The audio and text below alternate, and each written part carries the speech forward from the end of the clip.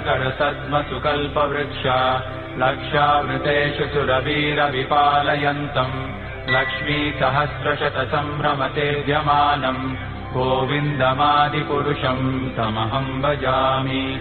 वेणुम् क्वणन्तमरविन्ददलाय साक्षम् बर्हावतम् समसिताम्बुदसुन्दराङ्गम् कन्दर्पकोटिकमनीयविशेषशोभम् गोविन्दमादिपुरुषम् तमहम् भजामि।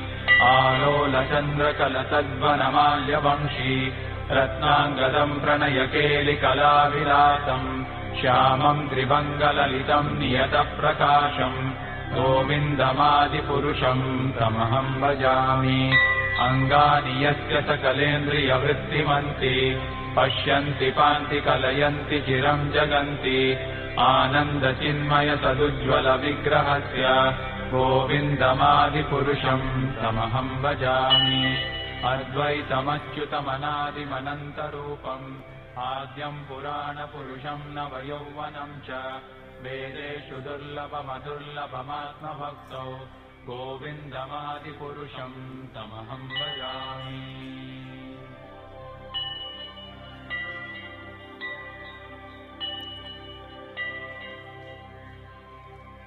पञ्चास्तु कोटिशतवत्सरसम्प्रगम्यो वायोरथापि मनसो मुनिपुङ्गवानाम् सोऽप्यस्ति यत्र સૌને જય શ્રી કૃષ્ણ ગોવિંદમાદિપુરુષ ભાગવતજીને વંદન ભજામિ સાથે પૂજ્ય ભાઈશ્રીના શ્રી ચરણોમાં વંદન સાથે આજના આપણા આ છેલ્લા દિવસના સત્રમાં સૌને આવકારું છું સાથોસાથ સપ્તાહના યજમાન શ્રી રામભાઈ મોકરિયા પરિવારને વિનંતી કરીશ કે પોથી પૂજન અને અર્ચન માટે સ્ટેજ પર ઉપસ્થિત થશે. રામભાઈ મોકરિયાના સમસ્ત પરિવારને વિનંતી છે.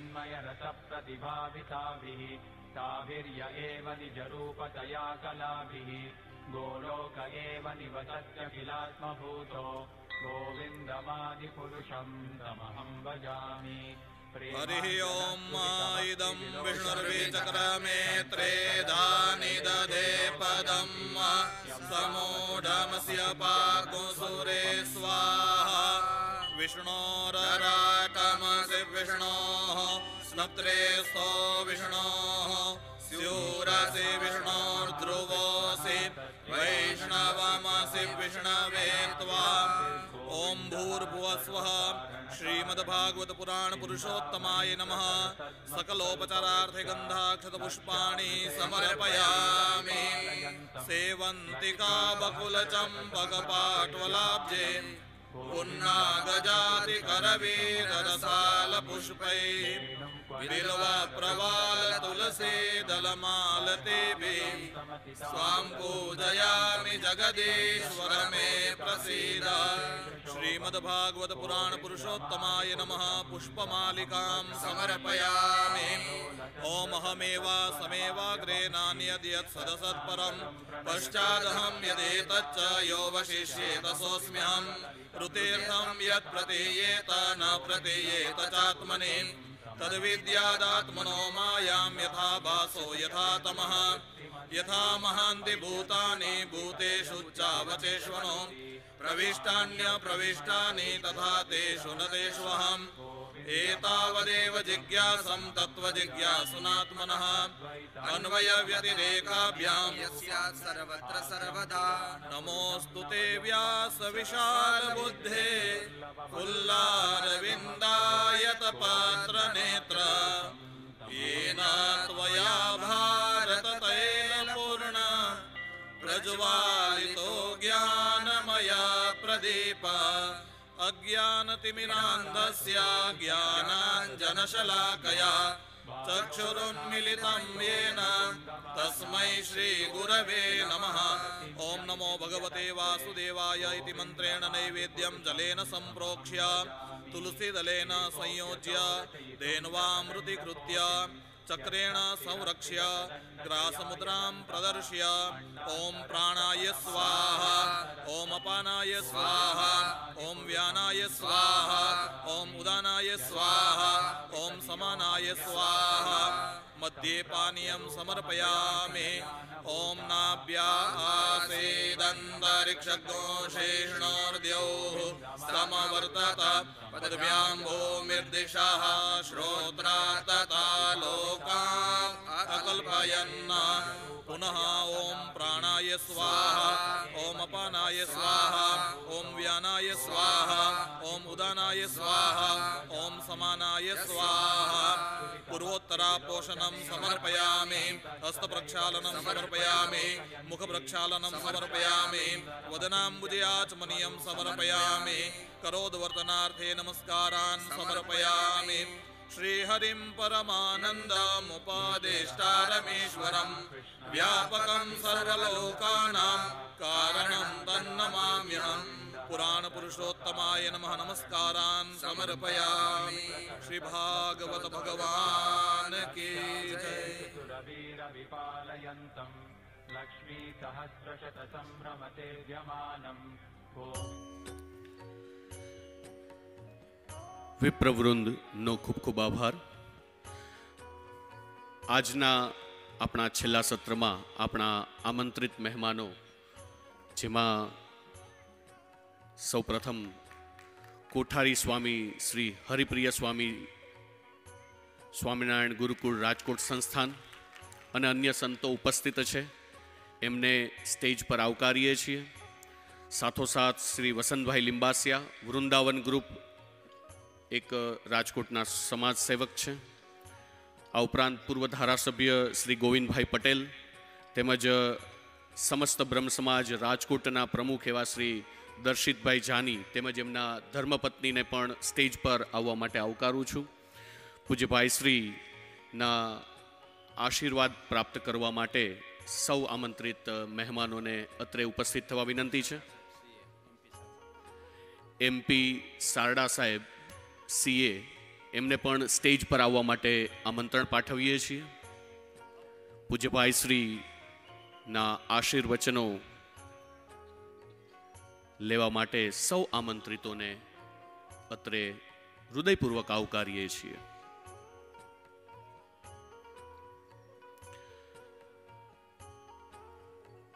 આ ભાગવત સપ્તાહના કુલ આજે આઠમો દિવસ સાત દિવસ સુધી રાજકોટની ધર્મપ્રેમી જનતાએ ખૂબ આનંદપૂર્વક પૂજ્યભાઈશ્રીની શ્રીની અસ્ખલિત વાણીનો લાભ લીધો છે.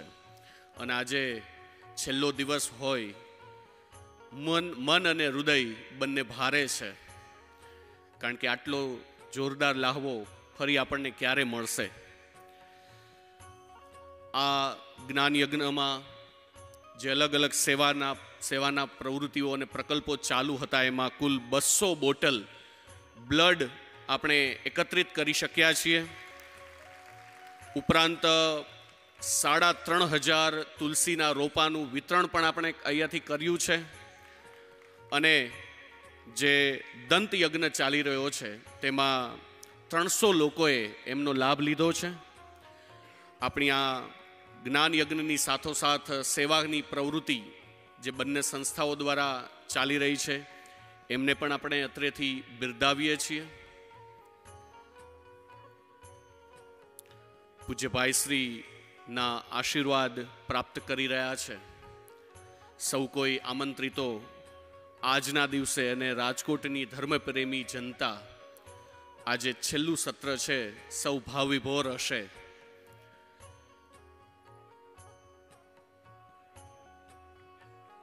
રામભાઈ મોકરિયા પરિવાર દ્વારા જ્યાં ખૂબ સુંદર મજાનું ભગીરથ કાર્ય આદરવામાં આવ્યું અને આજે આપણે વિના વિઘ્ને જ્યારે આપણે પૂર્ણ કરવા જઈ રહ્યા છીએ ત્યારે છેલ્લા સત્રનો આજે આપણે પૂજ્ય ભાઈશ્રી દ્વારા લાભ મળવાનો છે.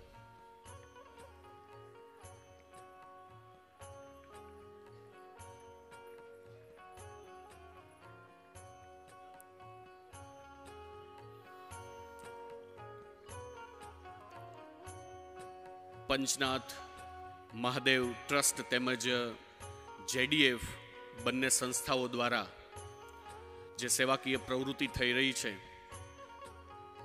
તેના અંતર્ગત આ સપ્તાહના અંતે જે કંઈ પણ અનુદાન પ્રાપ્ત થવાનું છે, આ બંને સંસ્થાઓને પ્રાપ્ત થવાનું છે, આજે છેલ્લો દિવસ સૌને વરસી જવા માટે પણ હું અપીલ કરું છું, જેથી કરીને આ બંને સંસ્થાઓને એમનું અનુદાન પ્રાપ્ત થાય અને હવે મારા શબ્દોને વિરામ આપતા પૂજ્ય ભાઈશ્રીના શ્રી મુખેથી આજના આપણા છેલ્લા સત્રનો આપણે જ્યારે લાભ ઉઠાવવાના છે, ત્યારે ભાગવતજીને ફરી એકવાર નમન કરી અને ભાગવત કે રામ આ આઠ દિવસની કથા આજે વિરામ લેવાની છે ત્યારે પૂજ્ય ભાઈશ્રીની અસ્ખલિત ધર્મવાણીનો લાભ આપણને મળે.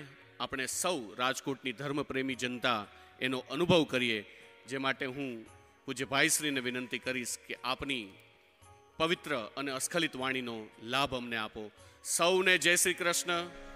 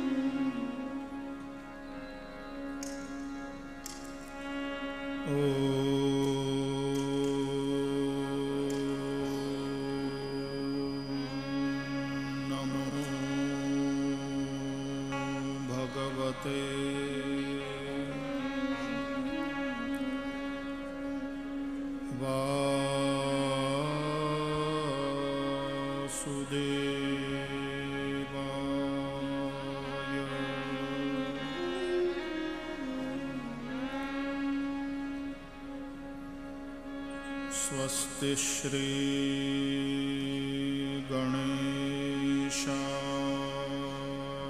नमः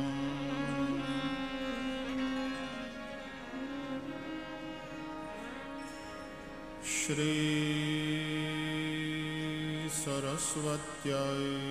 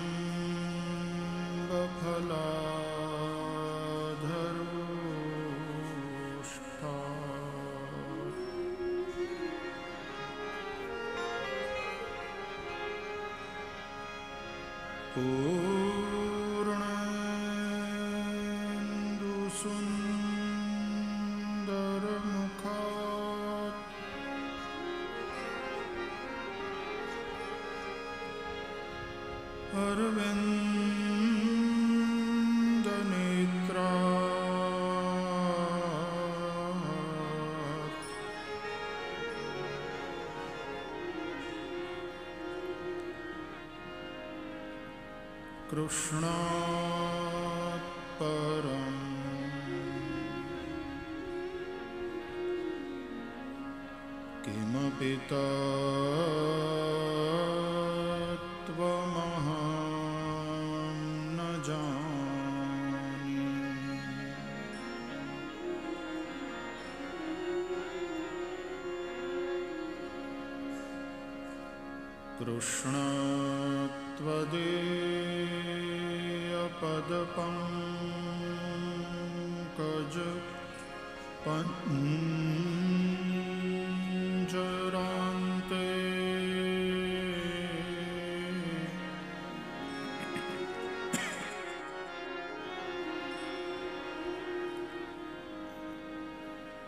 तद्यैव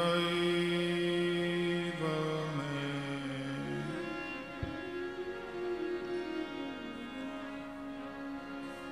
विशतु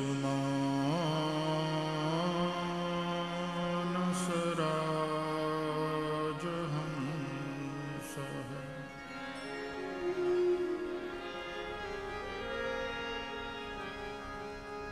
प्रा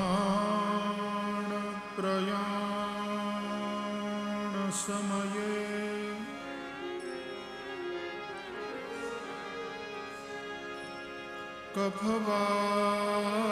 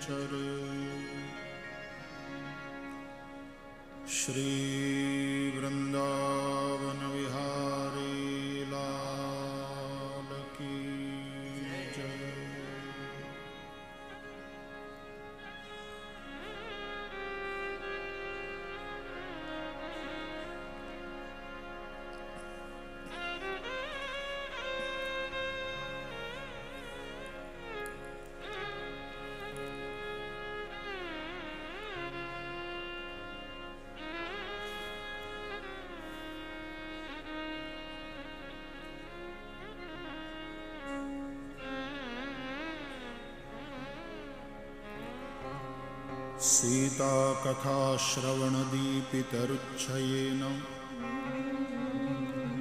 सृष्टं विलोक्य नृपते दशकन्धरेण जगनेद्भुतैण वपुषाश्रमतोपकृष्टो मारीचमाशुविशिखेन विशिखेन रक्षोधमेन वृकवद् विपिने समक्षम् वैदेहराजदुहितर्यपयापितायाम् भ्रात्रावने कृपणवत् प्रिययावयुक्तः स्त्रीसङ्गिनां गतिमिति प्रथयश्चकार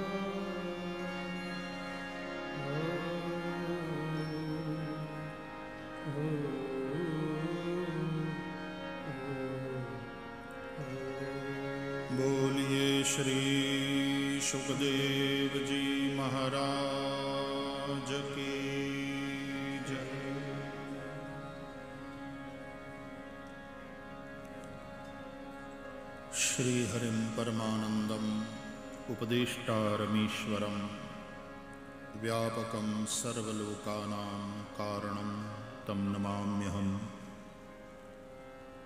परम कारुणिक भगवान श्री हरिना दिव्य चरण कमल માં સદૈન્ય દંડવત દેવ સ્થાપન ઉપર આવાહિત સ્થાપિત પૂજિત દેવોને પ્રણામ વંદનીય વિપ્રવૃંદ ભક્તવૃંદ ભક્તિમતી માતાઓ વિજ્ઞાનના માધ્યમથી આ કથાધારા સાથે જોડાયેલા દેશ અને વિદેશના સૌ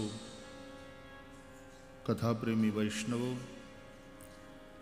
व्यासपीठ से सभी का हार्दिक अभिनंदन सबके हृदय में विराजमान परमात्मा को प्रणाम जय सियाराम जय श्री कृष्ण हरिओम भागवत के राम। सत्संग का आज आठवां और अंतिम दिवस। जो घड़ी जाए सत्संग में जीवन का फल सोई, सुत दारा और लक्ष्मी वो तो पापी के भी होई। पुत्र पत्नी पैसा ये तो पापी नहीं होए પણ જે ઘડી જાય સત્સંગમાં એ જ જીવનનું ફલ છે સત્સંગ શેવધિર નૃણામ सत्संग ही मनुष्य की परम निधि है તુલસીદાસજી કહે છે, સત્સંગ જેવું કોઈ સુખ નથી, દરિદ્રતા જેવું કોઈ દુઃખ નથી.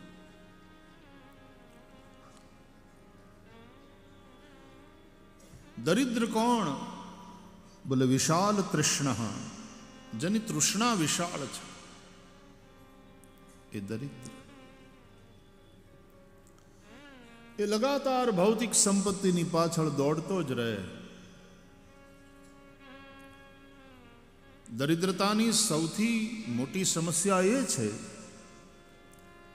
કે તમને સત્સંગમાં રુચિ પણ ન થવા દે. અને સત્સંગ એ દુનિયાનું સૌથી શ્રેષ્ઠ સુખ છે.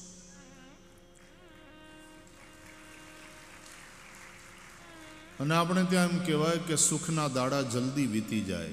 દુઃખના દાડા જાય નહીં અને સુખના દાડા जल्दी वीती जाए। आ, आठ दिवस केम पूरा थी। आठमो दिवस आ गयो।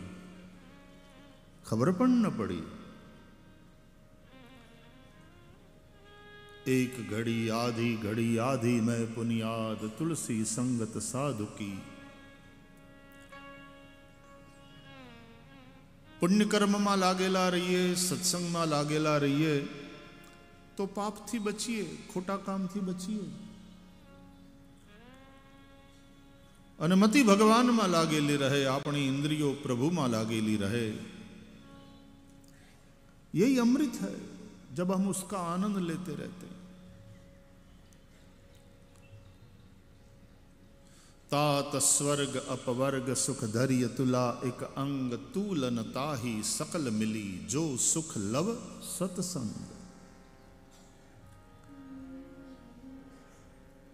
તો ભાગવત કે રામ આ વિષયને લઈને આપણે ભાગવતમાં જે રામાયણ છે, એના ઉપર થોડી સાત્વિક તાત્વિક ચર્ચા કરી રહ્યા છીએ.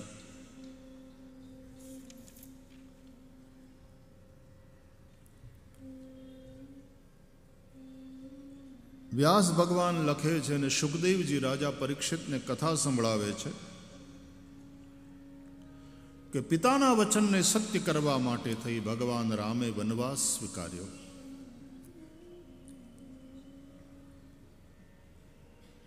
એ પણ વિલા મોઢે નહીં.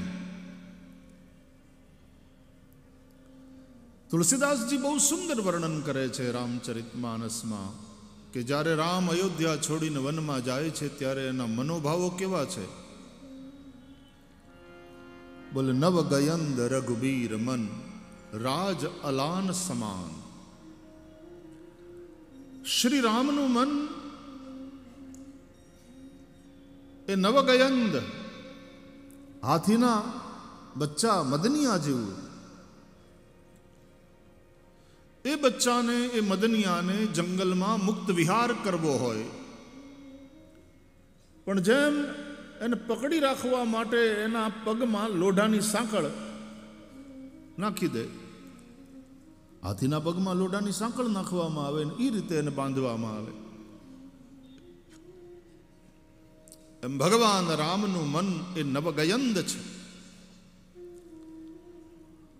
અને રાજ અલાન સમાન. રાજ તિલકની વાત, એના રાજ્યાભિષેકની વાત, એ તો આ નવગયંદના પગમાં જાણે લોઢાની સાંકળ પડેલી. અને કોઈ આવીને એ સાંકળને ખોલી નાખે, એ બંધનને ખોલી નાખે અને પછી મદનિયું પ્રસન્ન થઈને જેમ ભાગતું ભાગતું જંગલમાં દોડે, એમ કઈ કઈ જીએ આ સાંકળ ખોલી નાખી અને એટલા માટે શ્રી રામ એકદમ પ્રસન્ન મન સાથે વનની અંદર વિદાય થયા. તુલસીદાસજી વંદના કરે છે ભગવાન રામની. પ્રસન્નતામ યાન ગતાભિષેકત તથા ન મમલે વનવાસ દુઃખત મુખાંબુજ શ્રી રઘુનંદનસ્ય મે સદાસ્તુ સા મંજુલ મંગલ પ્રદા વનવાસની વાત સાંભળીને જે હરખાઈ ન ગયા રાજ્યાભિષેકની વાત સાંભળીને જે હરખાઈ ન ગયા અને વનવાસની વાત સાંભળીને જેનું મોઢું વિલાઈ ન ગયું એવા સ્થિત પ્રજ્ઞ રામ. ભગવાન કૃષ્ણ કહે છે ને ગીતામાં, દુઃખેશુ અનુદ્વિગ્ન મનાહ સુખેશુ વિગત સ્પૃહા બાહ્ય પરિસ્થિતિ બદલાતી રહે, પણ માણસની મનસ્થિતિ એવી થઈ જાય કે એને આઠે પહોર આનંદ. પ્રકૃતિ પરિવર્તનશીલ છે. સુખની પરિસ્થિતિ હશે તો એ બદલાવાની છે. અને સુખનો અંત આવવાનો છે. સુખાંત, દુઃખાંત નિશ્ચિત છે. દુઃખની પરિસ્થિતિ હશે તો એનો પણ અંત આવશે. નિશ્ચિત છે. યહાં કોઈ પરિસ્થિતિ કાયમ નહીં પરિસ્થિતિ પરિવર્તનશીલ है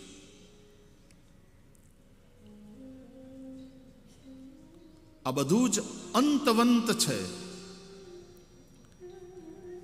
અંત પામનારું. એટલે સુખાંત, સુખનો અંત, પછી દુઃખ શરૂ થાય. દુઃખાંત, દુઃખનું અવસાન, પછી સુખ શરૂ થાય.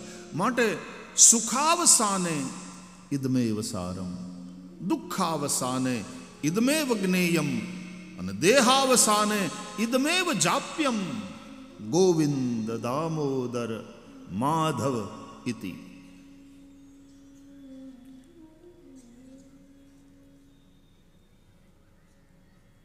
સુખનો પણ અંત નિશ્ચિત છે માટે સુખના સમયમાં છકો નહીં.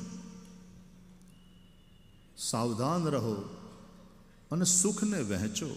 સુખનો સદુપયોગ કરો. દુઃખનો પણ અંત નિશ્ચિત છે, તેથી દુઃખમાં મન ડગે નહીં. તમે ધીરજ ન ગુમાવો. ભરોસો રાખો, ધૈર્ય રાખો. દુઃખનો પણ અંત નિશ્ચિત છે. દેહનો પણ અંત નિશ્ચિત છે.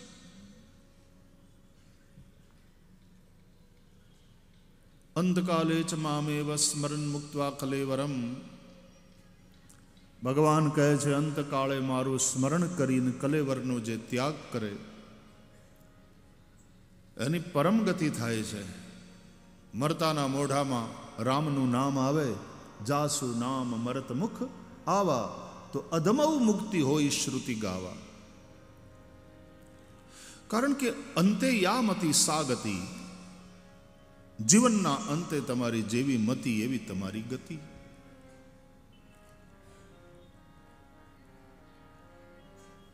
પણ જો જીવનમાં ભગવાનનું નામ લેવાની જેને ટેવ ન પડી હોય ને, એને પછી અંતકાળે બહુ જલ્દી ભગવાનનું નામ મોઢામાં આવતું નથી. એને હરિની યાદ નથી આવતી. સંસારના માટે હાય હોય કરતા કરતા જ જાય. એટલે સંતો કહે છે કે અંતે એટલે ક્ષણના અંતે. મતલબ સતત. હરિનું નામ ભજો. भजन करो। हरि का भजन करो, हरि है हमारा। हरि का भजन करो, हरि है हमारा।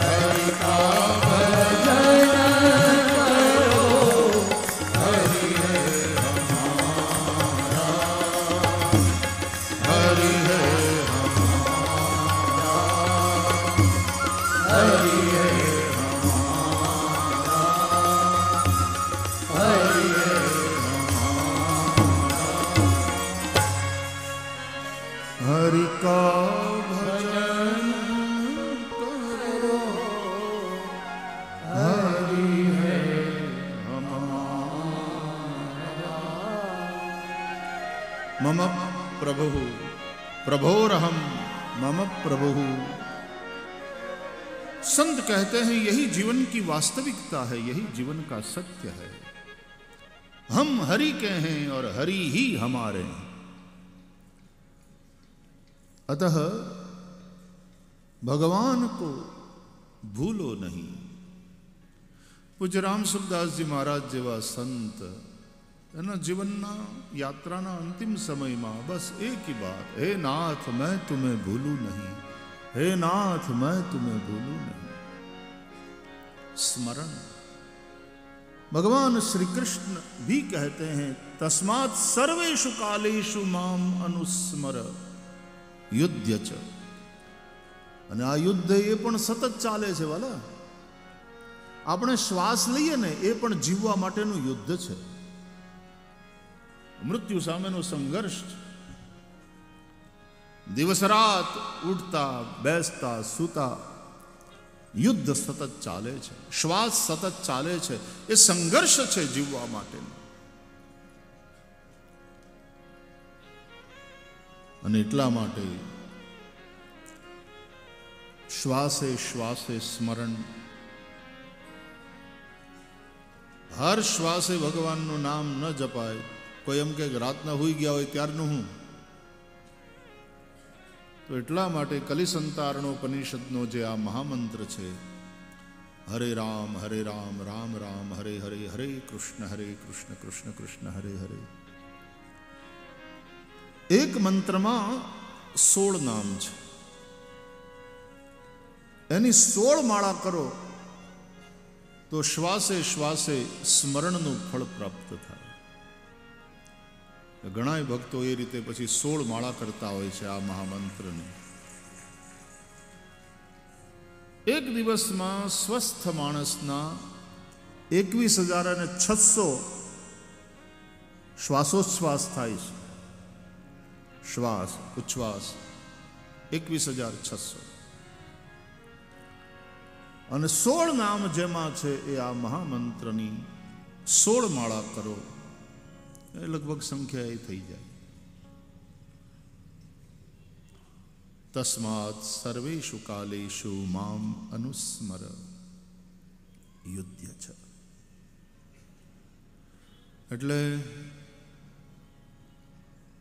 सत्संग ही मनुष्य की परम निधि है यही सबसे श्रेष्ठ संपत्ति भगवान रामनु चरित्र एक स्थित प्रज्ञ एक योगी एक तपस्वी રામ પ્રગટ્યા અયોધ્યામાં. એ બાલક રામનું દર્શન. પછી કુમાર કિશોર અવસ્થામાં વિશ્વામિત્રના યજ્ઞની રક્ષા. શ્રી સીતાજી સાથે વિવાહ.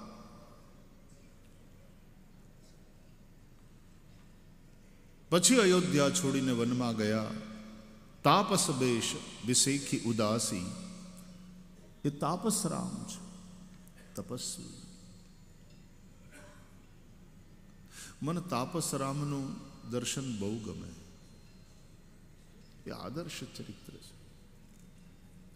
બાલકરામ પ્રેમાસ્પદ છે. એને જોઈને પ્રેમ જાગે.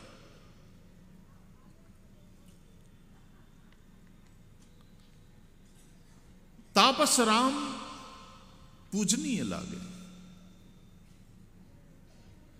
એનું તપ, એની તપસ્યા, એની સહિષ્ણુતા, એનો ત્યાગ, આ બધું પૂજા કરવા યોગ્ય છે.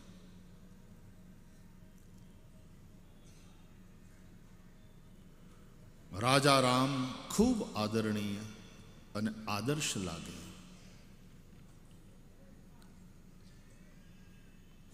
ત્રણ મુખ્ય નગર છે જેમાં રામજીની લીલા થઈ રહી છે. અયોધ્યા, જ્યાં શ્રી રામ પ્રગટ્યા, મિથિલા, જ્યાં રામ પરણ્યા અને લંકા, જ્યાં રામનું શૌર્ય પ્રગટ્યું અને રાવણ કુળનો નાશ કર્યો.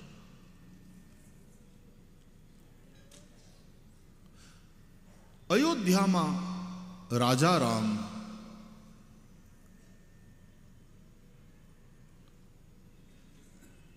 મિથિલામાં દુલ્હા રામ અને લંકામાં તાપસ રામના દર્શન છે.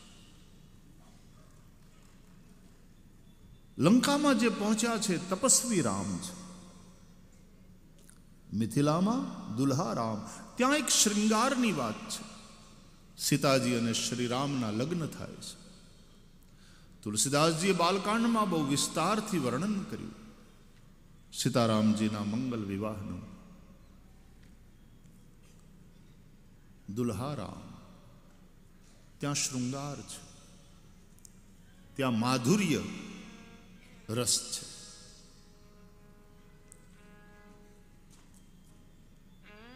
मिथिला ये विदेह राजनी नगरी है देह में रहते हुए भी देह भाव से ऊपर उठे हुए लोगों का नगर विदेह राज ऐसे तत्वज्ञानी महापुरुष ज्ञानी महापुरुष जो देह में रह करके भी देह भाव से ऊपर उठे हुए होते हैं વિદેહ અને ત્યાં શૃંગારની વાત માટે શૃંગાર અલૌકિક છે દેહ ભાવમાં જે હોય ને એનો શૃંગાર એ વિકારથી યુક્ત હોય છે પણ વિદેહની ભૂમિકા જેની હોય, એનો શૃંગાર. ભાગવતમાં પણ શૃંગાર, રાસલીલા, શૃંગાર, મધુર રસની વાત છે. પણ ગોપી એટલે જે દેહ ભાવથી ઉપર ઉઠેલો પ્રેમી કૃષ્ણ પ્રેમી જીવ છે. જહુર ગુણમયમ દેહમ, સદ્ય પ્રક્ષીણ બંધના સુખદેવજી કહે છે. ગુણમય જે દેહ છે, આ પ્રાકૃત શરીર. એનાથી ઉપર ઉઠેલા, હું શરીર છું. આવું ભાન ન રહે, એટલે કે દેહ ભાન ન રહે. પ્રેમમાં આવું દેહ ભાન નથી રહેતું, ભક્તને. રામ આવ્યા ને શબરી ગાંગી થઈ ગઈ, એને દેહ ભાન ન રહ્યું શબરી દેખી રામ ગૃહ આય મુનિ કે બચન સમુજી જી ભાઈ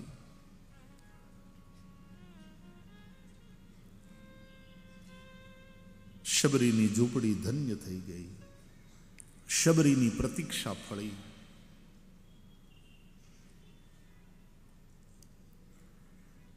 પ્રેમીને દેહ ભાન ન રહે વિદુરને ત્યાં દ્વારકાધીશ પધાર્યા વિદુરાણીને દેહ ભાન ન રહ્યું વસ્ત્ર છે કે નહીં શરીર ઉપર એ પણ ભાન ન રહ્યું કેળા ખવડાવે ભગવાનને તો કેળા ફેંકી દઈને છાલ ભગવાનને આપે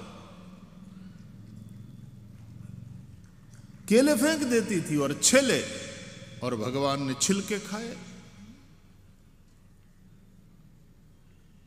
પ્રેમની એક આવી સ્થિતિ બને જ્યાં દેહ ભાવ છૂટી જાય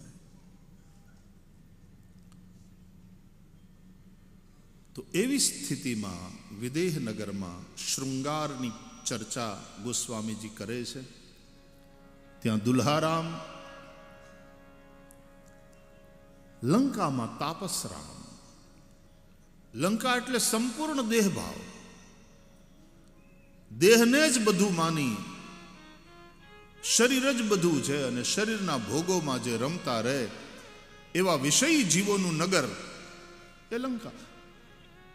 લંકા એક ભૂમિકા છે. ગોસ્વામીજી કહે છે, વિષયી સાધક સિદ્ધ સયાને ત્રિવિધ જીવ જગભેદ બખાને આ ત્રણ પ્રકારના જીવો હોય છે, વિષયી, સાધક અને સિદ્ધ. લંકા એ વિષયી જીવોનું પ્રતીક છે. અયોધ્યા સાધક જીવનું પ્રતીક છે. અને મિથિલા એ સિદ્ધ જીવોનું પ્રતીક છે તો મિથિલામાં તો દેહભાવથી ઉપર ઉઠેલા એવા સિદ્ધ સંતો મહાપુરુષો જ્ઞાનીઓ ये निवास करे लंका में देह को ही सब कुछ मानने वाले और देह को ही सब कुछ मानने वाले वहां सोने की लंका है वैभव है पैसा है पार्टियां हैं खाना पीना सब कुछ खाना मतलब ऊपर श्लेष पीना मतलब ऊपर શ્લેષ બધુંય ખાય ને બધુંય પીવે ને ભોગ ભોગ ભોગ ભોગ પૈસો પૈસો પૈસો પૈસો પાર્ટી વૈભવ પ્રદર્શન હોનાની લંકા. પૈસો ખરાબ નથી. પણ વિષયી બનવું. એમ તો દ્વારકાય હોનાની. પણ એના અધિપતિ દ્વારકાધીશ પ્રભુ છે.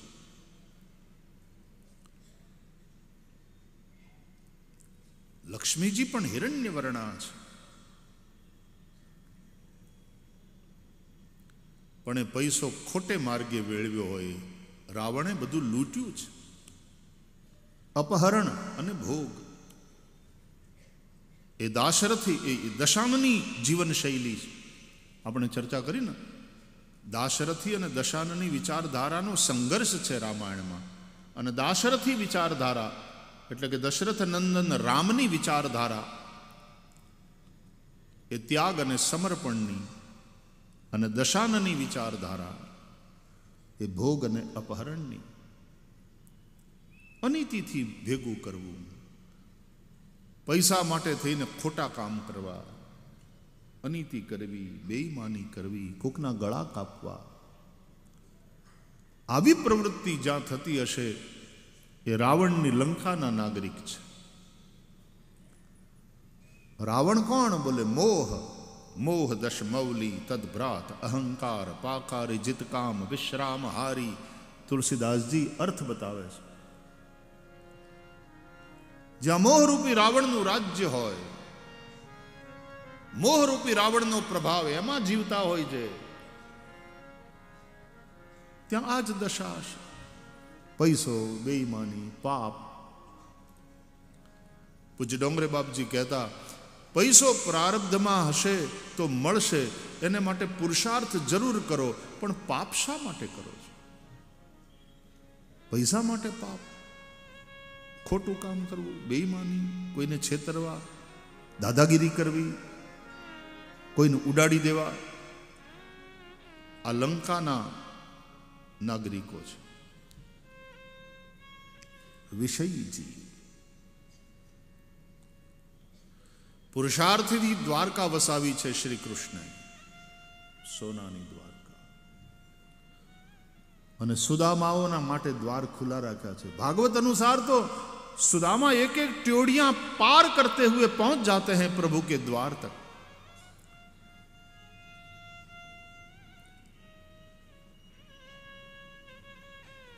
જે સુદામા છે એના જેવો તપસ્વી કૃષ્ણસ્યાસિત સખા કશ્ચિત બ્રાહ્મણો બ્રહ્મવિત્તમ વિરક્ત ઇન્દ્રિયાર્થેશુ પ્રશાંતાત્મા જીતેન્દ્ર જીતેન્દ્રિય યદૃચ્છયોપન્નેન વર્તમાનો ગૃહાશ્રમી આવા સુદામાને માટે એક પછી એક દરવાજાના દ્વાર કોટના દ્વાર ખુલતા જાય સબ ટોડી ત્યોડિયા પાર કરતા હુઆ સુદામા પહોંચ ગયા પરમાત્મા અને કૃષ્ણ પરમાત્મા સુદામાનું સ્વાગત કરે છે. હળી કાઢીને દોડ્યા કૃષ્ણ. નામ રે સુણીને વાલો, દોડ્યા ગિરધારી રે અનત્રિક મેં લીધા છે, એને તેડી રે આસુડા ખેર્યા. आँख थी हो जी। सुदमोज द्वारे काम आव्यारे ए दर्शन करवा। देवना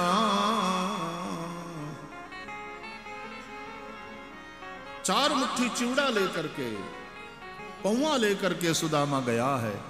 સુદામો એટલે જીવ દામ એટલે રસી રસી સંસ્કૃતમાં એને કહેવાય ગુણ. આ પ્રકૃતિના ત્રણ ગુણ, સત્વ, રજસ અને તમસ, એ ત્રણ ત્રણ રસી એને ભેગી કરો એટલે થાય મજબૂત દોરડું. અને એનાથી સારી રીતે બંધાયેલો એવો જીવ એ જ સુદામા છે. પણ એ જીવ અને શિવ નિત્ય સખા છે. કૃષ્ણ દરેક જીવનો સખા છે. દ્વા સુપર્ણા સયુજા સખાયા સમાનમ વૃક્ષમ પરિશસ્વ જાતે ઉપનિષદો પણ આવું વર્ણન કરે છે જીવ શિવ નિત્ય સખા છે સુદામાના પત્ની ભાગવતમાં એનું નામ નથી લખ્યું પછી આખ્યાનકારો સંતો એને સુશીલા એવું નામ બતાવે ભાગવતમાં નામ નથી ભાગવતમાં તો સુદામા એને કલ્યાણી કહીને સંબોધે છે મતિ, બુદ્ધિ એ જ પત્ની છે જીવની. અને કલ્યાણી હોય, કલ્યાણી ક્યારે કહેવાય? કે જ્યારે જીવને કૃષ્ણ પરમાત્માના દર્શન માટેની પ્રેરણા કરે. કે તમારા મિત્ર છે, તમને તમારા મિત્રના પાસે જવાનું મન થતું નથી? જાઓ ને. એ રાજી થશે તમને જોઈને. અને પછી ચાર મુઠ્ઠી પમવા લઈ તંડુલોપાયન સુદામાં નીકળે છે. ચાર મુઠ્ઠી તાંદુળ એટલે જીવ આ સંસારમાં આવીને ધર્મ, અર્થ, કામ, મોક્ષ ચારે પુરુષાર્થોની જે સિદ્ધિ કરી હોય, આ પુરુષાર્થની કમાણી કરી હોય, પોતાના કર્મ દ્વારા એ લઈને ભગવાન પાસે જવાનું છે. આપણે આપણા કર્મો પ્રભુને સમર્પિત કરવાના છે. કાયેન વાચા મનસેન્દ્રિયૈર્વા બુદ્ધ્યાત્મના વા પ્રકૃતે સ્વભાવાત કરોમી યદ્યત સકલમ પરસ્મય નારાયણાયેથી સમર્પયામી. ભગવાન સ્વીકારશે? બોલે, બિલકુલ, કારણ કે ભગવાન પોતે માગે છે. યત કરોશી યદસ્નાસી યત જુહોસી દદાસી યત યત તપસ્યસી કૌંતેય, તત્કુરુષ્વ મદર્પણમ.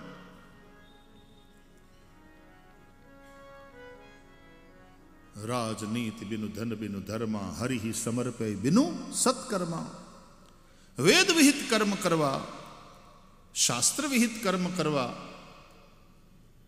વિહિત એટલે વેદોએ જે કરવાનું કહ્યું છે, શાસ્ત્રોએ જે કરવાનું કહ્યું છે, એવા કર્મ કરવા, જે કરવાની ના પાડી છે, એનાથી બચવું. પાપથી બચવું પુણ્ય કર્મ કરતા રહેવા અને પછી એ સત્કર્મો પાછા ભગવાનને સમર્પિત કરવા. એટલા માટે બ્રાહ્મણો પૂજાના અંતે, યજ્ઞના અંતે કર્માર્પણ કરાવે. ભગવાનને કર્મ સમર્પિત કરો. એનાથી ભગવાન પ્રસન્ન થાય. તેન શ્રી પરમેશ્વર પ્રિયતા નમઃ. અને ભગવાનને સમર્પિત કરો ને એટલે પછી ભગવાન એનું અનેક ગણું સુંદર ફળ આપે. તમારી મનોકામનાને ઠાકોરજી પૂર્ણ કરે તો ભક્ત વાંછા કલ્પતરુ છે. સત્કર્મ ભગવાનને સમર્પિત કરવાના સુદામો ચાર મુઠ્ઠી તાંદુળ લઈને જાય છે.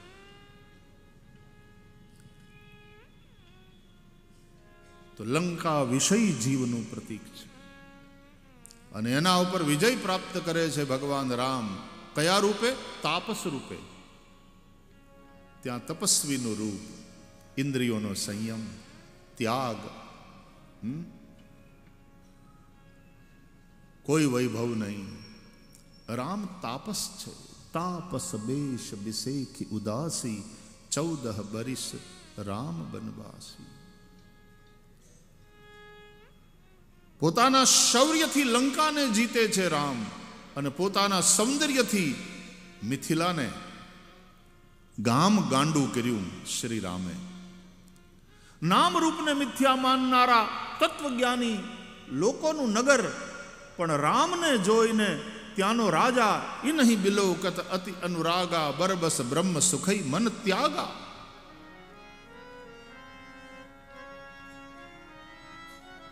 પોતાના સૌંદર્યથી મિથિલાને જીતે છે. અને પોતાના શીલથી અયોધ્યાને જીતે છે રામ. શૌર્યથી લંકાને, સૌંદર્યથી મિથિલાને અને પોતાના શીલ દ્વારા ભગવાન રામ અવધવાસીઓના દિલને જીતે છે. એ રાજા રામનું જે શીલ છે, એનું જે ચરિત્ર છે, માટે જ રામનું ચરિત્ર રામાયણ આદર્શ જીવનની આચાર સંહિતા છે. રામ લલા અયોધ્યામાં તો બિરાજ્યા વારંવાર કહું છું, આપણા જીવનની અયોધ્યામાં પણ આપણા હૃદયના સિંહાસન ઉપર શ્રી રામ પ્રતિષ્ઠિત થાય એ માટેનો આ અવસર છે. રામ કથા, આ ભાગવત કે રામ સત્સંગ એ માટે થઈને આપણને પ્રેરણા આપે છે, આપણું માર્ગદર્શન કરે છે.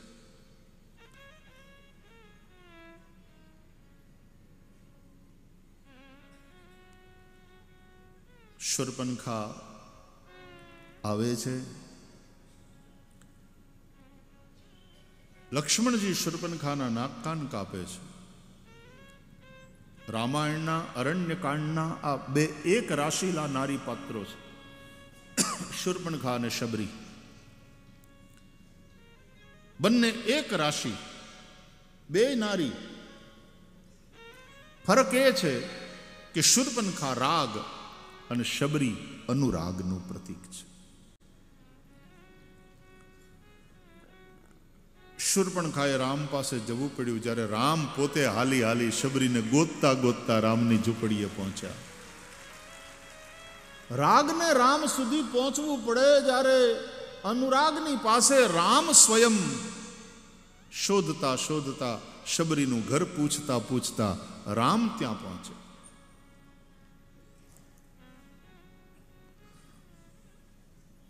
રાગને રૂપમાં રસ હોય. શુર્પનખા રામના રૂપને જોઈ એના સૌંદર્યને જોઈ અને લટ્ટુ થઈ છે. રૂપને જોઈને એ જોયા પછી લટ્ટુ થઈ. અને શબરી તો ખાલી સાંભળીને રામમાં અનુરાગ. રૂકમણીજી દ્વારકાધીશ કૃષ્ણને ક્યારે મળ્યા નથી? નારદની પાસેથી એની કથા સાંભળીને કૃષ્ણમાં અનુરાગ અને પછી પ્રેમપત્ર લખે. અટાણે તો મારા જોવે, એકબીજાને મળ્યા કરે. We are seeing each other since last three years હજી એણે પ્રપોઝ નથી કર્યું નહીં. પછી પ્રપોઝ કરે તો એ મારા વાલા ત્રણ વર્ષ નો ટકે પાછા. અને અહીંયા જોયા નથી. રૂકમણીએ જોયા નથી. દેવર્ષિ નારદના મુખે કથા સાંભળી છે અને મનથી શ્રી કૃષ્ણને વરી ચૂક્યા. રૂકમિણી જે પ્રેમપત્ર લખે છે શ્રી કૃષ્ણને, એ સાંભળવા જેવો, સમજવા જેવો છે, એ એક એક શ્લોકો કોઈક જગ્યાએ જ્યારે અવસર મળ્યો ત્યારે એના ઉપર ચર્ચા કરી છે વિસ્તારથી. અને રૂકમિણીજીનું પાત્ર ભાગવતમાં પણ જે છે એ રીતે જોઈએ ને તો મને એમ લાગે આજની ભાષામાં કે રૂકમિણી ડબલ ગ્રેજ્યુએટ હતા. She was highly educated lady અને રૂકમિણીએ માનસશાસ્ત્રમાં માસ્ટર ડિગ્રી કરેલી. સાયકોલોજીમાં એવું કહી શકું રૂકમિણીના ચરિત્રનું જે રીતનું ચિત્રણ છે રૂકમિણીનો પ્રેમપત્ર અને એ પછી દશમસ્કંદના ઉત્તરાર્ધમાં રૂકમિણી અને શ્રી કૃષ્ણનો જે પ્રણય કલહ છે, આ બધી કથાઓ રૂકમિણી બહુ હોશિયાર દેવી છે. આમ તો લક્ષ્મીનો અંશ છે, સાક્ષાત લક્ષ્મી. રામાયણમાં સીતાજી એ લક્ષ્મી સ્વરૂપા છે. તો માત્ર કથા સાંભળીને અનુરાગ થયો. શબરી ક્યાં મળ્યા છે રામને? ક્યાં જોયા છે રામને? પણ રામના અનુરાગને કારણે બસ પ્રતીક્ષા. એ આવશે એ આવશે એ આવશે. અને આવ્યા. શુર્પનખાએ રામને જોયા અને રામના રૂપને જોઈને એની અંદર રાગ ઉત્પન્ન થયો. She was tremendously attracted to Rama. પણ એ એટ્રેક્શન હતું. ઘણીવાર થોડા સમય માટે એવું એટ્રેક્શન થાય.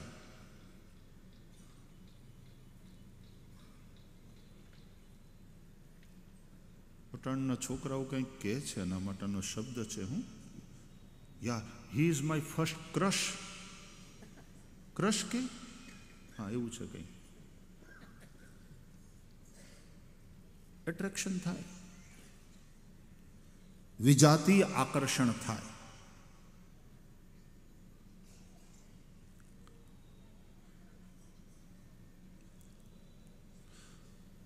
રાગ બનાવટ કરે છે, દંભ કરે છે. શુરબનખા છે રાક્ષસી અને ખોટું ખોટું સુંદરી સ્ત્રીનું રૂપ લઈને રામ પાસે ગઈ. અનુરાગ જ્યાં હોય ત્યાં કોઈ બનાવટ નથી. શબરી જેવી છે તેવી રામના ચરણમાં આમ ઢોળાઈ ગઈ?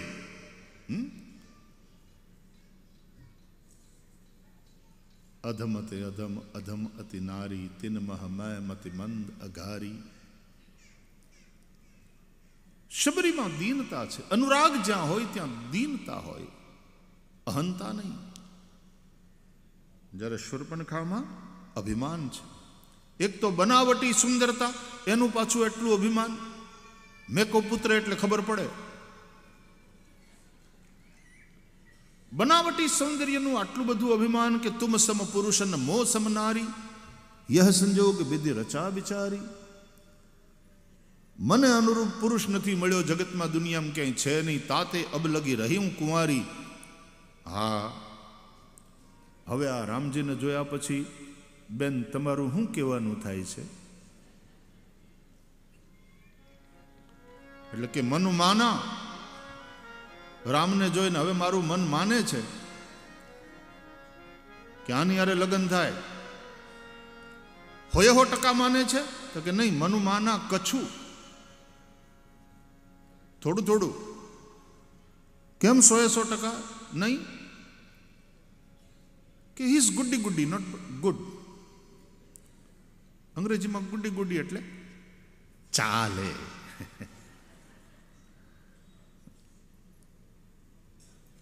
ઇટ્સ ઓકે હિસ્સો સો સો બોલો રામને જોઈને રામને માટે જેનો અભિપ્રાય કે હિસ્સો સો સો અને પોતાનું બનાવટી સૌંદર્ય અને પાછી કે મારા જેવું કોઈ નહીં. I am the most beautiful lady in the world આ અહંકાર. રાગમાં આ અહંકાર, આ અહંતા હોય છે. જ્યારે અનુરાગ જ્યાં છે, ત્યાં દીનતા છે. અને એનું જ પરિણામ કે રામે શુર્પણખાની સામે જોયું પણ નહીં અને શબરીને જોઈને રામ ભાવથી ભરાયેલા અને એને ભામિની કહીને સંબોધે છે. કહ સુનુ રઘુ, કહ રઘુપતિ સુનુ ભામિની બાતા, માનવું એક ભગતિ કરનાતા. ભામિની એટલે યંગ બ્યુટીફુલ લેડી એને भामिनी कहेवाय अब देखा जाए तो शबरी में न यौवन है न सौंदर्य फिर भी राम शबरी को भामिनी कह करके संबोधित करते हैं કારણ કે એની ધીરજ યુવાન છે અને વિશુદ્ધ પ્રેમની સુંદરતા છે એના જીવનમાં વાસના છે ને એ બહારથી ભલે લાગે સુંદર, બાકી અંદરથી રાક્ષસી હોય છે, વિકૃત હોય છે. કારણ કે વાસના પોતે જ એક વિકાર છે. એ વિકાર છે. તો શબરીનું જે સૌંદર્ય, ભાવનું સૌંદર્ય, ભગવાન કાયાના સૌંદર્યને નથી જોતા, ભગવાન કાળજાના સૌંદર્યને જુએ છે. ભગવાન શબરીને ભામિની કહીને સંબોધે છે અને શુર્પનખાને દ્રષ્ટિ પણ નથી આપતા. સીત હિ ચિતઈ કહી પ્રભુ બાતા કે અહઈ કુમાર મોર લઘુ એટલે પછી શુર્પનખાએ નાક કપાયું. નાક આબરું ગઈ. અને રામ શબરીને ત્યાં પહોંચ્યા અને શબરીના ફળ ખાધા અને શબરીનું આતિથ્ય સ્વીકાર્યું. તો શબરીનું નાક, શબરીની આબરૂ કેટલી વધી? આજે આપણે શબરીને યાદ કરીએ છીએ. શબરી મૈયાને વંદન કરીએ છીએ.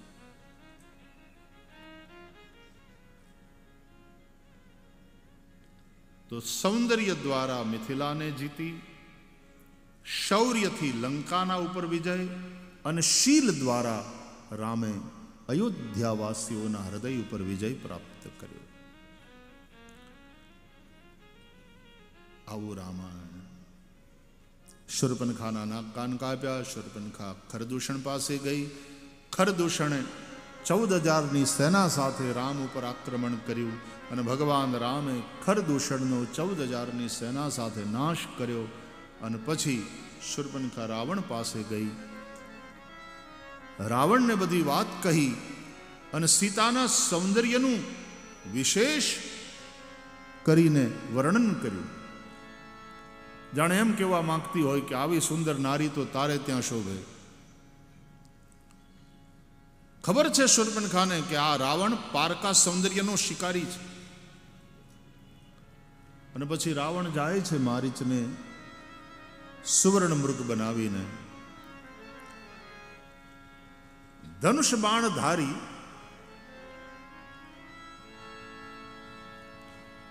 અહીંયાથી પણ ચર્ચા થઈ વાલ્મીકી રામાયણમાં તો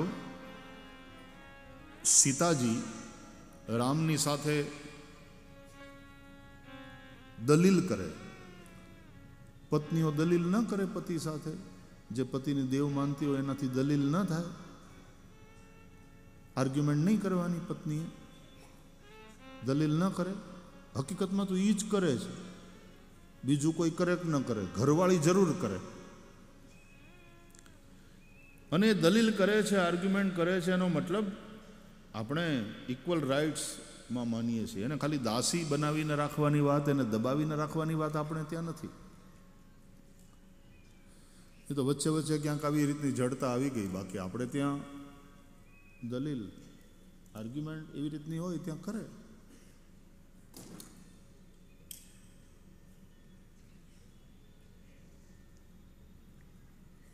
ડિબેટ કરવામાં હું વાંધો, પોતાની વાત છે એ સામે રાખવામાં.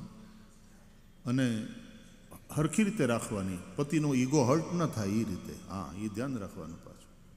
નહીં તો માથાકૂટ થાય.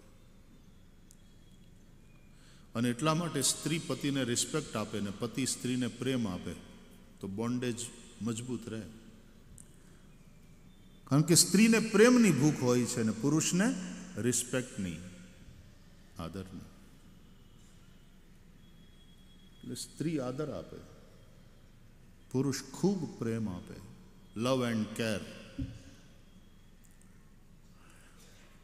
એટલે સ્ત્રીને પુરુષ પોઝેસિવ હોય ને ગમે. કે એનો મતલબ હું એના માટે ઇમ્પોર્ટન્ટ છું. એવું એને ફીલ થાય. એ પોઝેસિવનેસ વિકૃતિની હદે પહોંચી જાય તો પછી સમસ્યા થાય. કોની અરે વાત કરતી હતી હું કામ એને જોતી હતી આન તેન ફલાણ. વાત વાતમાં શંકા કરે પછી. એ વિકૃતિની હદે પોઝેસિવનેસ પહોંચે તો મુશ્કેલી. કારણ કે જ્યાં પ્રેમ હોય, ખરો પ્રેમ હોય, તો ત્યાં ભરોસો પણ હોય. કારણ કે ભરોસા વિના પ્રેમ ન હોઈ શકે. કે મને મારી પત્નીમાં ભરોસો છે. કોઈ સામેવાળો કદાચ આડો અવળો થશે તો આ સેન્ડલથી એની ખોપડી તોડી નાખશે. એવી ચંડી થતા એને આવડે છે. એમ પોતાની પત્નીમાં ભરોસો હોય, પત્નીને પતિમાં ભરોસો હોવો જોઈએ. ભરોસા વિશ્વાસના આધારે તો પ્રેમની ઇમારત ટકે છે. બિનુ વિશ્વાસ, ભક્તિ નહીં. એ વિશ્વાસ ન હોય, વિશ્વાસને બદલે વહેમ શંકા આવી જાય દાંપત્યમાં તો ઝેર.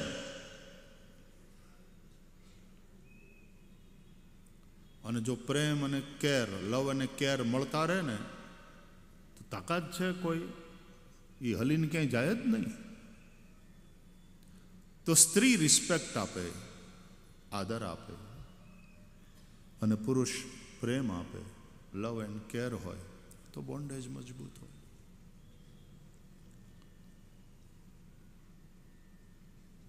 તો શર્પનખાએ રાવણની આગળ સીતાના સૌંદર્યનું વર્ણન કર્યું અને રાવણ મારીચને સુવર્ણ મૃગ બનાવી અને સીતાજીનું હરણ કરે છે. તો સીતાજી આર્ગ્યુમેન્ટ કરેલી રામ સાથે કે તમે તાપસ વેશમાં છો. Why you carry your weapons with you it's not good તમે તાપસ છો. જે તાપસ હોય, તપસ્વી હોય, એની પાસે શસ્ત્રો થોડા હોય. ક્યારેક રામ વનમાં શસ્ત્રનો ઉપયોગ કરીને કોઈ દુષ્ટને, અસુરને, કોઈ રાક્ષસને મારે, તો સીતાજી કે, અર, તમે આ શું કરો છો? તમે તપસ્વી છો.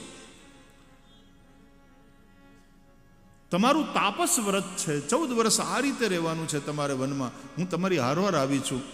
તમે બરાબર નથી કરતા. તમારે શસ્ત્ર રખાય જ નહીં. તમે તાપસ છો, તપસ્વી છો. તો રામજીએ કહ્યું કે, દેવી, હું તપસ્વી છું, પણ હું ક્ષત્રિય પણ છું. અને જ્યાં આપણે રહીએ છીએ અને જે લોકોની વચ્ચે રહીએ છીએ ને, ત્યાં શસ્ત્ર રાખવા પડે દેવી. એટલે આર્ગ્યુમેન્ટ થઈ.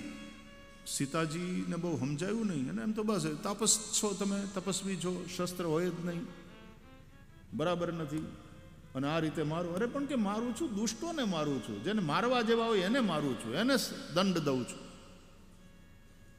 કે નહીં નહીં, તાપસી તાપસી એટલે દયા ને એ બધું જોવું જોઈએ. તો આવી દલીલો એ બેના દાંપત્યમાં થઈ છે, વનવાસ દરમિયાન થઈ છે વાલ્મીકી રામાયણ અનુસાર. અને પછી એ શસ્ત્રધારી રામને, પેલો મૃગલો જ્યારે આવ્યો ત્યારે સુવર્ણ મૃગને જોઈને સીતાજી કહે છે, કેટલો સુંદર મૃગ છે, રુચિર છે. તમે જાઓ, લઈ આવી આપો. હું એની કંચુકી બનાવીને પહેરીશ. બોલો. કનક ભવન છોડીને રામની સાથે આવેલા સીતા કનક મૃગને જોઈને લલચાયા. તે રામને કનક મૃગની પાછળ ભગાડ્યા કે જાઓ, લઈ આવો. અયોધ્યામાં કનક ભવન છે, જ્યાં સીતારામજી રહે છે. અને એ કનક ભવનની સુખ સુવિધા આ બધું જ છોડી અને સીતા પોતાના પતિ રામની સાથે ચાલ્યા છે વનમાં. અને એ સીતા પેલા કનક મૃગ, સુવર્ણ મૃગ એને જોઈને લલચાય છે અને રામને કહે છે, સત્ય સંદ પ્રભુ બધી કરી, એહી આનહુ ચર્મ કહતી વૈદેહી. અહીંયા વૈદેહી કયા છે? કારણ કે રામચરિત માનસ અનુસાર આ મૂળ સીતા નથી. મૂળ સીતા તો અગ્નિમાં સમાયા છે. પોતાની છાયાને ત્યાં રાખીને. આમ જો તો છાયાને કોઈ દેહ નથી.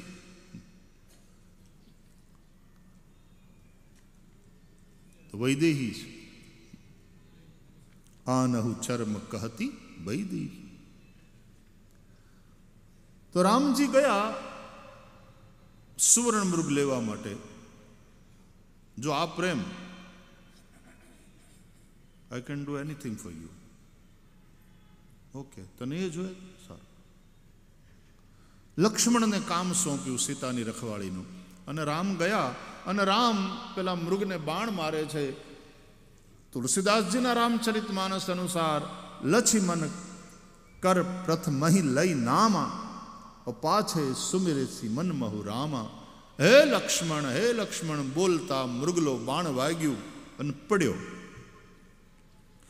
પાછળથી મનમાં રામનું સ્મરણ કર્યું એણે. પણ આ પુકાર સાંભળીને હરિપ્રેરિત લક્ષ્મણ સીતાજીને એમ થયું કે રામજી લક્ષ્મણને બોલાવે છે સહાયતા માટે.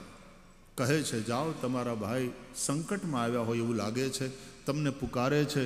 લક્ષ્મણજી, તમારે અવિલંબ જવું જોઈએ, એમની મદદે.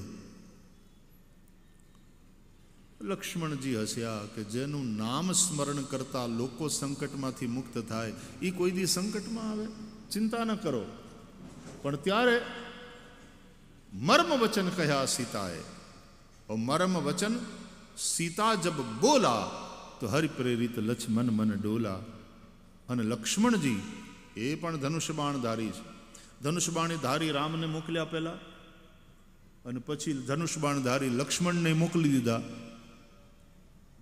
પરિણામ શું આવ્યું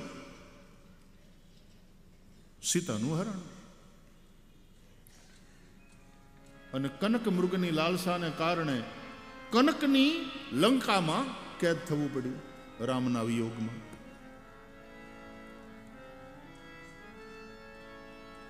એટલે રામજીએ કયું શસ્ત્ર જોઈએ અને શસ્ત્ર ધારી તમારી રક્ષામાં તમારી સાથે ન હોય ને એને બગાડો, તો શું થાય જુઓ? માટે રામ બચપણથી જ ધનુષ્ય બાણ ધારણ કરે છે. રમે છે ધનુષ્ય બાણ સાથે. એટલા માટે લક્ષ્મણજી કહે છે, પરશુરામને, બહુ ધનુહી તોરી લરિકાઈ. કબહુ ન અસિરિસ, અસરિસ કી ની ગુસાઈ અમે તો નાનપણમાં રમતા રમતા આવા કેટલાય ધનુષ તોડી નાખ્યા. તો અયોધ્યામાં જે બાલક રામજી પ્રતિષ્ઠિત થયા છે. એના હાથમાં ધનુષ્ય છે, બાણ છે. આપણે ત્યાં આપણે શાસ્ત્રની પૂજા કરીએ છીએ તો શસ્ત્રની પણ પૂજા કરીએ છીએ. કોઈ દેવતા શસ્ત્ર વગરનો નથી અને જે દેવતા શસ્ત્ર વગરનો છે, એના મંદિરો નથી. રામના હાથમાં શસ્ત્ર છે, કૃષ્ણના હાથમાં શસ્ત્ર છે. મહાદેવના હાથમાં ત્રિશૂલ છે. અરે પરાંબા, ભગવતીના હાથમાં પણ ખડગ, ત્રિશૂલ, ચક્ર ઇત્યાદિ શસ્ત્ર છે. સજ્જનતાની પાસે શસ્ત્ર નહીં હોય અને સજ્જનતા આક્રમક નહીં હોય તો દુર્જનતા હાવી થતી જશે. એટલા માટે કહે છે good should be as aggressive as evil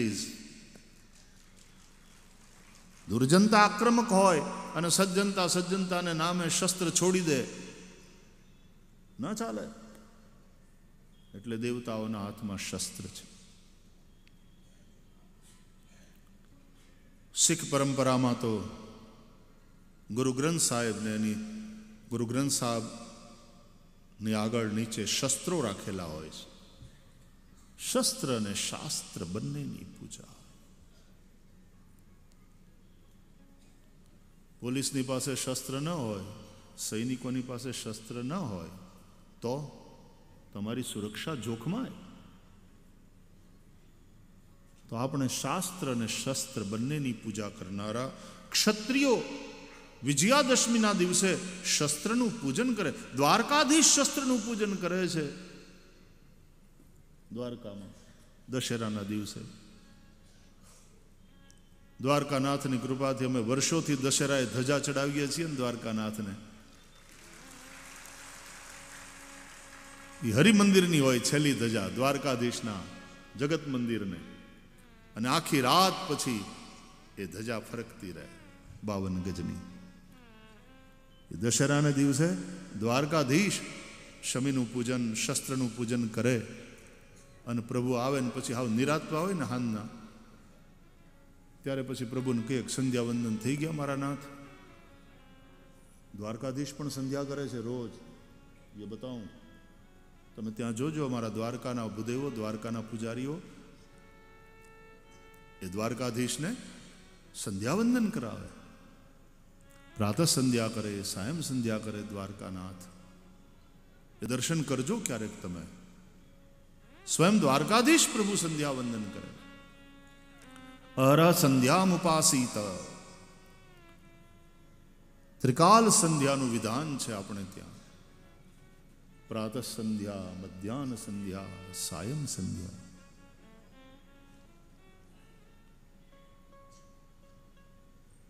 શંખ ચક્ર ગદા પદ્મધારી પ્રભુ. પદ્મ તો હૈ शंख है दोनों का संबंध जल से है पद्म और शंख અને ગદા અને ચક્ર આ શસ્ત્ર પણ છે કૌમોદકી ગદા છે અને ચક્ર સુદર્શન ભાગવતમાં આ આ બધાના આધ્યાત્મિક અર્થો, તાત્વિક અર્થો શું છે એ સમજાયું છે. હાથ ઊંચા કર્યા હતા ને, આજે કથાની પૂર્ણાહુતિ છે. આવતીકાલથી ઊંચા કરેલા હાથવાળા ભાગવતજી ખોલજો. આખું ભાગવત વાંચો ભૂલી નથી ગયા ને? તમે પ્રોમિસ કર્યું છે. અહીંયા કથાના મંડપમાં. અને તમારું ભલું થશે, તમારું સારું થશે. આખું ભાગવત વાંચજો ઘરે. વૈષ્ણવ છીએ આપણે, હિન્દુ છીએ. મૂળ ભાગવત, હા, મૂળ ભાગવત. પૂછી ડોંગરે બાપાનું ભાગવત વાંચો, બરાબર, અમારી ભાગવત સુધા વાંચો એ બરાબર. પણ મૂળ ભાગવત, ઈ વાંચજો, એની વાત છે. મૂળ ટેક્સ્ટને વાંચજો. જેટલા પાના રોજ વંચાય, જેટલા અધ્યાય રોજ વંચાય, વાંચજો. આખે આખા ભાગવતનો પાઠ તમારા ઘરમાં પૂજાના રૂમમાં ભગવાનની સામે બેસી બે ત્રણ અધ્યાય રોજ વાંચજો. બિલીવ મી તમને એવો આનંદ આવશે. ધીરે ધીરે ધીરે ભાગવતમાં અનુરાગ તમારો વધતો જશે, તમારો સ્વાધ્યાય. અને હું તમને કહું, એ ભાગવત આખે આખું વાંચ્યા પછી જે પાછી કથા સાંભળશો ને ભાગવતની, એમાં પહેલી કથા કરતાં બીજી કથામાં વધારે આનંદ આવશે. અને બીજી કથામાં જે આનંદ આવશે એને લઈને ભાગવતના પાઠમાં તમારો અનુરાગ વધશે. એટલે વળી પાછા પાઠ કરશો. અને વળી પાછા પાઠ કરશો એટલે પહેલા પાઠ કરતાં બીજી વારના પાઠમાં વધારે આનંદ આવશે.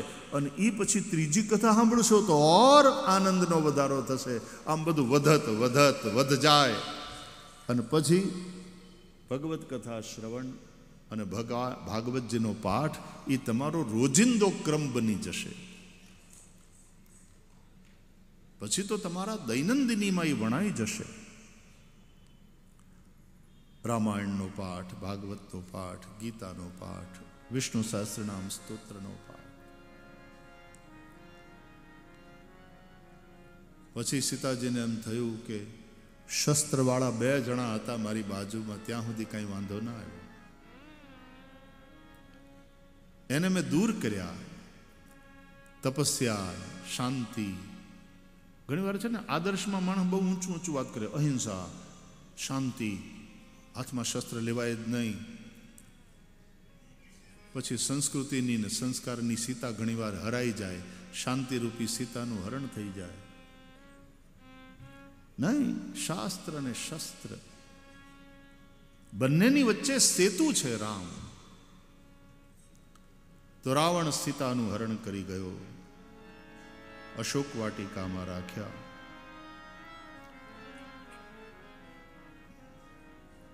રક્ષોધમેન વૃકવદ વિપિને સમક્ષમ વૈદેહ રાજદુહિતર યપયાપિતાયામ.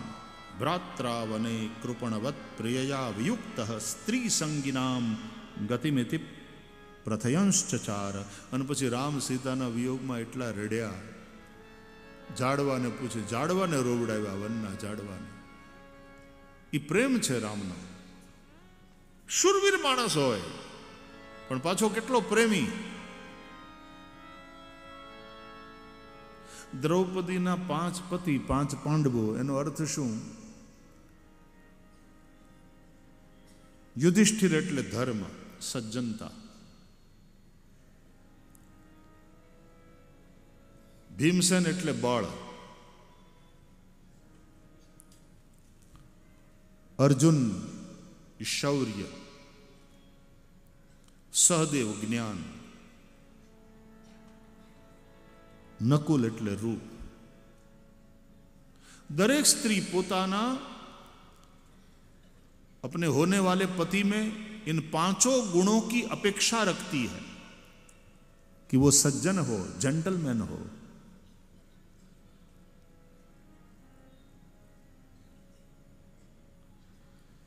એ બળવાન હોય. એ શુરવીર અને પ્રેમી હોય અર્જુનજી જેવો. એ સહદેવ જેવો ધીર, ગંભીર અને જ્ઞાની હોય. અને નકુલ જેવો હેન્ડસમ પણ હોવો જોઈએ.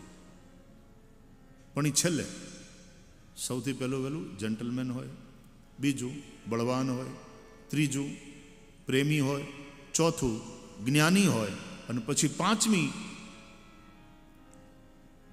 જગ્યાએ સુંદર હોય हैंडसम હોય संसार ની દરેક સ્ત્રી अपने होने वाले पति में इन पांच गुणों की अपेक्षा रखती है इसलिए द्रौपदी के पांच पति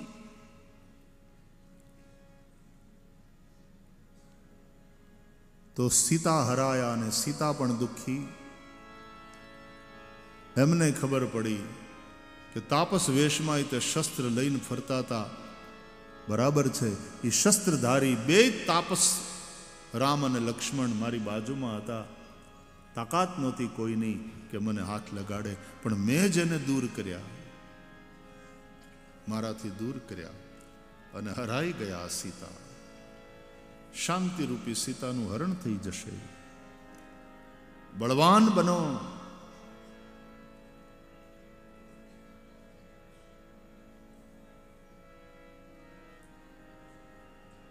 શુરવીર બનો. અને રામ બળવાન છે, શુરવીર છે, સુંદર છે, પણ પાછા પ્રેમી છે. એટલે પોતાની પત્ની સીતાના વિયોગમાં રામ એટલા બધા દુઃખી થયા. આમ તો ભગવાને ભાગવતમાં વ્યાસજી લખે છે કે ભગવાને સ્ત્રી આસક્તોને શિક્ષા એટલે કે એક જ્ઞાન આપ્યું. શીખવાડ્યું. સ્ત્રી સંગીનામ ગતિમ ઇતિ. કે સ્ત્રીઓ પ્રત્યે જેને અતિ આસક્તિ હોય ને એની આવી ગતિ થાય. હારા હારા એકદમ દુઃખી થઈ જાય. અરે મોટી ઉંમરે તે જેના પત્ની જતા રહે ને પછી એ એકલો વિધુર જીવવું બહુ ભારે પડે બહુ કઠણ અને ઘણી વખત એને ભૂલી જ ન શકે. એ વખતે પછી જેનો પ્રેમ હોય ને એ પરિપક્વ હોય. એ આત્મિક પ્રેમ વધારે હોય.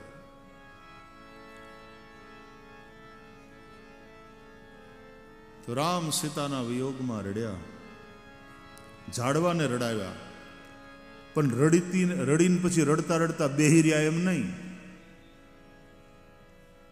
પછી જે રોષ આવ્યો, ભયવ રોષ રન રાવણ મારા.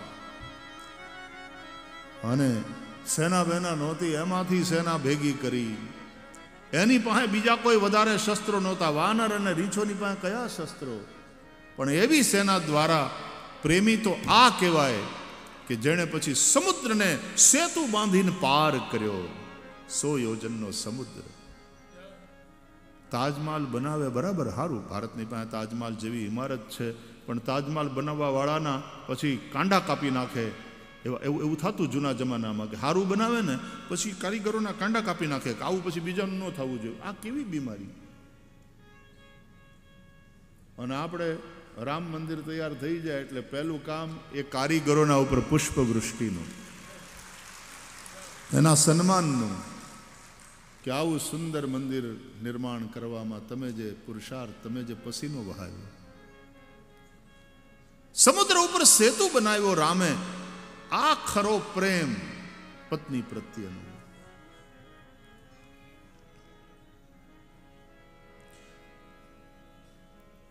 ભાગવતની અંદર જે રામાયણ છે, એમાં લંકાકાંડની જે કથા છે, એનો વિસ્તાર ભાગવતમાં થોડાક વધારે શ્લોકો છે. જેને વાલ્મીકી યુદ્ધકાંડ કહે છે. તો યુદ્ધ, સંઘર્ષ, આમ જોઈએ તો સતત ચાલતી પ્રક્રિયા છે અને યુદ્ધથી ભાગવાનું નહીં, સંઘર્ષથી ભાગવાનું નહીં. ન દૈન્યમ, ન પલાયનમ. સ્વામી વિવેકાનંદ પોતાની જીવનીમાં એક વાત નોંધે છે કે એકવાર હું ગંગાના કિનારે આંટા મારતો હતો અને એમાં ક્યાંકથી પચીસ ત્રીસ વાંદરાઓનું ટોળું. સ્વામી વિવેકાનંદ હજી નવા નવા સંન્યાસી થયેલા, યુવાન છે. અને પચીસ ત્રીસ વાંદરાઓનું ટોળું પાછળ પડ્યું ડરાવા લાગ્યું. તો સ્વામી વિવેકાનંદ કહે છે કે હું ડરી ગયો અને ભાગ્યો. ભાગ્યો એટલે ઓલા પચીસ ત્રીસ ઓર વધારે જોશથી મારી પાછળ ભાગ્યા. બીજા વાંદરાઓ પણ ભેગા થયા. અને એમાં એક વૃદ્ધ સંન્યાસી ગંગાના કિનારે બેઠો હતો. એણે જોયું આ અને એણે આ યુવા સાધુને ભાગતો જોયો. વાંદરાને એની પાછળ અને આ ભયભીત થઈને ભાગતો જા. એટલે પેલા વૃદ્ધ સંન્યાસી ત્યાં બેઠા બેઠા આ યુવા સાધુને એટલે વિવેકાનંદને કહ્યું કે, એ ભાગ મત સામના કર. સ્વામી વિવેકાનંદ કહે છે, વૃદ્ધ સાધુના શબ્દોએ ખબર નહીં, મારા કાનમાં આવ્યા અને એવી અસર કરી કે ભાગવાને બદલે તુરંત એ વાંદરાઓની હામો થયો અને આમ મુઠ્ઠી ભીડીને જ્યાં ગર્જના કરી. આશ્ચર્ય. વાંદરા ભાગી ગયા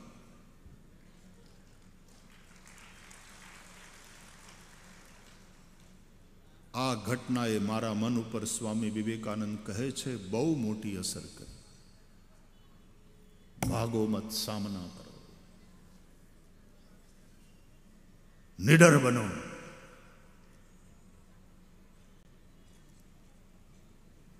કાંઈ નહોતું. તપસ્વી રામ અને કેવી રીતે સેના ભેગી કરી, કેવી રીતે આ બધાને અપનાવ્યા અને કઈ રીતે સમુદ્ર ઉપર સેતુ બાંધી, રાવણની સાથે યુદ્ધ કરીને રાવણનો સંહાર કર્યો. યુદ્ધની થોડી વાત કરીને પછી આપણે રામાયણના ભાગવતના રામને વંદન કરીશું. યુદ્ધ વિચિત્ર રીતે લડાય છે રામાયણમાં. રાવણ, કુંભકર્ણ અને મેઘનાદ. આ ત્રણ મુખ્ય યોદ્ધા છે. બાકી ઘણા બધા યોદ્ધાઓ એના નામ ભાગવતમાંય છે, રામાયણમાંય છે. ખરદૂષણ ત્રિશિરાદી ઘણા બધા નામ છે. અકંપન, દુર્મુખ વગેરે. પણ ત્રણ મુખ્ય યોદ્ધા રામાયણમાં રાવણ, કુંભકર્ણ, મેઘનાદ. અને એ ત્રણ જ્યારે લડે છે ત્યારે ત્રણેયની યુદ્ધની સ્ટાઇલ જુદી જુદી છે. પદ્ધતિ. રાવણ મારે છે. કુંભકર્ણ ખાય છે. મેઘનાદ બાંધે છે. રાવણ મોહ છે, મોહ મારે છે. કુંભકર્ણ અહંકાર છે, અહંકાર ખાવાનું કામ કરે છે. વાનર અને રીંછોને લડતી વખતે એને મારી નથી નાખતો. એને પકડી પકડીને મોંમાં નાખે છે. ચબા લેતા ખાતા કોટી કોટી કપી ધરી ધરી ખાહી. ભૂખ્યો માણસ જેમ ભાવનગરી ગાંઠિયા ખાય. એમ ખાતો તો આમ પકડી પકડીને બે હાથે. જેવા લડવા આવે વાંચર વાનર અને રીંછ, પકડી પકડીને સીધા મોઢા અને મેઘનાદનું કામ બાંધવાનું. એ બાંધે, નાગપાશથી બાંધે. એમ રાવણ એ મોહ છે, મોહ મારે. કુંભકર્ણ અહંકાર છે, અહંકાર ખાય છે. વાનર રીંછો સદગુણોનું પ્રતીક છે. અને અહંકાર આપણા સદગુણોને ખાઈ જાય છે. હકીકતમાં સદગુણોને ખાઈને અહંકાર પુષ્ટ થાય છે. ઘણીવાર માણસને પોતાના સદગુણોનું, પોતાની હારપનું બહુ અભિમાન હોય કે અમારા જેવા હારા કોઈ નહીં, બાકી દુનિયા તો બગડી ગયેલી જ છે અત્યારે. અમે તો પરમ વૈષ્ણવ, અમે તો પરમ ભક્ત, અમે કોઈ દી ખોટું કરીએ નહીં. અમારે એકાદશી તો કરવાની જ. અમારે નોરતામાં નકોરડા ઉપવાસ કરવાના.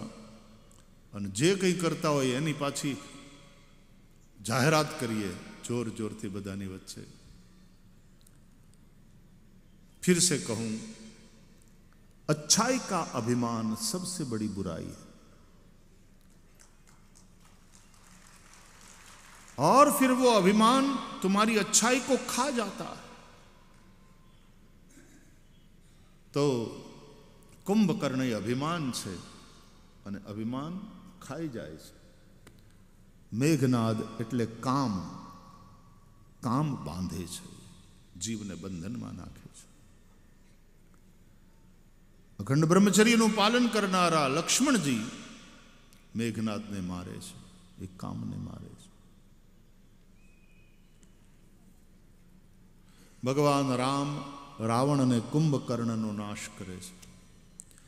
રાવણની સેનાનો રાવણ કુળનો નાશ કરી વિભીષણને રાજગાદી આપી.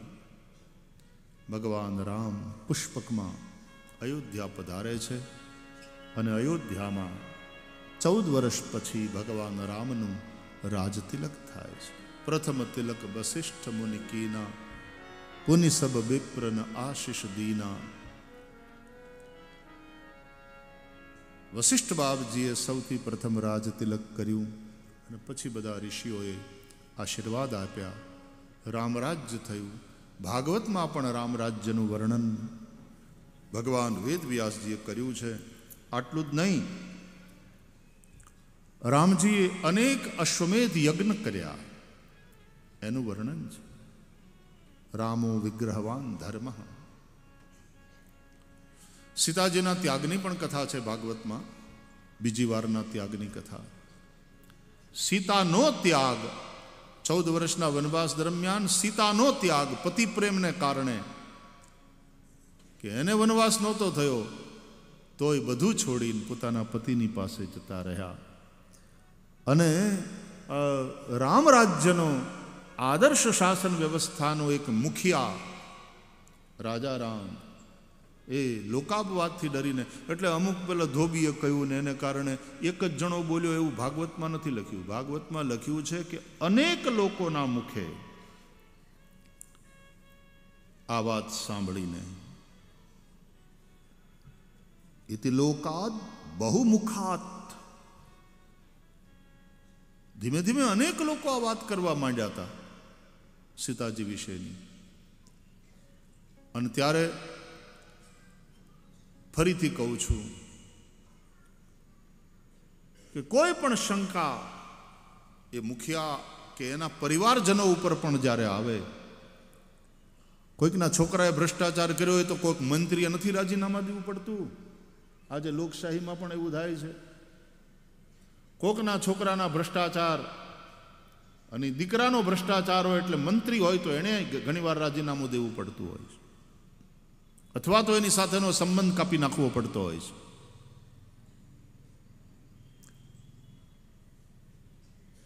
તો એ લોકાપવાદને કારણે રાજા રામે રાણી સીતાનો ત્યાગ કરવો પડ્યો છે, પરંતુ પતિ રામે પત્ની સીતાનો ત્યાગ ક્યારેય કર્યો નથી.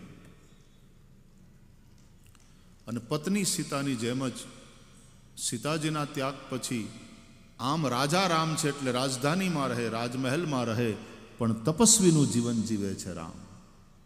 ઉત્તર રામચરિત માનસને બધા રામ પણ ભૂમિશયન કરે છે રાજમહેલમાં રહેવા છતાં.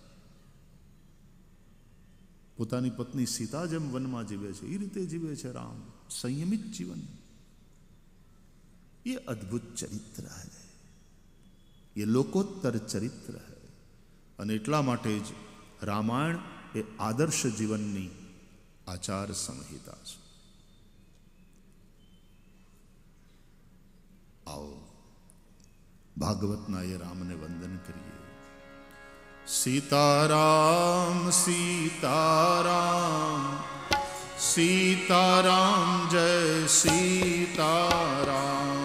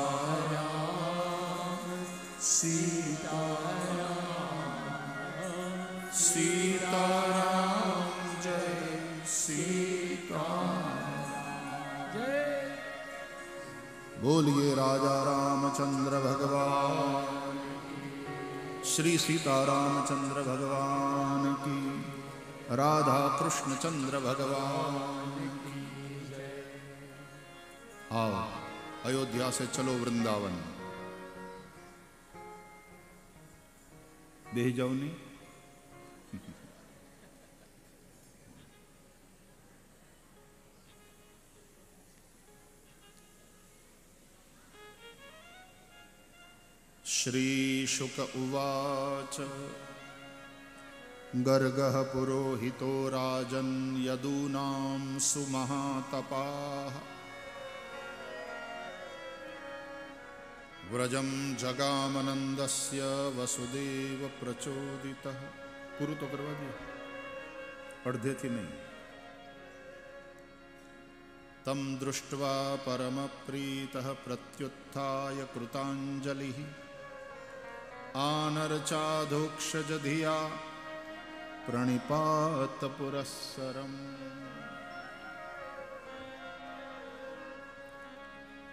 યાદવોના પુરુ ગુરુ પુરોહિત ગર્ગાચાર્ય મહારાજ.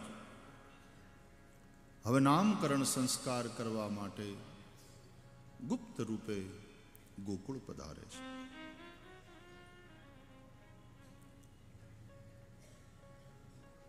કોઈને ખબર નથી પડવા દેવાની. એકાંતમાં નંદ બાબાને પોતાનો પરિચય આપે.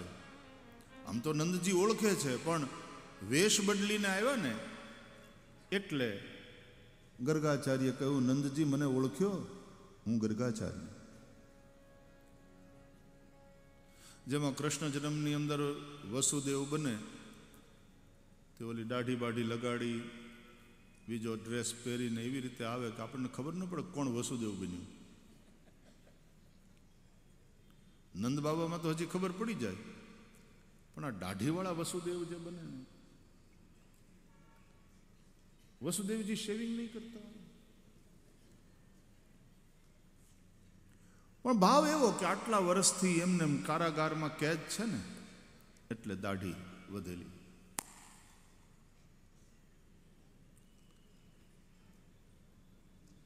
ગર્ગાચાર્ય મહારાજ વેશ બદલીને ગયા. નંદ બાવાને પોતાનો પરિચય કરાવ્યો. નંદજી બહુ રાજી થયા. સુપવિષ્ટમ કૃતાતિથ્યમ ગિરા સુનૃતયા મુનિમ ધનઘડી ધનભાગ આપ પધાર્યા આપના જેવા બ્રહ્મર્ષિવર્ય અને બ્રહ્મવિદોમાં બ્રહ્મજ્ઞાનીઓમાં શ્રેષ્ઠ આમ સામે ચાલીને ઘરે પધારે અમારું આંગણું પવિત્ર થયું ગર્ગાચાર્ય મહારાજને નામકરણ માટે વિનંતી કરી એકાંતમાં ગર્ગાચાર્યજી નામકરણ કરે છે.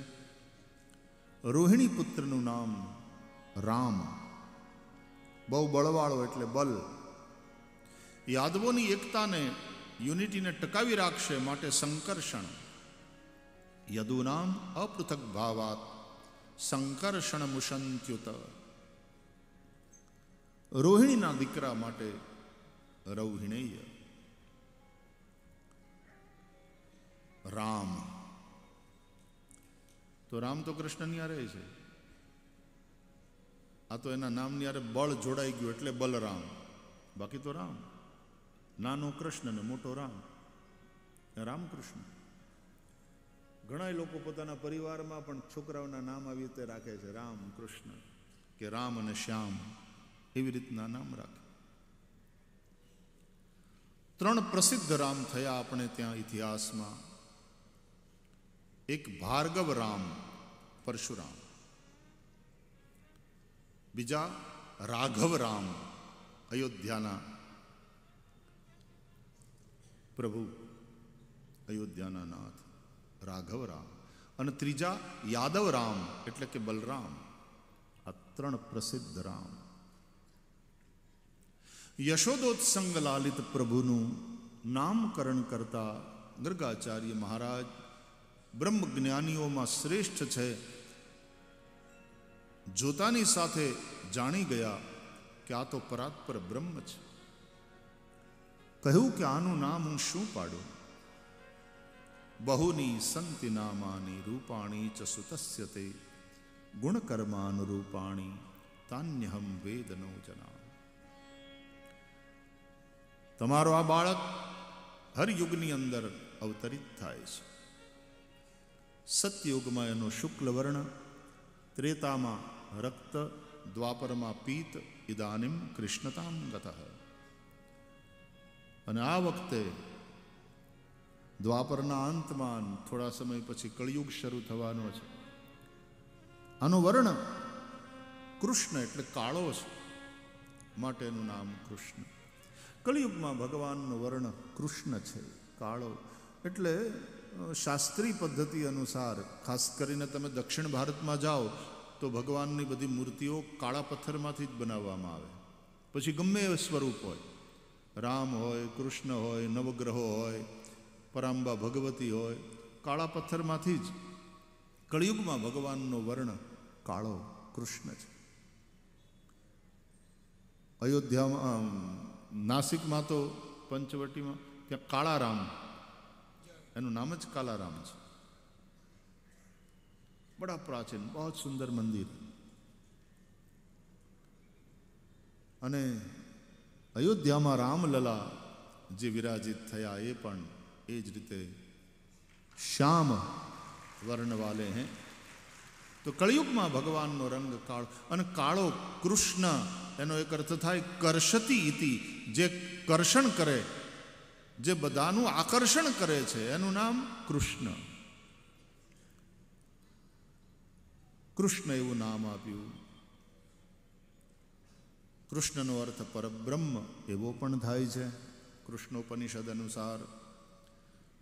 તમારા મિત્ર વસુદેવનો પુત્ર રહ્યો, વાસુદેવ પણ કહેવાશે, ગુણોમાં નારાયણ સમાન છે નંદ બાવા તમારા ભાગ્યને કારણે આ પુત્ર તમારે ત્યાં આવ્યો છે. તમે આનું રક્ષણ કરજો. આ અનેક સંકટોથી તમારી રક્ષા કરશે. અનેન સર્વ દુર્ગાણી યુયમંજસ નામકરણ કરી, મહિમા બતાવી. કેટલીક સૂચના આપી, આશીર્વાદ દઈ અને ગર્ગાચાર્ય પધાર્યા. કૃષ્ણ અને બલરામ મોટા થવા લાગ્યા. ભગવાનની બાલ લીલાઓનું વર્ણન શ્રી સુખદેવજીએ કર્યું છે. મરકાન ભોક્ષ્યન વિભચતિ સચેન્નાત્તિ ભાંડમ ભિનત્તિ દ્રવ્યાલાભે સગૃહકુપિતો યાત્યુપક્રોશ્યતો કાન હસ્તાગ્રાહ્યે રચયતિ વિધિમ પીઠકોલુ ખલાદ્યૈ છિદ્રમ હ્યંતર નિહિત વયુન શિક્ય ભાંડેશુ તદ્વિત ભગવાન માખણ ચોરે છે એને માખણ બહુ ભાવે. કોઈ આપે તો પ્રેમથી ખાય, ન મળે તો ચોરી નહીં તે, પણ માખણ આરોગે આ માખણ એટલે વૈષ્ણવોનું મન. જે મન કોમળ છે, સાત્વિક છે. કઠોરતા નહીં. જ્યાં પણ કટ્ટરતા હશે, ત્યાં કઠોરતા આવશે. હનુમાનજી વજ્ર સમાન છે. હનુમાનજી બળવાન છે. પણ હનુમાનજી કટ્ટર નહીં. ચુસ્ત રામ ભક્ત. વજ્રદેહ દાનવ દલન, જય જય જય, કપિસૂર. એટલે વજ્રાદપી કઠોરાણી, મૃદુની કુસુમાદપી. વજ્ર કરતા એ કઠોર અને પુષ્પ કરતા પણ કોમળ એવા મન હોય છે. એવા મહાન દિવ્ય પુરુષોના.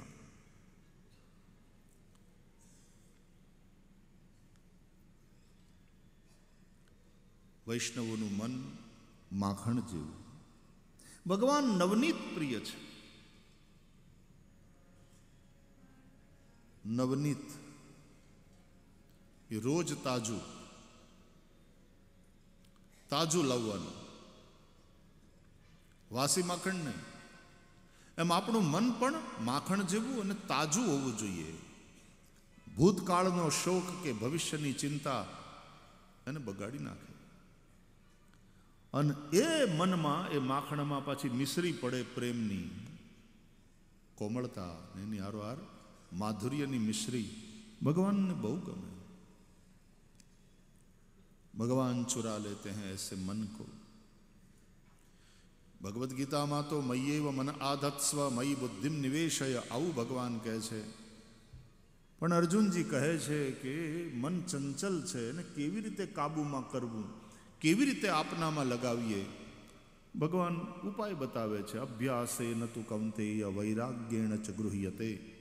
અને ગીતા યોગશાસ્ત્ર છે, અને પતંજલિના યોગશાસ્ત્રમાં પણ અભ્યાસ વિરાગાભ્યામ તન નિરોધ આવું કહ્યું છે. અભ્યાસ અને વૈરાગ્ય દ્વારા એ ચંચલ મનનો નિરોધ થાય. ભગવાનમાં લગાડાય. પણ અહીંયા ભગવાન શ્રી કૃષ્ણ એવી કૃપા કરે છે કે કોઈ અભ્યાસ કે કોઈ વૈરાગ્ય ગોપીઓમાં નથી. ગોપીઓમાં વિરાગ ક્યાં છે? ગોપીઓમાં તો રાગ છે. અને અભ્યાસ તો ઘરના કામકાજનો ખરો. હારામ હારા રોટલા ઘડે. સરસ રીતે માખણ તૈયાર કરે. ઘરને બહુ હારામ હારી રીતે સંભાળે. એ અભ્યાસ ખરો. કારેલાનું શાક બનાવે એટલે મોઢામાં તમે આમ આંગળા કરડી જાઓ એવું. એટલા માટે કારેલા યાદ કર્યા કે મને કારેલા અને કૃષ્ણ બે બહુ ગમે.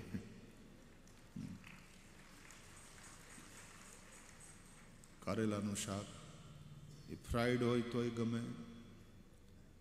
સંભારું ગ્રેવીવાળું હોય તોય ગમે. કારેલા સરસ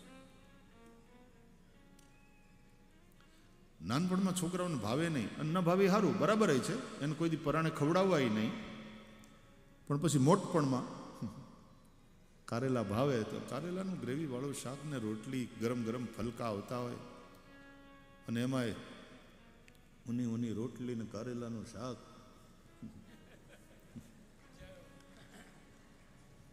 એવું આપણે કંઈક બોલતા હતા. નાનપણમાં. આવરે વરસાદ. ઘેબરિયો પ્રસાદ ઘેબરિયો પ્રસાદ ઉની ઉની રોટલી અને કારેલાનો શાક. બસ. એટલું બસ.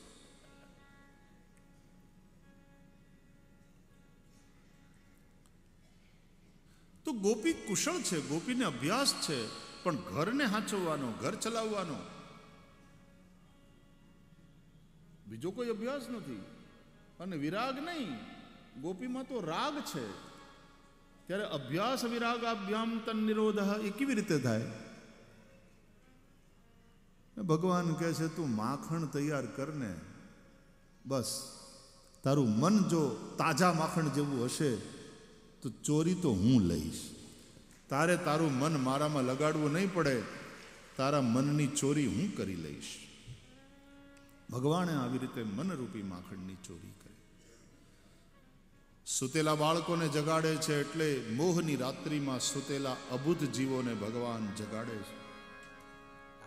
વાછરડાઓને છોડી મૂકે છે એટલે ભગવાનને વાલા એવા વૈષ્ણવો સંસારના જે પણ ખીલા સાથે મોહની રસ્સીથી બંધાયા હોય, ભગવાન કૃપા કરી અને છોડી મૂકે છે. આવા બધા અર્થો ભાગવતના વિદ્વાનોએ બતાવ્યા છે. એકવાર ભગવાને માટી ખાધી, બાલકૃષ્ણ પ્રભુએ વ્રજરજ ઉઠાવી મોઢામાં મૂકી. દાવજી અને મિત્રોએ જઈ માં યશોદાને કહ્યું, કૃષ્ણ માટી ખાય છે. યશોદા ગુસ્સે ભરાયા. બોલાવો એને. બધા છોકરાઓએ આવીને કૃષ્ણને કહ્યું કે માં ગુસ્સામાં છે. તને બોલાવે છે. ચાલ. ભય સંભ્રાંત હો કરકે શ્રી કૃષ્ણમાં કે પાસ આય. પ્રેક્ષણાક્ષમ ભાષત. સા ગૃહિત્વા કરે કૃષ્ણમ.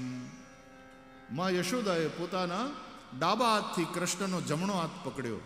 કારણ કે જમણે હાથે માટી ઉઠાવીને મોંમાં મૂકી હશે ને? અપરાધ કર્યો હોય એની ધરપકડ થાય. જાલ્યો. અને માએ જમણે હાથે સોટી ઊંચી કરી. કસ્માન મૃદમ અદાંતાત્મન ભવાન ભક્ષિતવાન રહ હે અદાંતાત્મન, કેમ ખાધી માટી? આ અદાંતાત્મન નામ છે ને એ યશોદાનું આપેલું છે. એ વિષ્ણુ સહસ્ત્ર નામ સ્તોત્રમાં નહીં મળે. અદાંતાત્મન. કોને કહેવાય ખબર? જેને ખાવાના બહુ ચટકા હોય ને એને. હાંજ પડી નથી ને રેસકોર્સ ગ્રાઉન્ડ ઉપર આવ્યા નથી ને પાણીપુરીવાળા ને ભેળપુરીવાળાની રેંકડીએ ઊભા રહ્યા નથી. પીઝા ને મંચુરિયન ને હું બીજું?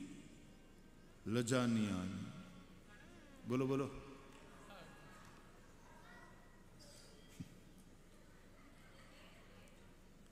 એને કહેવાય અદાંતાત્મન. કાલે અમે જતા હતા ને ગાડીમાં. રામભાઈ કહું તો આગળ આમ એક રેકડી વાળો જતો હતો અને એમાં કાચ નહીં, એની પેટીમાં પાણીપુરી હતી. તો રામભાઈ પાછળથી મને કે જો બેનોનો ખોરાક જાય. મેં કીધું, નહીં, પુરુષોય ખાય છે. તો એને આમ આમ બહેનોને ભાવે વધારે. અને ગમે એટલી પાણીપુરી ખાય, પછી પાછળથી એક મફતની મસાલાપુરી તો જોઈએ જ. તો જ ઓલી ખાધી પ્રમાણ. આમ તો સારી વાત છે. સરસ લાગે. ગોલગપ્પે. પૂચકા. એવા એના અલગ અલગ નામ છે. આ હરિતારા છે હજાર નામ. કે પૂરી તારા છે હજાર નામ.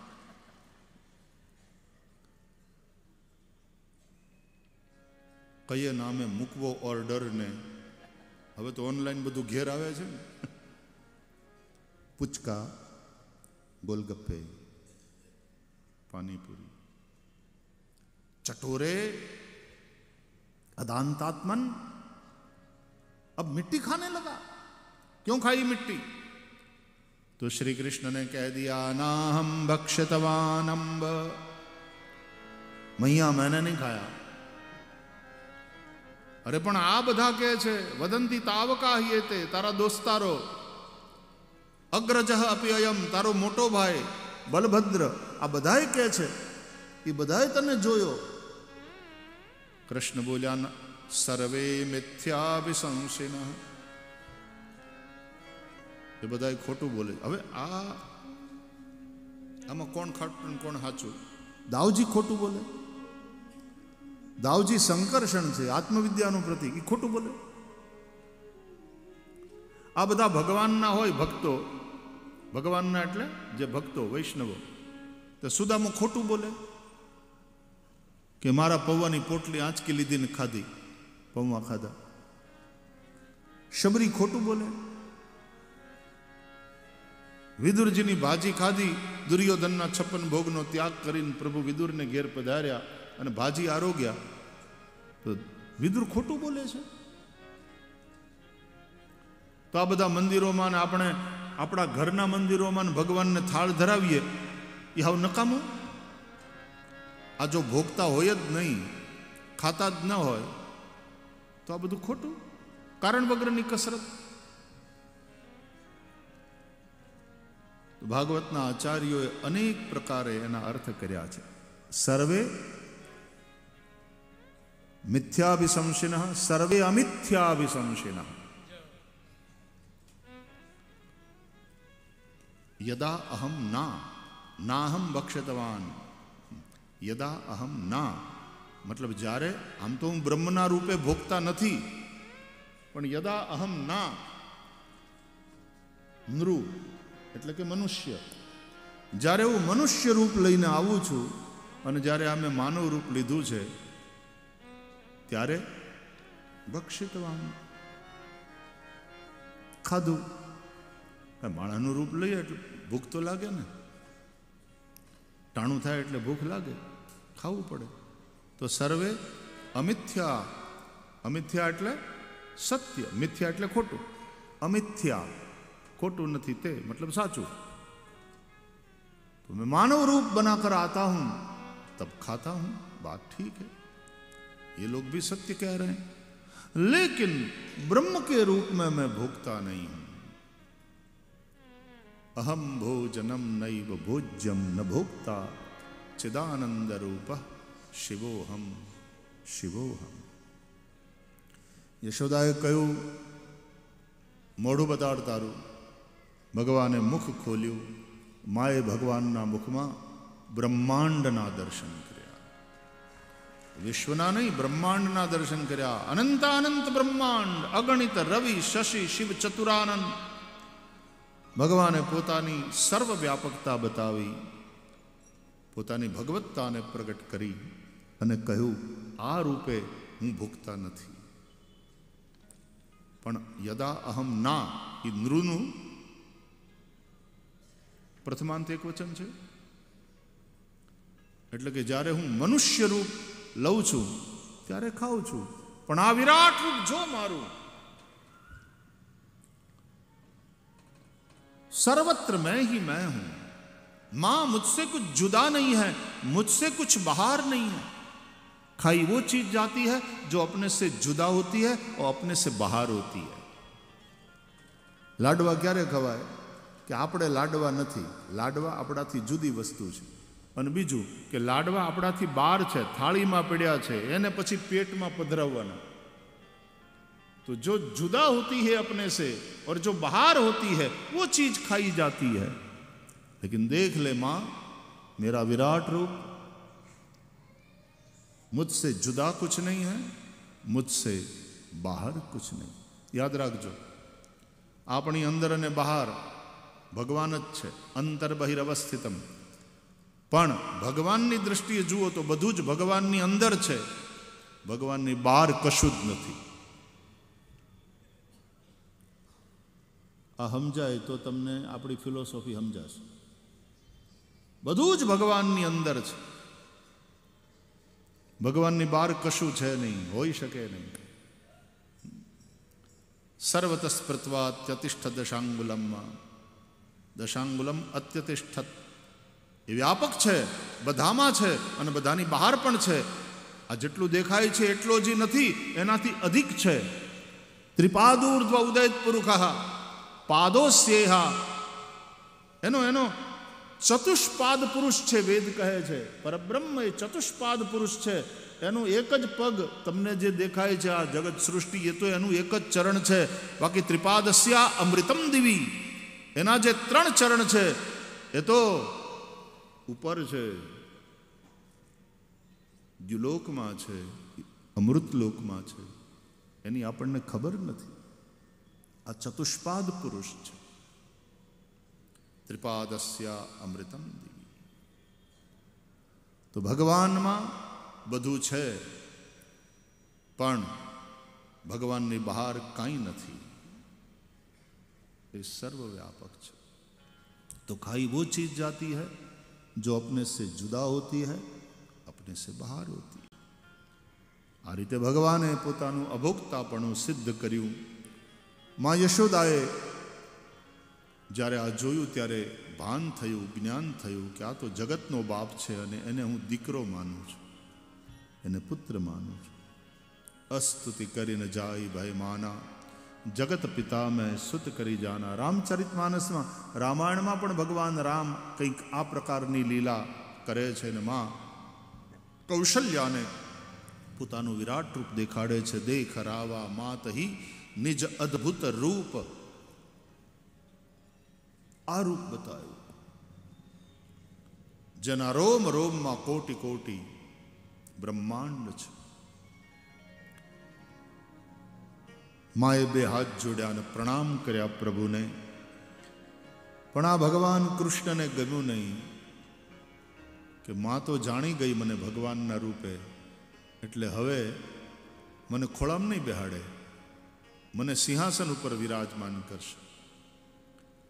હવે મારી માથે હાથ નહીં મૂકે, આશીર્વાદ નહીં આપે, હવે મને હાથ જોડશે. હવે ખીજાશે નહીં, હવે મારી સ્તુતિ કરશે. અને તો તો લીલાની મજા બગડી જાય. એટલે ભગવાને પોતાની માયાનો પ્રયોગ કર્યો. પોતાની મા ઉપર માને મૂક્યા નથી. આપણે કોણ? પોતાની મા ઉપર ભગવાને માયાનો પ્રયોગ કર્યો. ઇથમ વિદિત તત્વાયામ ગોપિકાયામ સ ઈશ્વર વૈષ્ણવીમ વ્યતનોન્માયામ પુત્ર સ્નેહમયીમ વિભુ. ભગવાને પોતાની મા ઉપર માયાનો પ્રયોગ કર્યો, પણ એ માયા સામાન્ય નથી, એ વૈષ્ણવી માયા છે. અને એ વૈષ્ણવી માયાનો ભગવાને પ્રયોગ કર્યો તો માં ભૂલી ગઈ કે આ ભગવાન છે. સદ્યો નષ્ટ સ્મૃતિર ગોપી. યશોદાની સ્મૃતિ નષ્ટ થઈ ગઈ આ ભગવાન છે. અને પહેલાની જેમ જ પુત્ર સ્નેહમયમ વિભુ. પુત્ર ભાવ થયો. સારો પ્યારો હમાત્મજમ. કૃષ્ણને પોતાના ખોળામાં લઈ લીધા.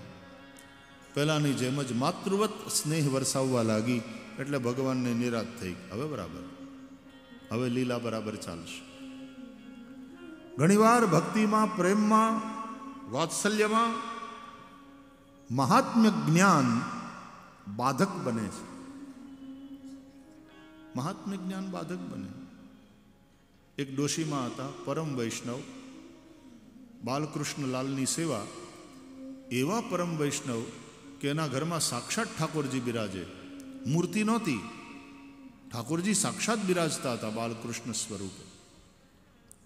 લોકો દર્શન કરે તો એને મૂર્તિ દેખાય.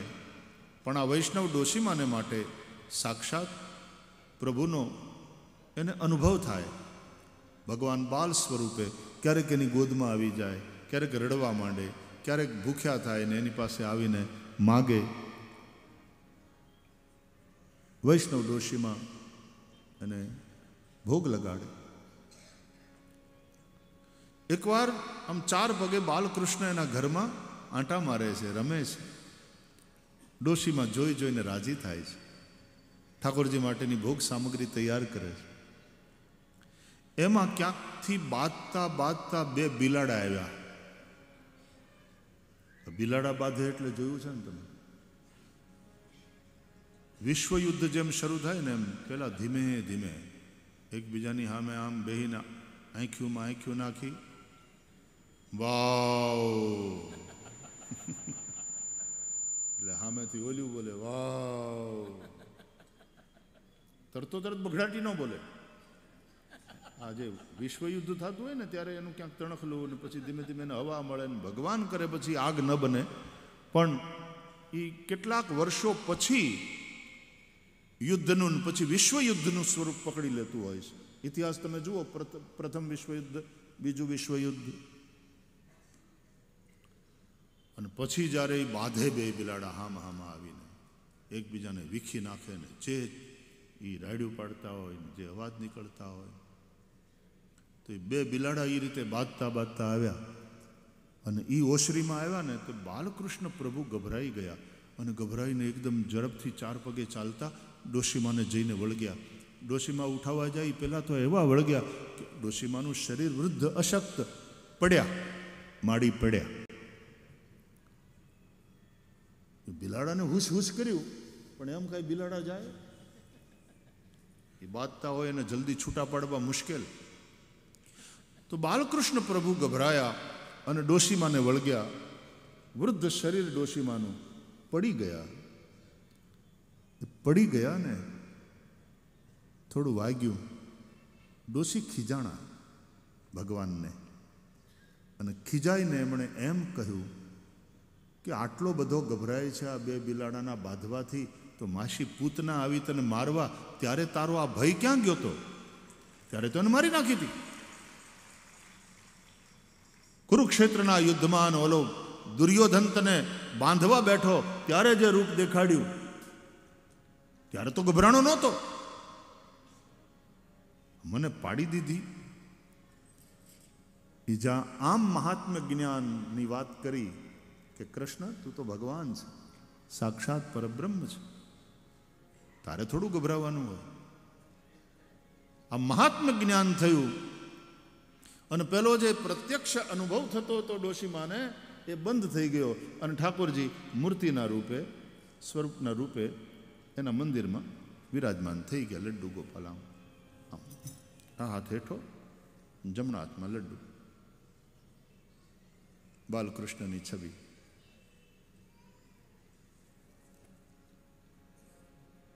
એટલે જ્યાં પ્રેમ છે, જ્યાં અનુભવ છે, ત્યાં બાલકૃષ્ણ મૂર્તિ નથી. એ સ્વરૂપ છે. એટલે પુષ્ટિ પરંપરામાં વૈષ્ણવો ગાય છે. પધરાવો સાત સ્વરૂપ સેવા, આરોગાવો મીઠા મેવા, વૈષ્ણવને લાભ ગણો લેવા. ધન્ય શ્રી યમુના, કૃપા કરી શ્રી ગોકુળ વ્રજ સુખ આપજો. વ્રજની રજમાં અહર્નિશ અમને સ્થિર કરીને સ્થાપજો. માના ઉપર વૈષ્ણવી માનો પ્રયોગ, વૈષ્ણવી માયાનો પ્રયોગ કર્યો. મહાત્મ્ય જ્ઞાન એના ઉપર પરદો પડી ગયો. પાછો ભગવાનમાં પુત્ર ભાવ થયો. પુત્ર સ્નેહમયીમ વિભુ. દ્રોણ નામના વસુપ્રવર અને એની ધરા નામની પત્ની એણે ખૂબ તપસ્યા કરી હતી. એને આપેલા વચન મુજબ ભગવાન એને ત્યાં પુત્ર બનીને આવ્યા છે. એ દ્રોણ નામના વસુ અને એની ધરા, પત્નીનું નામ ધરા. એ બંને નંદ યશોદા બનીને આવ્યા છે. ભગવાન પ્રગટ્યા ભલે બીજા દ્વારા, પણ અહીં આવી અને નંદ યશોદાને ત્યાં બાલ લીલા કરે છે. એકવાર દાસીઓને અન્ય કાર્યમાં નિયુક્ત કરી માં યશોદા પોતે દધિમંથન કરવા બેઠા. પહેલી સવારના ઉઠી, સ્નાનાદિ કરી, સુંદર વસ્ત્ર અલંકાર ધારણ કરી દધિમંથન કરે છે કે હજી લાલો સૂતો છે, કનૈયો સૂતો છે, ત્યાં સુધીમાં બધા કામ પતાવી દઉં. હજી ઊંઘે છે. દધિમંથન કરે છે માં. અને એ સમયે યાની યાની ગીતાની તદબાલ ચરિતાની ચ. ભગવાનના બાલ ચરિત્રોને યાદ કરે છે. તાની અગાયત અને એનું ગાયન કરતા કરતા દધિમંથન કરે છે.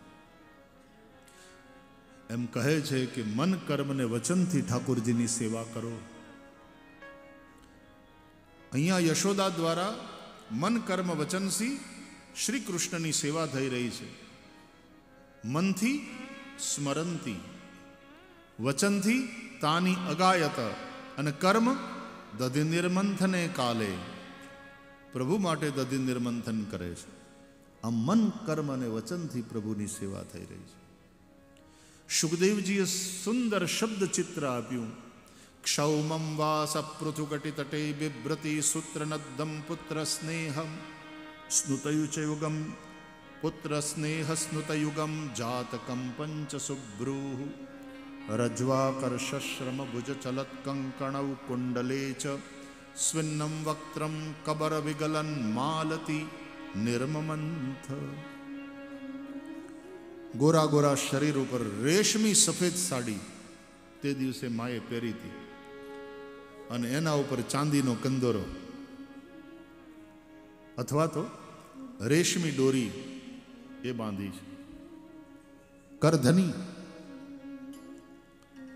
હાથ મેં કંગન, ગલે મેં હાર.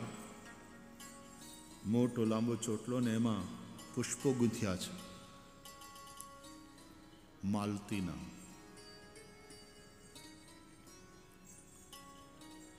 શૃંગાર કરીને માં તૈયાર થઈ ઠાકોરજીની સેવામાં લાગી છે. આ શ્લોકના આધારે પણ ભાગવતના આચાર્યોએ દર્શન કરાવ્યા છે કે માના કાનમાં બે કુંડળ છે ને હલે છે. દધિમંથન કરે છે ત્યારે હાથના કંગણ છન છન છન છન અવાજ કરે છે. રવાયો મોટી ગોળીમાં ઘમ ઘમ ઘમ ઘમ ફરે છે.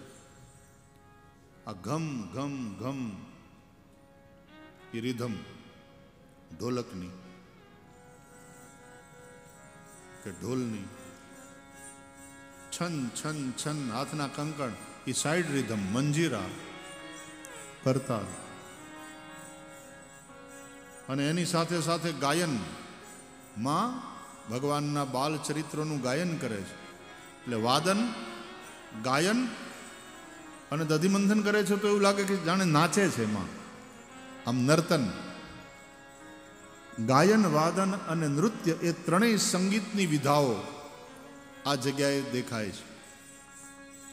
કાનના બે કુંડળ એ સાંખ્ય અને યોગ બે દર્શન, શ્રુતિ, જ્ઞાન માર્ગ. હાથના કંકણ એ કર્મ માર્ગ. અને જ્યારે માં દધિમંથન કરી રહ્યા છે ત્યારે પુત્ર સ્નેહને કારણે માના બંને થનમાંથી દૂધ સ્રવિત થઈ રહ્યું છે. પુત્ર સ્નેહ સ્નુત કુચયુગમ જાત કંપન છે એમાં એક કંપન છે અને માના બંને સ્તનમાંથી દૂધનો સ્રાવ થઈ રહ્યો છે. દીકરાના પ્રત્યે વાત્સલ્યને કારણે. એ ભક્તિનું દર્શન. એટલે આ જ્ઞાન, આ કર્મ અને છાતીમાંથી દૂધનો સ્રાવ એ ભક્તિ. આમ જ્ઞાન, ભક્તિ અને કર્મ એ ત્રણેયનું દર્શન. બાલકૃષ્ણ પ્રભુ જાગ્યા. દધિમંથનનો અવાજ આવતો હતો અને માના ગીત સંભળાતા હતા. ઉઠે, આંખે મલી थोड़ा सा बचा हुआ काजल फैल गया कपोल पर। देखा कि मैया दधि मंथन कर रही है। नीचे उतरे और श्याम सुंदर गदह मदह दुबले पतले नहीं है। चलते हुए आए। माँ जहाँ दधि मंथन कर रही थी, आकर के मथानी को पकड़ लिया। गृहित्वा दधिमंथानम मैया, मैं भूख लग रही है। दूध पिलाओ।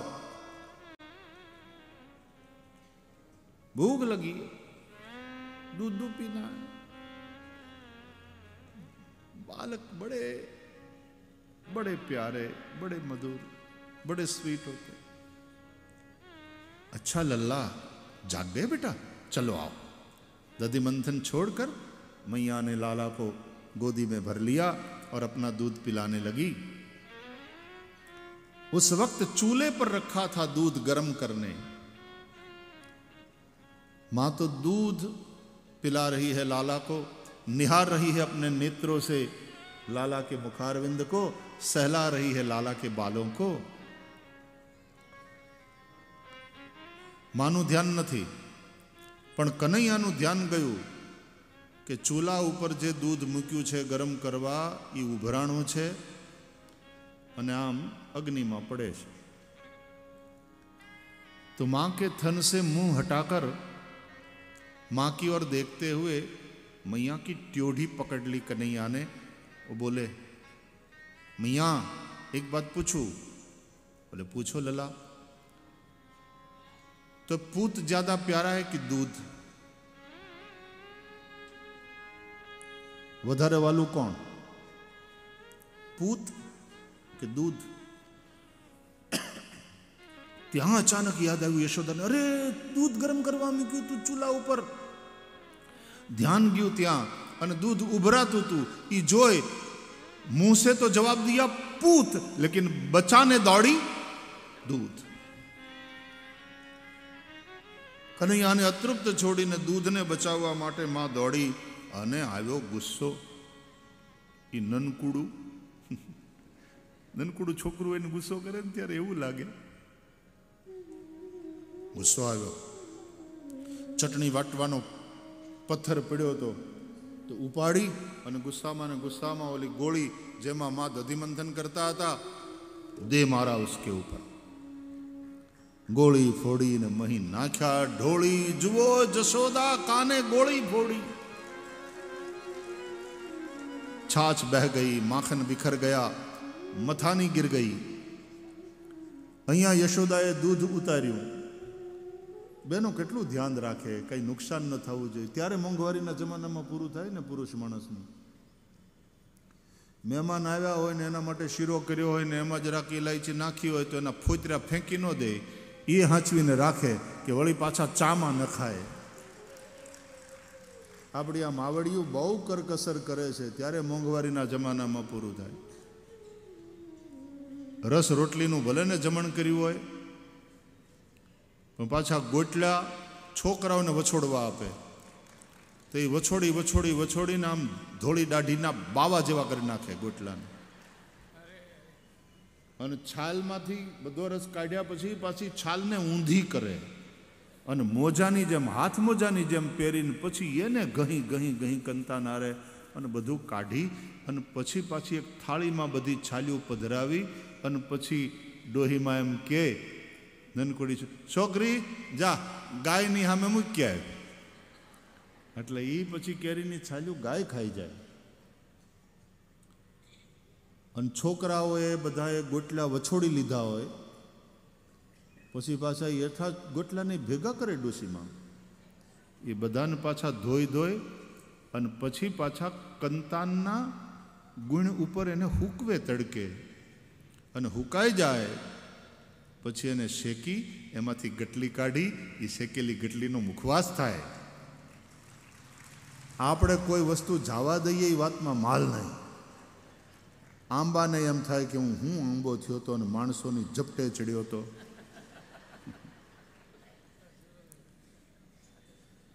હર ચીજ કા સદુપયોગ યશોદાએ ત્યાં દૂધને બચાવ્યું અને અહીંયા જોયું અને લાલાએ જે નુકસાન કર્યું છે હવે માની આંખ થઈ લાલ લીધી લાકડી હાથમાં આજ મૂકું નહીં तूफान વધતા જાય છે अब भूख तो लगी रही थी कन्हैया को तो जब बिखरा हुआ माखन दोनों हाथों से समेट कर भोग लगाते हुए बाहर चले गए और जब यशोदा जी दौड़ती हुई आई तो मैया यशोदा के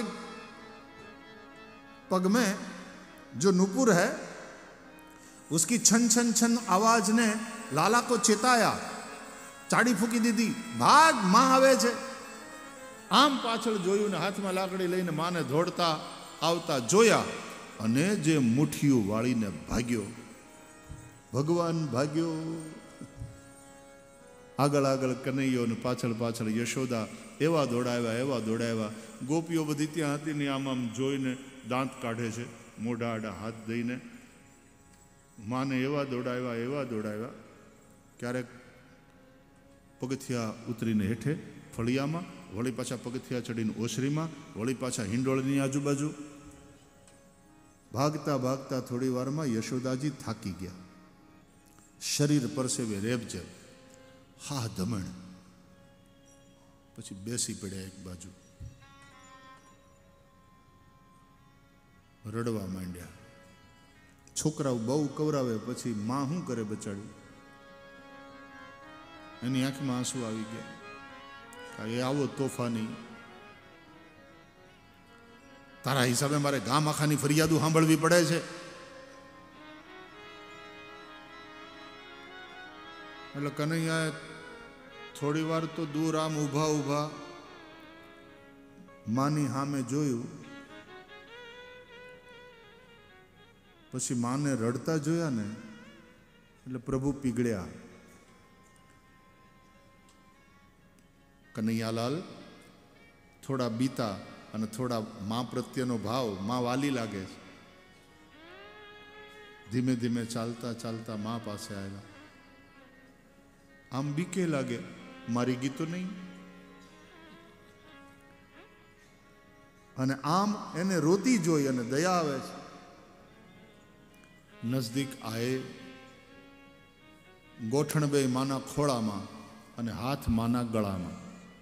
ડોકમાં નાખી. મૈયા કે આંસુ પહોંચે. મૈયા, તું રો મતી. तू जैसा कहेगी मैं वैसा करूंगा પકડ लिया કૃષ્ણ को પાછળ દોડવાથી ભગવાન ન મળ્યા પણ એક બાજુ બેઠા બેઠા આંસુ વહાવ્યા રડ્યા ભગવાનને માટે તો ભગવાન પોતે આવીને ખોળામાં इसलिए कबीर हंसना दूर कर रोने से कर प्रीत बिन रोए कित पाइए प्रेम पियारे मीत પકડ્યા કૃષ્ણને, માં યશોદા દામણા લઈ આવ્યા. આ ખાનણિયા સાથે બાંધી દઉં છું. બધા દામણા બે આંગળ ઘટ્યા. માં થાક્યા, પછી ભગવાન બંધાયા માના પ્રેમને અને પરિશ્રમને જોઈને. ભગવાન પ્રેમથી બંધાય છે. ભગવાન જે નિત્ય મુક્ત છે એને કોણ બાંધી શકે? પ્રભુએ પ્રેમથી બંધન સ્વીકાર કર્યું. દામોદર લીલામાં જતા રહ્યા અને ભગવાન આંગણા ઉભે, આંગણામાં ઉભેલા યમલાર્જુનને જોઈ અને એને મુક્ત કરે છે. કુબેરના પુત્ર છે, રુદ્રના અનુચર છે, નારદજીના શાપથી વૃક્ષ યોનીમાં આવ્યા હતા. એ યમલાર્જુનને ભગવાને મુક્ત કર્યા એ બંને ભગવાનની સ્તુતિ કરી. આ ઘટના ઘટ્યા પછી બૃહદવન છોડી વૃંદાવનમાં જઈ અને વસવાનો નિર્ણય કર્યો છે. ત્યાં ભગવાન વાછરડા ચરાવતા થયા અને એ સમયે વત્સાસુર વાછરડાનું રૂપ લઈને આવ્યો હતો. ભગવાને એનો ઉદ્ધાર કર્યો.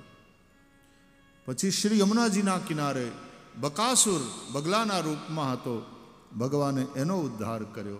મોહને માર્યો, દંભને માર્યો અને પછી પાપ રૂપ અઘાસુરનો ભગવાને ઉદ્ધાર કર્યો. એ અજગરના રૂપમાં હતો. અજગર એટલે અજનો એક અર્થ થાય બકરા, બકરું, અજ. એ બકરા જેવા પણ પ્રાણીને આખે આખું ગળી જાય એવો ભયંકર સર્પ એ અજગર.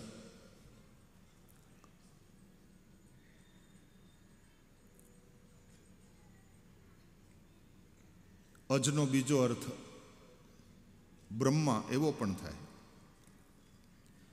અજનો ત્રીજો અર્થ અજન્મા એવા ભગવાન એવો પણ કરી શકાય. અને આજે એ ભગવાનને ગળવા ગયો એટલે ભગવાનના ગળામાં વૃદ્ધિ પામ્યા અને અઘાસુરનો નાશ કર્યો ભગવાને પોતાના સખાઓને. તો અઘ એ પાપ પાપ આ જ રીતે ગળી જાય છે બધાને. ભગવાને પહેલાં પાપના કારણોનો નાશ કર્યો અને પછી પાપનો નાશ કર્યો.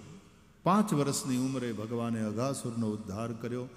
ભગવાન છ વર્ષના હતા ત્યારે ગોવાળિયાઓએ આ વાત પોતાના માતા પિતાને કહી. એક વર્ષ દરમિયાન શું થયું કે બ્રહ્માજીને મોહ થયો હતો. કારણ કે શંકા એ તો પછી બ્રહ્માને ગળી જાય, બુદ્ધિના દેવને.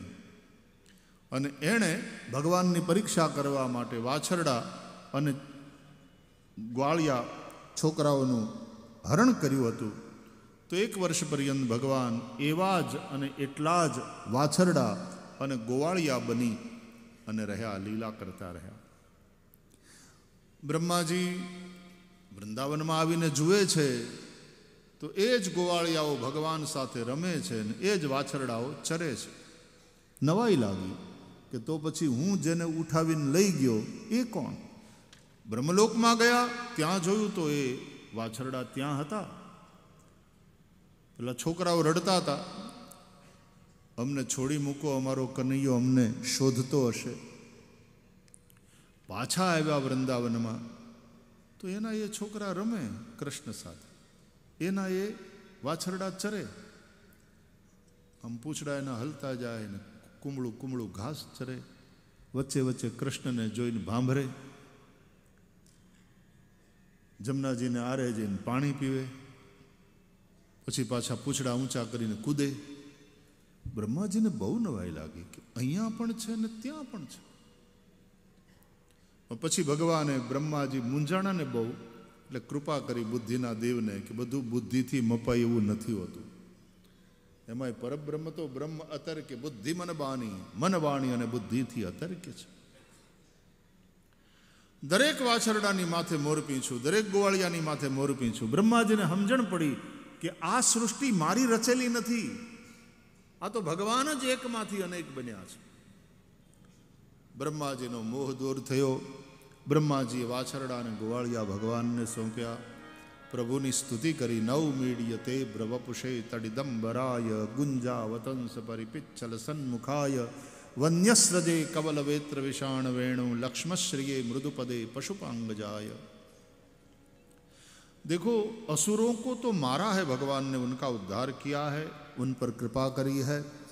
देवों को भी जब जब देवों में आसुर भाव का प्रवेश हुआ तो उन्हें परास्त करके भगवान ने देवों में प्रविष्ट आसुर भाव को निवृत्त कर दिया और इस तरह से देवों पर अनुग्रह किया। और मनुष्यों के बीच में मनुष्य रूप बना करके भगवान ने ऐसी लीलाएं करी मनुष्यों पर भी भगवान ने अनुग्रह किया લોકવત્તુ લીલા કૈવલ્યમ ભગવાને ઘણી બધી વાતો શીખવાડી પોતાના રામ અવતારમાં કૃષ્ણ અવતારમાં રામે આચરીને અને કૃષ્ણે ગીતામાં ઉચ્ચરીને ઉચ્ચાર કર્યો ગીતાનું ગાયન કરી અને જગદગુરુ શ્રી કૃષ્ણ કૃષ્ણમ વંદે જગતગુરુ દુનિયાના શિક્ષક છે આ અને એટલા માટે ભગવાનને પણ આપણે સર્વશ્રેષ્ઠ ગુરુ કહીએ છીએ. ગુરુભ્યો નમઃ, સદગુરુભ્યો નમઃ, પરમેષ્ઠી ગુરુભ્યો નમઃ, પરમ ગુરુભ્યો નમઃ. ભગવાન સે બઢકર કે શ્રેષ્ઠ ગુરુ કોણ હૈ? આવો ને થોડી વાર એ શ્લોકનું ગાયન કરીએ. વસુદેવ વસુદેવસુતમ દેવમ કંસ ચાણુર મર્દનમ દેવકી પરમાનંદમ કૃષ્ણમ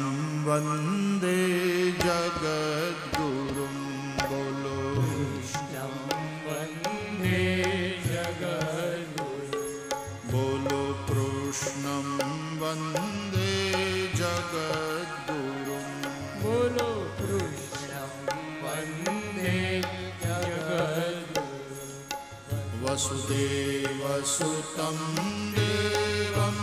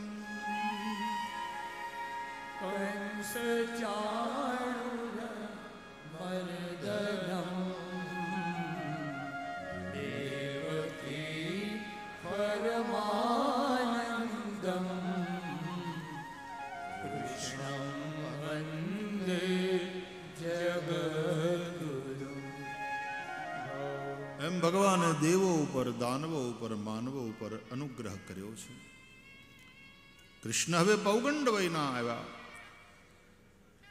ગાયો ચરાવવા લાગ્યા. ત્યારે દાવજી મહારાજ દ્વારા તાલવનમાં ધેનુકાસુરનો ઉદ્ધાર થયો. દાવજી બે અસુરોને મારે છે. ધેનુકાસુરને અને પ્રલંબાસુરને. ધેનુકાસુર એટલે દેહાધ્યાસ, પ્રલંબાસુર એટલે અંતઃકરણાધ્યાસ. દાવજી સંકર્ષણ, આત્મવિદ્યાનું પ્રતીક છે. એ ભગવાનનું જ રૂપ છે, પ્રજ્ઞાનમ બ્રહ્મ એવી શ્રુતિ છે. દેહાધ્યાસ અને અંતઃકરણાધ્યાસ એ બંનેનો નાશ આત્મવિદ્યા દ્વારા થાય છે. પછી ભગવાને કાલીય નાદનો નિગ્રહ કર્યો જે યમુનાજીના હૃદમાં રહેતો હતો. આ કાલીય નાગ એ ઇન્દ્રિયાધ્યાસ છે. ભગવાને એનો નાશ નહીં, એનો નિગ્રહ કર્યો. ઇન્દ્રિયોનો નાશ નથી કરવાનો, ઇન્દ્રિયોનો નિગ્રહ કરવાનો હોય છે.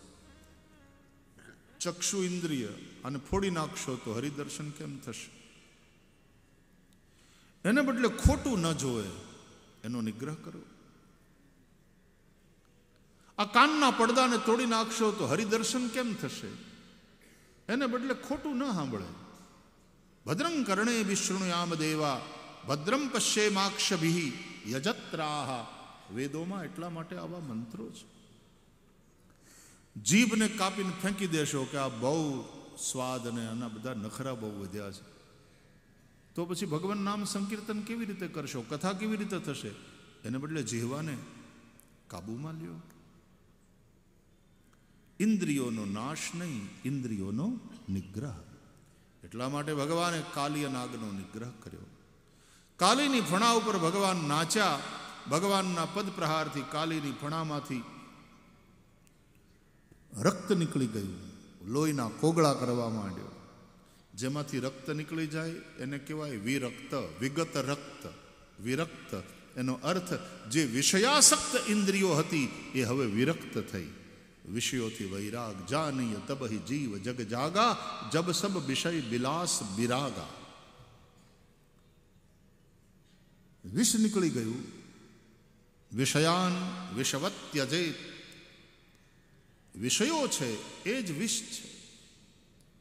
ભગવાને નાગમાંથી એ વિષ કાઢી નાખ્યું. વિષય વાસનાનું વિષ. વિષયોથી વિરક્તિ. અને પછી ઇન્દ્રિયો જે નિગ્રહિત છે, એ ભગવાનની સેવામાં લાગે. એ જ રમણક દ્વીપ છે, જ્યાં કાલીને ભગવાને મોકલાવી આપ્યો. યમુનાના કિનારે દાવાગ્નિ લાગ્યો ત્યારે ભગવાને દાવાગ્નિ પાન કરી વ્રજવાસીઓની રક્ષા કરી. અગ્નિ એ કાર્ય છે અને ભગવાનનું મુખ એ કારણ છે. મુખાદ અગ્નિ રજાયત વેદ કહે છે. અગ્નિ ભગવાનના મુખથી થયો છે. એટલે અગ્નિનું પાન એ કાર્યનું કારણમાં લય પામવું છે. ભગવાને બે વાર દાવાગ્નિનું પાન કર્યું. એકવાર યમુનાના કિનારે અને બીજી વાર મુંજારણ્યમાં આગ લાગી ત્યારે એ દાવાગ્નિનું પાન કરી ભગવાને ગોવાળિયાઓ અને ગાયોની રક્ષા કરી છે. યમુનાના કિનારે જે આગ લાગી હતી એ અગ્નિ, દેવ સ્વરૂપ અગ્નિ છે. અને મુંજારણ્યમાં જે આગ લાગી, એ અસુર ભાવાપન્ન અગ્નિ છે. આચાર્યોએ એવું સમજાવ્યું છે, આપણી પાસે સમય નથી બહુ વિસ્તારથી દરેક લીલાઓનું દર્શન કરવાનો, પણ દરેક લીલાઓના આધ્યાત્મિક અર્થો છે.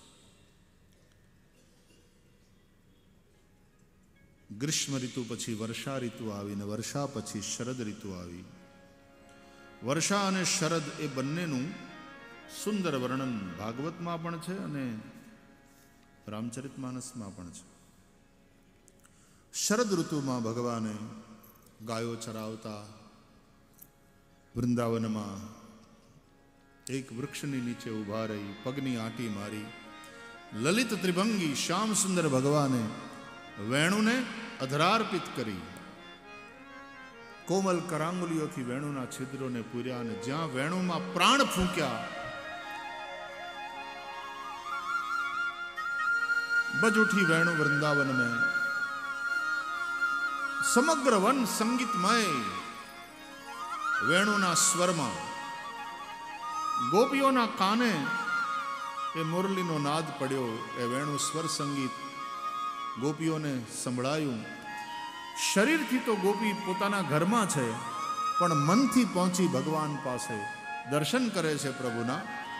બરહા પીડમ નટવર વપુ કર્ણયો કર્ણિકારમ બિભ્રદ્વા સકનક કપિશમ વૈજયંતી ચ માલામ રંધ્રાન વેણોરધરસુધયા પૂરયન ગોપવૃંદૈર વૃંદારણ્યમ સ્વપદરમણમ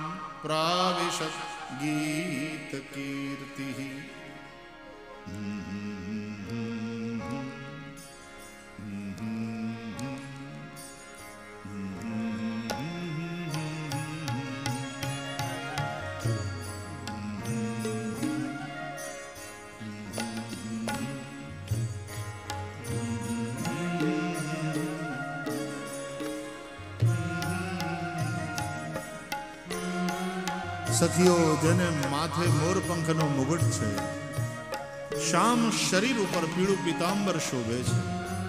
કાનમાં ખણેરનું ફૂલ, ગળામાં વૈજયંતી માલા. કોમલ કરાંગુલીઓથી વેણુના છિદ્રોને પૂરતા, વેણુ વગાડતા. નંદનંદન શ્રી કૃષ્ણની છવી કેવી પ્યારી છે. આસપાસ ઉભેલા ગ્વાલ સખાઓ એની કીર્તિનું ગાયન કરે છે.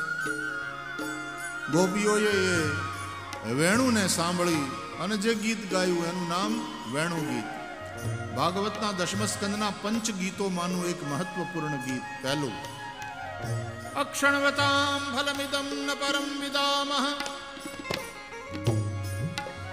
સખ્ય પશૂનન વિવેશયતોર્વયસ્યૈઃ वक्त्रं व्रजेशसुतयोरनुवेणुजुष्टम्। यैर्वा निपीतमनुरक्तकटाक्षमोक्षम्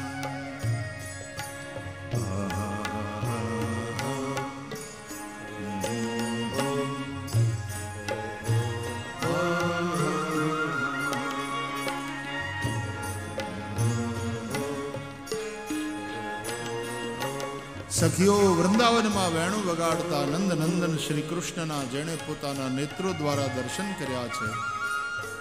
એને જ નેત્રોનું ફળ મળ્યું છે. એની આંખો સફળ. વન્ય સંપત્તિથી વિભૂષિત આ વૃંદાવન વિહારી કેટલા સુંદર લાગે છે. એક ગોપી બોલી, સખીઓ, બીજું બધું તો ઠીક, પણ આ વેણુએ શું પુણ્ય કર્યા હશે? કે શ્રી કૃષ્ણ સદા એને પોતાની સાથે રાખે છે. બહુ પ્રસન્ન થાય ત્યારે એને અધરે લગાડીને અધર સુધાના પાન કરાવે છે. ગોપ્ય કિમાચરદયમ કુશલમ સ્મવેણુ દામોદરાધર સુધામપી ગોપિકાના ભુંક્તે સ્વયં યદવશિષ્ટ રસમ રુદિન્યો ऋष्यत्वचोश्रुमुचुस्तरवो यथार्या ओ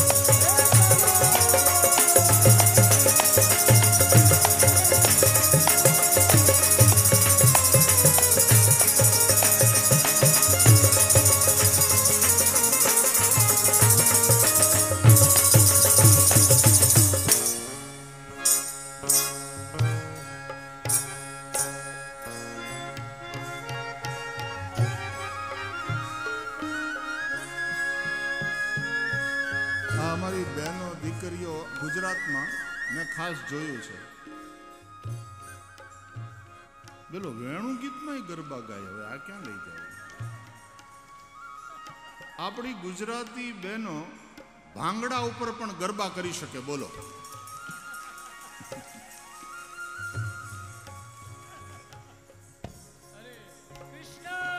આવું ક્યાંક આવ્યું નથી, ઊભું થઈ નથી ને ઘુમરે વળી નથી.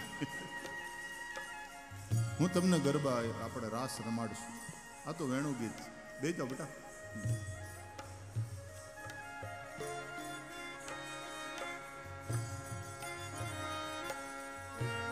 आप सब बड़ी स्वीट बेटियाँ हो, बहुत बढ़िया।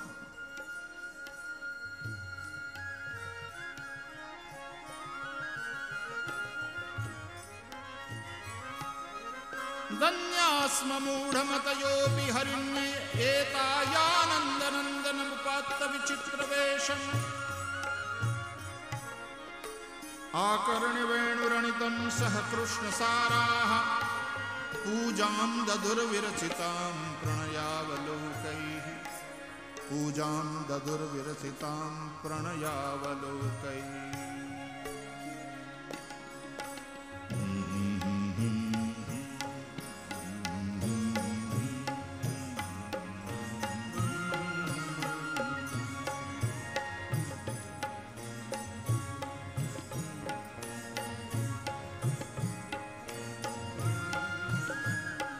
देखो री सखियों श्री कृष्ण वेणु बजा रहे हैं और वृंदावन के मोर पंख फैलाकर नृत्य करते हैं ये मृगी मुग्ध होकर के उस वेणु संगीत को सुनती है વૃંદાવનના ઝાડવાના માળામાં પક્ષીઓ પણ આ વેણું સાંભળી અને હાવ મૂંગા થઈ જાય કોઈલને એમ થયું કે મારા કરતા વધારે સારું ટવક્યું આ કોણ છે આ સુંદર સંગીત ક્યાંથી સંભળાય છે યમુનાના ધીરી મંથર ગતિએ વહેતા પાણી પણ જાણે થંભી ગયા. આ ગાયો ઘાસ ચરવાનું ભૂલી જાય છે. કાન ઊંચા કરીને શ્રી કૃષ્ણની સામે જ્યોતિ ભાંભરે છે. અને કાનના પડિયામાં, દોનામાં જાણે કૃષ્ણ વેણુનાદના અમૃતને ભરી ભરીને પીતી હોય. અને નાદ સાંભળતા સાંભળતા એને સમાધિ લાગી ગઈ હોય, એમ એની આંખો બંધ છે. અને એ નાદનું અમૃત જે કાનથી પીધું, એ ગાયોના આંચળમાંથી દૂધની ધારા બનીને વહે છે. અને હજારો હજારો ગાયોના આંચળમાંથી નીકળતા દૂધની એ ધારા એક દૂધની ધવલ નદી બની જાય છે અને યમુનામાં મળી જાય છે. ત્યારે યમુનાના શ્યામ પાણી ઉપર દૂધની ધવલ ધારાનો એક સફેદ પટ્ટો એવું લાગે છે. જાણે યમુનાજીએ રેશમી સફેદ સાડી પહેરી હોય. યમુનાજીમાં કમળ ખીલ્યા છે. અને પોતાના તરંગરૂપી હાથ દ્વારા એક કમળરૂપી ઉપહારને કિનારે ધકેલી અને કિનારે ઊભી વેણુ વગાડતા કૃષ્ણના ચરણમાં જાણે એ કમલોપહાર શ્રી યમુનાજી સમર્પિત કરે છે બોલીએ શ્યામ સુંદર શ્રી યમુને મહારાણી. શ્રી વૃંદાવન વિહારી લાલ શ્રી મુરલી મનોહર લાલ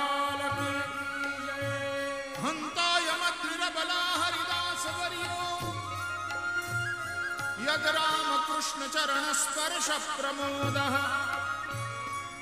માનમ તનોતિ સહ ગોગણયોસ્તયોર્યત પાનીય સૂયવ કંદમૂલૈ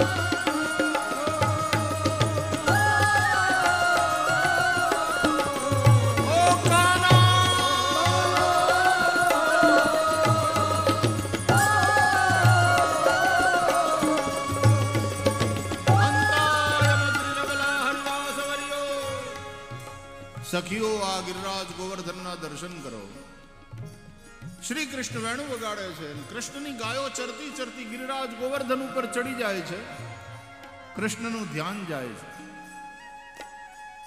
અને દાવજી અને શ્રી કૃષ્ણ પોતાની ગાયોને ઘેરવા માટે દોડતા દોડતા વંશીધર અને હલધર દોડતા દોડતા ગિરિરાજ ગોવર્ધન ઉપર ચડે છે. હરિયો ગંગે! ઓરી ગૌરી! દોડતી દોડતી ગાયો ભગવાનને જોઈને એના તરફ આવે છે. અને શ્રી કૃષ્ણના અને બલભદ્રના ચરણ સ્પર્શથી પ્રમુદિત થયેલા ગોવર્ધનના રોંગટા ઊભા થઈ જાય છે. એ જ ગોવર્ધન ઉપર ઉગેલા ઝાડવા. એની આંખમાંથી આનંદના અશ્રુ એ વહે છે. એ જ ગિરિરાજ ગોવર્ધનમાંથી વહેતા જળના ઝરણા છે. આ પર્વત નથી આ ગિરિરાજ હરિદાસ વર્ય છે. આમ વેણુ ગીત. એમાં શ્રી કૃષ્ણની વેણુ સંભળાય છે. શરદ પછી હેમંત ઋતુ આવી. હેમંતના પ્રથમ માસ માર્ગશીર્ષમાં એ ભગવાનની વિભૂતિ રૂપ છે. માસાનામ માર્ગશીર્ષોહમ નંદવ્રજ કુમારિકાઓએ દેવી કાત્યાયનીનું વ્રત કર્યું. રોજ સવારે જાય, યમુનાજીમાં સ્નાન કરે, કૃષ્ણના ગીત ગાય. કિનારે આવી દેવી કાત્યાયનીની રેતીમાંથી મૂર્તિ બનાવી અને એની પૂજા કરે, ગંધ પુષ્પ ધૂપ દીપથી અને પ્રાર્થના કરે, કાત્યાયની મહામાયે મહાયોગિન્યધીશ્વરી નંદ ગોપ સુતમ દેવી પતિમ મે કુરુતે નમઃ. એકવાર પોતાના વસ્ત્રોને આ રીતે કિનારે મૂકીને સ્નાન કરવા માટે કાલિંદીમાં ગઈ. ભગવાન ત્યાં પધાર્યા. અને એના વસ્ત્રો કિનારે પડેલા ને એ બધાને હરી લીધા, ત્યાંથી લઈ લીધા. પહેરેલા વસ્ત્ર નથી ખેંચ્યા, એ રીતે ચીર હરણ નથી. કિનારે મૂકેલા કપડાનું હરણ ભગવાને લઈ લીધા. એ બતાવે છે કે આ વસ્ત્ર છે વાસનાનું પ્રતીક છે. યમુના ભક્તિ સ્વરૂપા છે.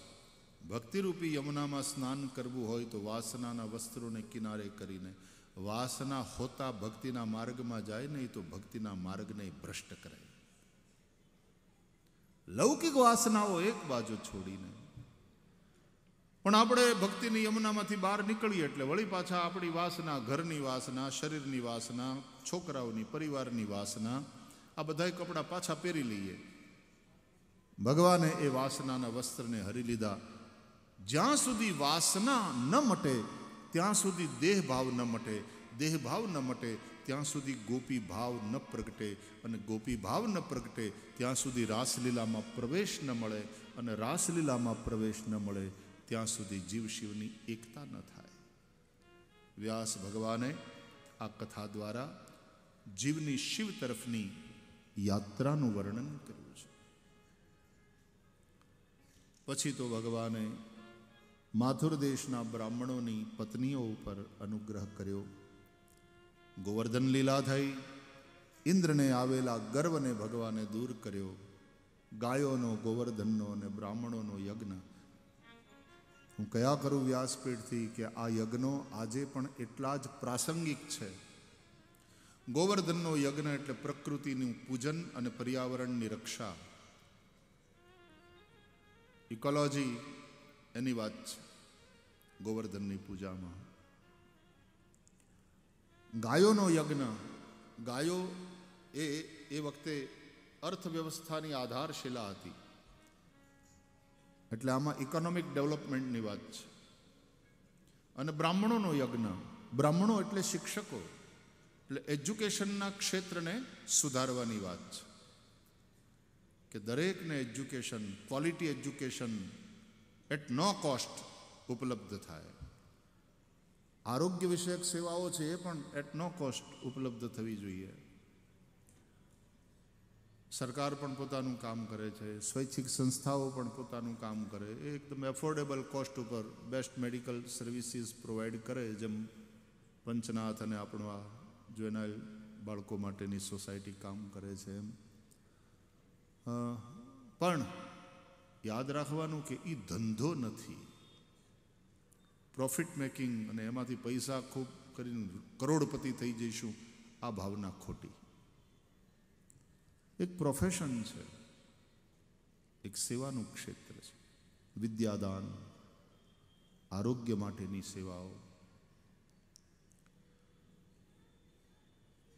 ઇન્દ્રને અભિમાન આવ્યું અને ઇન્દ્રે સામર્થક નામના મેઘગણોને વરસાવ્યા જે પ્રલયકારી છે, ત્યારે ભગવાને લીલા માત્રમાં ગિરિરાજ ગોવર્ધનને છત્રાકમ ઇવ બાલક, નાનું બાળક જેમ બિલાડીના ટોપને ઉઠાવી લે, એમ ભગવાને લીલા માત્રમાં ગિરિરાજ ગોવર્ધનને ઉઠાવી પોતાના વામ કર કમલની કનિષ્ઠિકાના નખાગ્ર પર ધારણ કર્યો. બોલીએ ગિરિરાજ ધરણ કી. सात साल के कन्हैया सात कोस का गिरिराज और सात दिन रात श्री कृष्ण धारण किए खड़े रहे ગોવર્ધન ગો એટલે ઇન્દ્રિયો એનું વર્ધન જેમાં થાય એ ગોવર્ધન એટલે શરીર એક અર્થ આવો થાય આપણે જન્મ્યા ત્યારે કેવડા હતા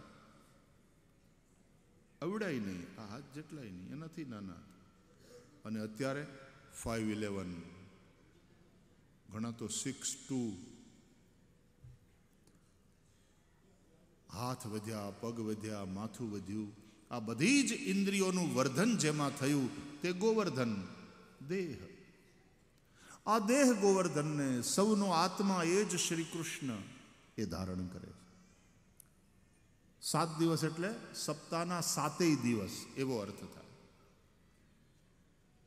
ટ્વેન્ટી ફોર બાય સેવન ચોવીસેય કલાક અને સાતેય દિવસ આત્મારૂપી શ્રી કૃષ્ણ જ આ દેહ ગોવર્ધનને ધારણ કરે છે. ખાતા, પીતા, હાલતા, ચાલતા, બેસતા, સૂતા, ઉઠતા આત્મારૂપી શ્રી કૃષ્ણ જ દેહ ગોવર્ધનને ધારણ કરે છે અને જે દિવસે પરમ ચૈતન્ય આ ગોવર્ધનને ધારણ કરવાનું એ છોડી દે.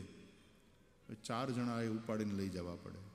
રામ નામ સત્ય હે કરતા કરતા. એ છે અંદર? તો માણસ નેવું વર્ષ સુધી ગંધાતો નથી. અને છોડી દે, તો નેવું દિવસે રાખી શકાતો નથી. શરીર દુર્ગંધ મારવા માંડે, શરીર સડવા માંડે. તો તમે ચૈતન્ય આત્માનો ચમત્કાર જોયો? એની તાકાત કેટલી? વાલા આપણી ભારતની સંસ્કૃતિ એ જે અવ્યય, અવિનાશી એવો આત્મા છે, એ આત્મતત્વને જાણવાની વાત કરે છે. નરસિંહો કહે છે, જ્યાં લગી આત્મા તત્વ ચીન્યો નહીં, ત્યાં સુધી, ત્યાં લગી સાધના સર્વ જૂઠી. આપણી સંતવાણીમાં ગાયું, આત્માને ઓળખ્યા વિના રે લખ ચોર્યાસી નહીં તો નહીં ટળે. તારી ભ્રમણાને ભાંગ્યા વિના ભવના ફેરા નહીં બટે. ભ્રમણા એટલે આ શરીર તે હું છું, ઈ તે જે માની લીધું એ તારો ભ્રમ છે. શરીર તો લુગડું છે.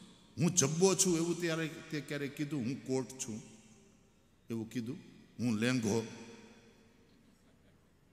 એવું તો બાઘો હોય એવું નથી બોલતો કે હું લેંઘો. તો શરીર છે એ પણ આત્માનું કપડું છે.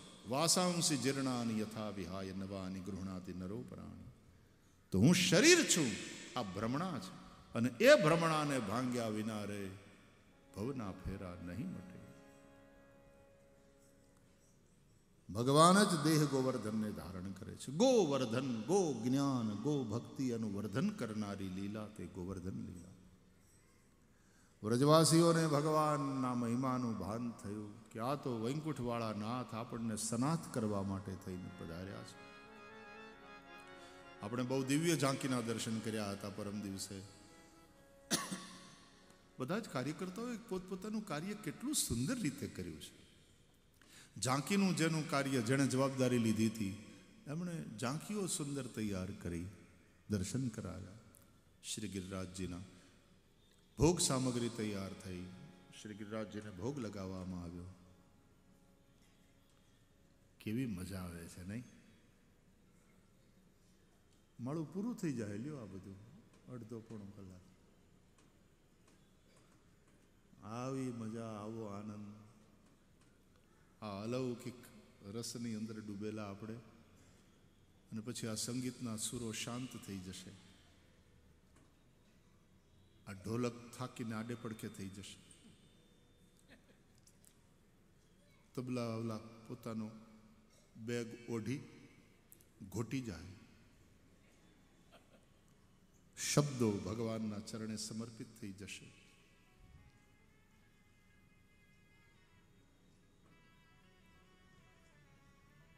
હરિ અનંત, હરિ કથા અનંતા.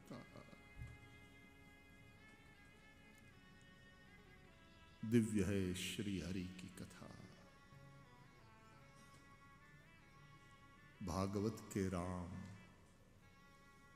આ રસ ઉમડ્યો ને રાજકોટની જનતાએ પસલી ભરીને રસ પીધો હરિનો રસ પૂર્ણ પાયો રામ સભામાં અમે રમવાને જ્ઞાતા પસલી ભરીને રસ પીધો પહેલો પિયાલો મારા સદગુરુએ પાયો અને બીજે પિયાલે રસની હેલી. રસમ હેવાયમ લબ્ધવા આનંદી ભવતી.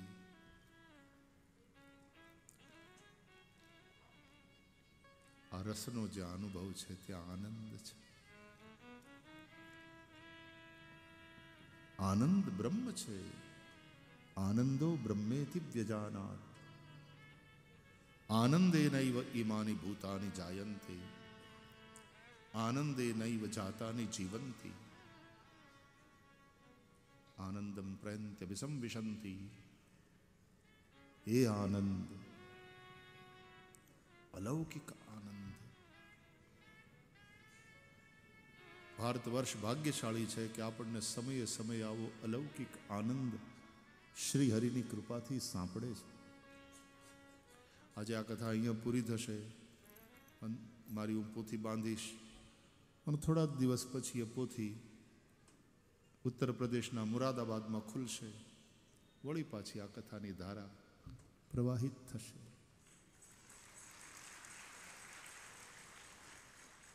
હરિ અનંત હરિ કથા અનંત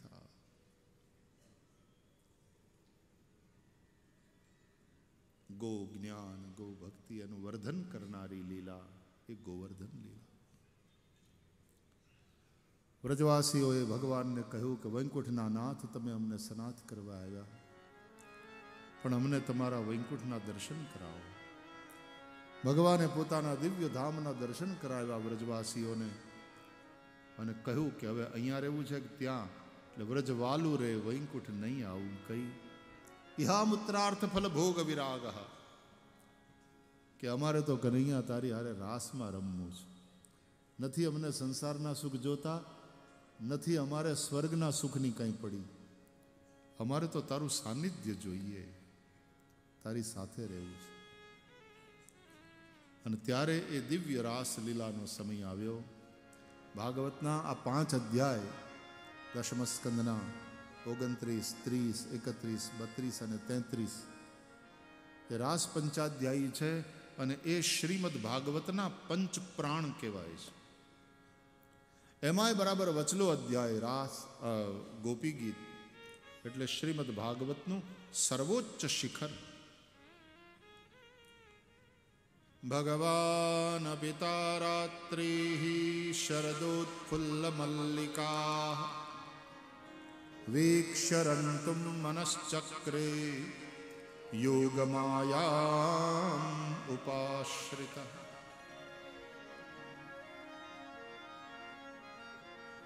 હવે પૂર્ણિમાના પૂર્ણ ચંદ્રની જેમ સાધકની સાધના સોળે કળાએ ખીલી હવે અમૃતની વર્ષા થવા લાગી આનંદ અમૃતની અને હવે ભગવાનને એમ થયું કે હવે આને આમ પકડીને હૈયે લગાડવાની વાત. હવે એ સમય આવ્યો છે. એની સાથે એક થવાનો.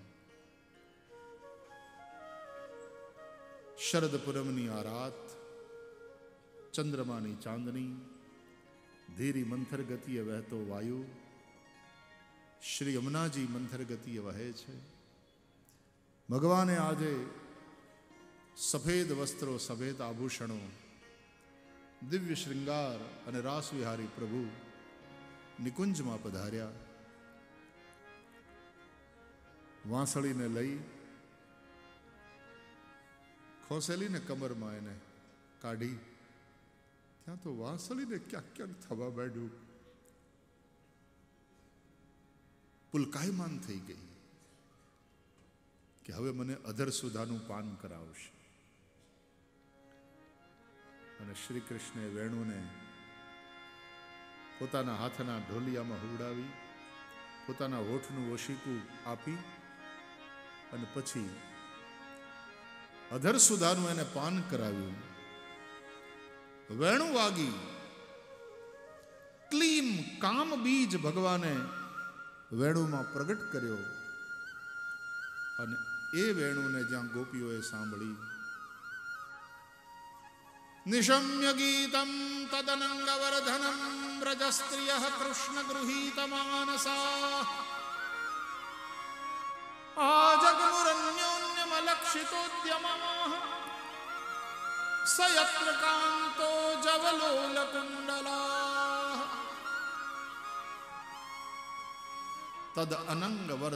गीतं નિશમ્ય કેવું છે આ વેણુ ગીત અનંગને વધારનારું, અનંગ એટલે કામ. કામ પ્રગટ થયો ગોપીઓમાં, એક અદમ્ય આકર્ષણ થયું અને ગોપીઓ પોતપોતાને ઘરેથી નીકળી. એમ થયું કે મને બોલાવે છે. ઇટ્સ અ કોલ એ વેણુવાદન, એ આમંત્રણ હતું. અને નીકળી. મજાની વાત એ કે બધી નીકળી પછી એકબીજાથી છુપાતી છુપાતી નીકળી. અલક્ષિતોદ્યમા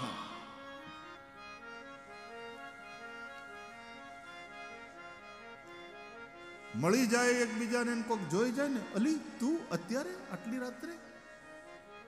ના, ખાલી ઊંઘ નહોતી આવતી. થયું કે જરાક ફ્રેશ હવામાં આંટા મારી લઉં. પણ તું બોલે, હું તો થોડીક આમ કંઈક અવાજ આવ્યો ને બહાર, એટલે જોવા નીકળી કે શું થયું? એકબીજાથી છુપાતી. પણ નીકળી, એનો અર્થ એ છે કે સાધના ભજનને છુપાવવાનું હોય, એના બહુ ઢંઢેરા ન પીટાય. પોતાની સાધના, પોતાની એકાંતિક સાધના, પોતાનો આનંદ. પોતાને જે અનુભૂતિ થાય ને એ પણ પોતાના સદગુરુ સિવાય બીજા કોઈને બહુ બતાવાય નહીં. આવી એક મર્યાદા છે સાધના માર્ગની. હજારો હજારો ગોપીઓ ભગવાન પાસે વૃંદાવનમાં, ચાંદની રાતમાં. કથા છે કે ભગવાન એ બધાનું સ્વાગત કરે છે, પણ કહે છે કે આ સમયે તમે લોકો અહીંયા કેમ આવ્યા? આ ઉચિત નથી. તમે તમારા પતિઓ, પિતાઓ, ભાઈઓ, બાંધવો, બાળકો આ બધાને છોડી અને અહીંયા આવ્યા છો. વ્રજમ જગામાં નૈહસ્થેયમ સ્ત્રીવિહી. પ્રતિયાત વ્રજમ નૈહસ્થેયમ. હા, વ્રજમાં જતા રહો. પાછા જતા રહો ઘરે. આ સમયે વનમાં વામાં ન શોભે. તમારા પતિની સેવા, પરિવારજનોની સેવા, એ જ તમારો ધર્મ છે, કર્તવ્ય છે. અને દૂર રહીને પોતાના કર્તવ્યનું, પોતપોતાના ધર્મનું પાલન કરતા, મારું ભજન કરતા, મારી અનુભૂતિ થઈ શકે અને એવું ઘણીવાર નજીકમાં નથી પણ થતું, કારણ કે અતિ પરિચયાદ અવજ્ઞા ઘણીવાર અતિ સામીપ્યથી અવહેલના પણ થાય इसलिए एक निश्चित दूरी बनाए रखना भी जरूरी होता है संबंधों में આપણે ત્યાં તો આ વાહનવાળા એ બધા લખતા હોય છે વાહે એમાં ખાસ કરીને હેવી વેહિકલ હોય ને તમારું વાહન પચીસ ફૂટ દૂર રાખો એવું ટ્રકવાળા પાછળ લખે મત ટકરાવો.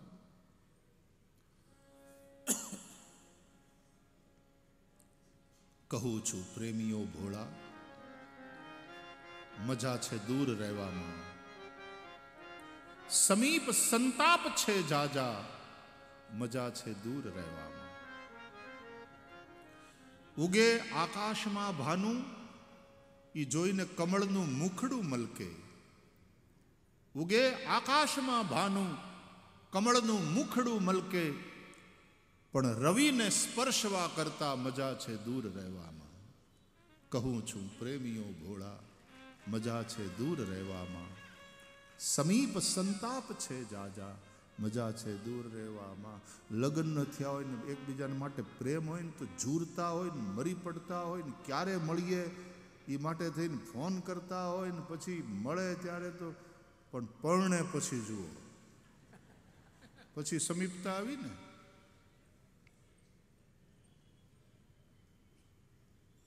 ક્યાં ગયા હતા કેટલા વાગ્યા? ઘડિયાળ જોઈ? નહીં નહીં, આ તમારો ટાંટિયો ઘરમાં ટકતો નથી હમણાં, એટલે કેવું પડે છે? સમીપ સંતાપ છે, જા જા, મજા છે, દૂર રહેવામાં. અને પરિણ્યા પછી પણ આવી ફ્રેન્ડશીપ અને આવો પ્રેમ જેનો અકબંધ રહે ને એ દાંપત્ય હાવ હાચું. એ વંદનીય. પરિણાના પચીસ વર્ષ પછી પણ એવો ને એવો તાજો હોય પ્રેમ. એક જણાએ પચીસમી મેરેજ એનિવર્સરી ઉજવતા હતા ને, તો પછી પિયરવાળા એ બધા આવેલા. તો એનો ભાઈ એ બેનનો ભાઈ, એટલે આનો હાળો એ મોટો બુકે લઈ આવ્યો હતો. અને પોતાના બનાવીને આપીને કે, અમારા ઘરનું વાવાઝોડું તમે પચીસ વર્ષથી હાંચવીને બેઠા છો. બનેવી લાલ કોંગ્રેચ્યુલેશન્સ વિનોદ વિનોદ, આનંદ. એટલે બેને તરત આંખ્યું કાઢી. શું કીધું તે? બૈલા જો કીધું નહીં નહીં નહીં, હું તો ખાલી બનેવી લાલની યારે વાતો કરતો દયા તને નથી કાંઈ तो बने भी लाल ने कहते तो।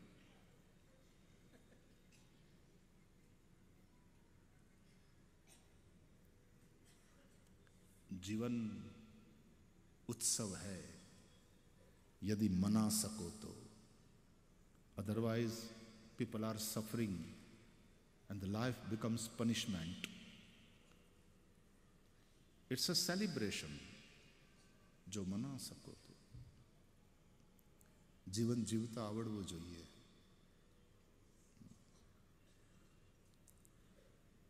ગોપીજનોએ ત્યારે ભગવાનને એની સાથે શાસ્ત્રાર્થ કર્યો. પ્રિયતમ સાથે દલીલ થાય. અને શાસ્ત્રાર્થમાં ભગવાન હાર્યા, ગોપીઓ જીતી. અને પછી દિવ્ય રાસ રચાયો. વ્રજમાં પદ છે. વ્રજનું પદ ગાઉં કે તમારે ઊભું થવું છે? આ ઘડિયાળ જોઈ છે તમે? એ મારો હરિવેણ વાય છે રે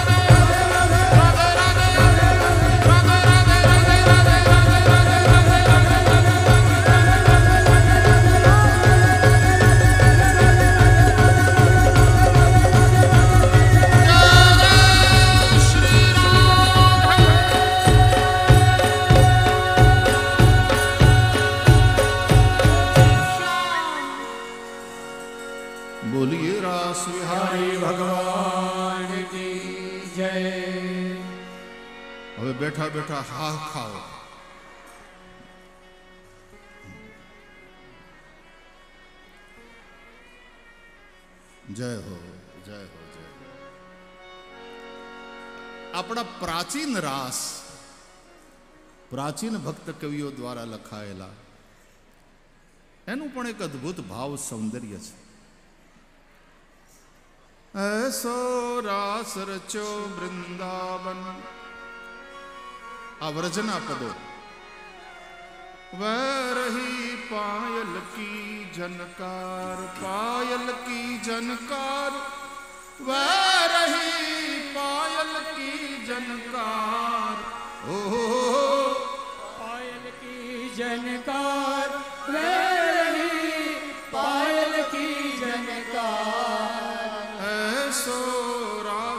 रास रचो वृंदावन वरही पायल की जनकार ऐसो रास रचो वृंदावन वे रही पायल दिव्य रास रचाया भगवान ने जितनी गोपियां उतने श्री कृष्ण भगवान सबके साथ खेल रहे थे દરેક ગોપી પોતાની જાતને અન્ય કરતા અધિક માનવા લાગી શ્રેષ્ઠ સમજવા લાગી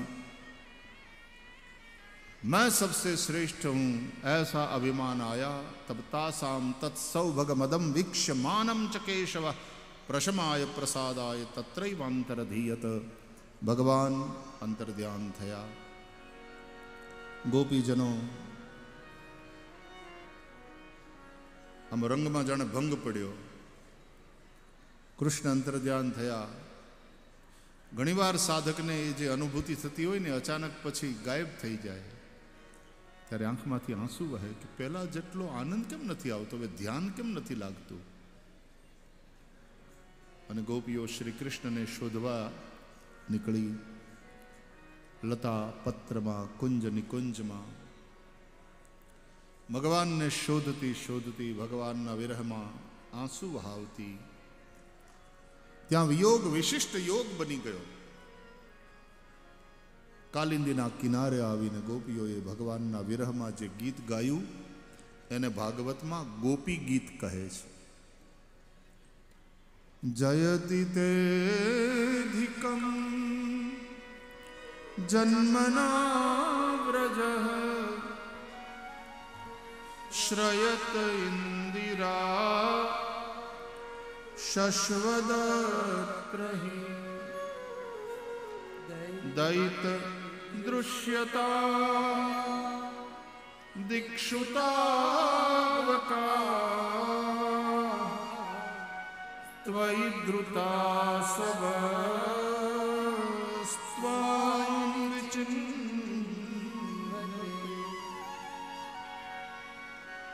शरदुदाशये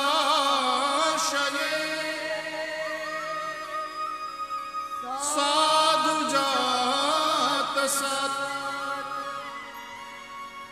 सरसिजोदर श्रीमुषादृशा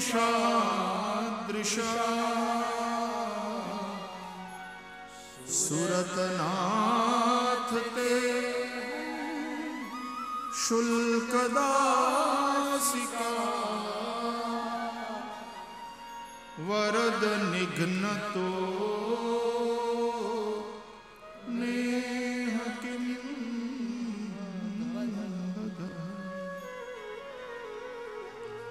પ્રેમ થાય પ્રેમ પછી મેળવે, ભેગા કરે.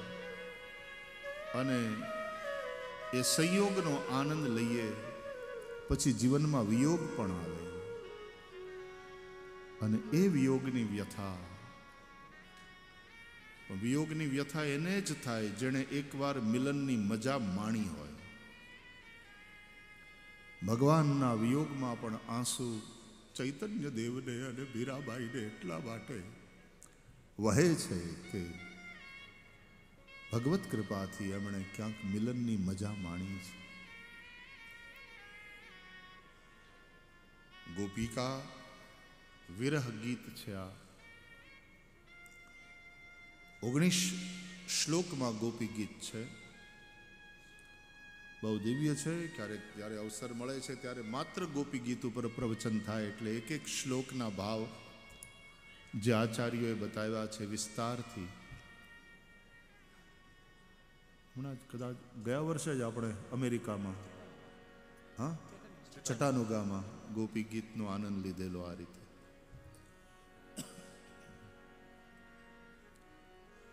ભાગવત બહુ દિવ્ય હૈ. સાત દિવસમાં અને એક સત્રમાં પૂરું થાય એ વાતમાં માલ નહીં ऐसे ऐसे सुंदर भाव भागवत के आचार्यों ने प्रकट किए हैं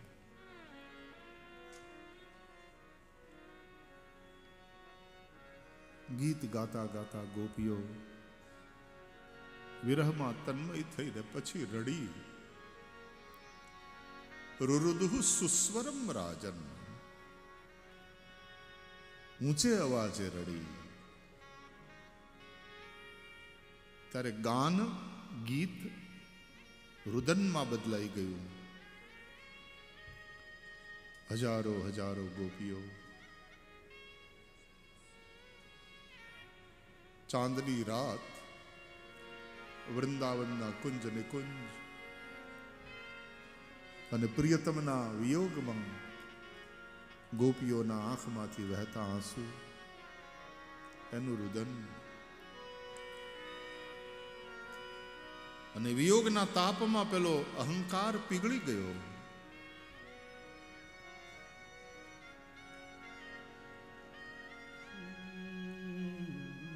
પ્રેમમાં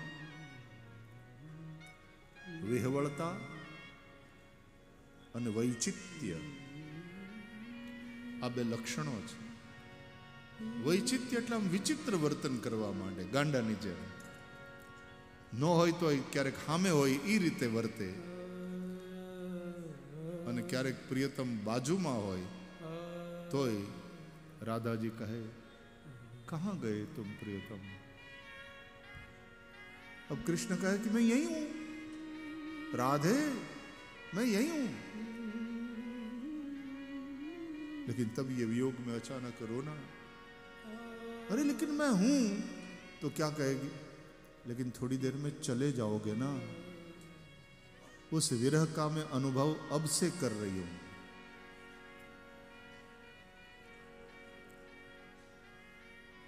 સંયોગમાં પુષ્ટ થાય અને વિયોગમાં નષ્ટ થઈ જાય એ સાચો પ્રેમ નહીં પણ વિયોગમાં પણ વૃદ્ધિ પામે વધે.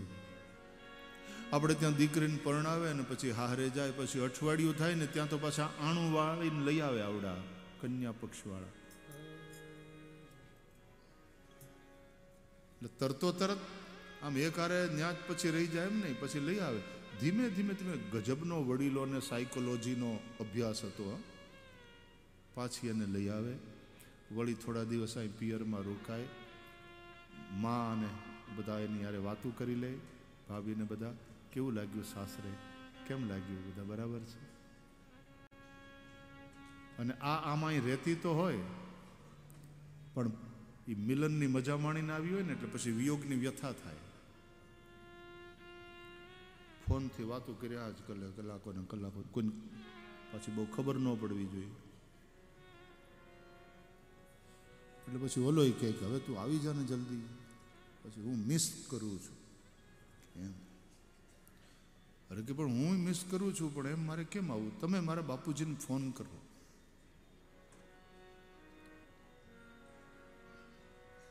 પછી પાછો ઓલો ફોન કરે. એટલે આવડા વળી પાછા એમ કે, જમાઈ રાજ, હજી વધારે બે દિવસ રોકાવા દો દીકરી. અને પછી પાછું ઈ તેડવા આવે ત્યારે જાય, એમને એમ ન જાય. આવા બધા જે આપણા રિવાજો છે, એ ધીમે ધીમે ધીમે ધીમે એ બંનેનું પરસ્પર પ્રેમનું બોન્ડિંગ વધતું જાય અને ધીમે ધીમે ધીમે એ કન્યા, કારણ કે આ ધરતીમાંથી એ તુલસીના છોડને ઉખેડી અને એ ધરતીમાં વાવવાનો છે ને, એટલે ધીમે ધીમે ધીમે ધીમે એ ત્યાં સેટ થાય. ઇટ ટેક્સ ટાઈમ ઉસકો સમય દો. धीमे धीमे धीमे धीमे सेट थी जाए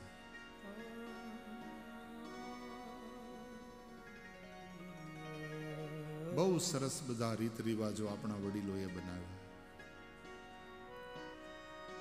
તાસામાવિરભુચ્છૌરિ સ્મયમાન મુખાંબુજ પીતાંબર ધરસ્રગ્વી સાક્ષાન મન્મથ મન્મથ એ સમયે ગોપાંગનાઓની મધ્યમાં રાસ વિહારી પ્રભુ પ્રગટ થયા જાણે શરીરમાં પ્રાણ આવ્યા હોય એમ ગોપીઓ દોડી कोई जय श्री कृष्ण से लिपट गई जैसे तरुवर से लता कोई जाकर श्री कृष्ण के चरणों में गिर पड़ी जैसे लकड़ी कोई ने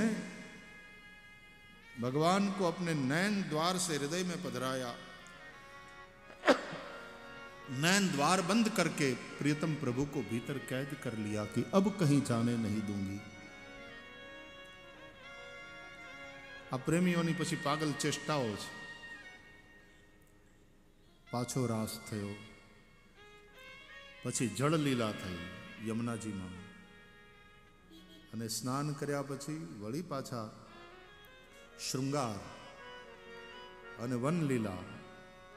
અને વનલીલા પછી યુગલ સરકાર શ્રી રાધા કૃષ્ણ એની આરતી ઉતારી ગોપીજનોએ રાસલીલા પછી બેઠા બેઠા આપણે મનમાં પ્રેમનો દીપક પ્રગટાવી આરતી ઉતારશું રાસ વિહારી પ્રભુની. કે દિવ્ય દંપતિ કી આરતી ઉતારો હે અલી.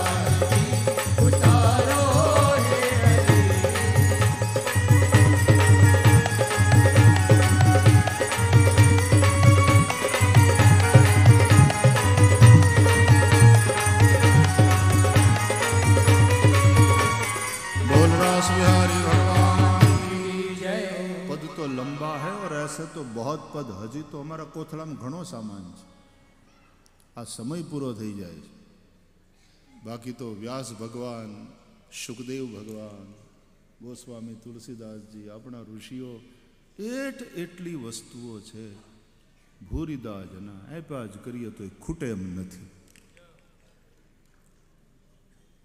પણ પછી ક્યાંક અટકવાનું હોય છે પછી ક્યાં ટકવું ક્યાં અટકવું અને ક્યાંથી છટકવું? એ જેને સમજણ પડી જાય ને, એને લટકવું ન પડે. આવી બધી શબ્દોની રમતું કર્યા કરે. શબ્દોના જે ખેલાડીઓ હોય, રાસ લીલા દ્વારા જીવ શિવની એકતા થઈ. સરિતા સાગરમાં સમાઈ ગઈ બિંદુ સિંધુ હો ગયા આ જ્યારે સ્થિતિ આવે પછી કોણ બોલે શા માટે બોલે મન મગન ભયા ફિર ક્યાં બોલે ક્યું બોલે એટલે બાકીના પ્રકરણો પ્રભુના ચરણારવિંદમાં સમર્પિત એ પછીની ભગવાનની લીલાઓ યુગલ ગીત વ્યોમાસુર આદિ દૈત્યોનો ઉદ્ધાર,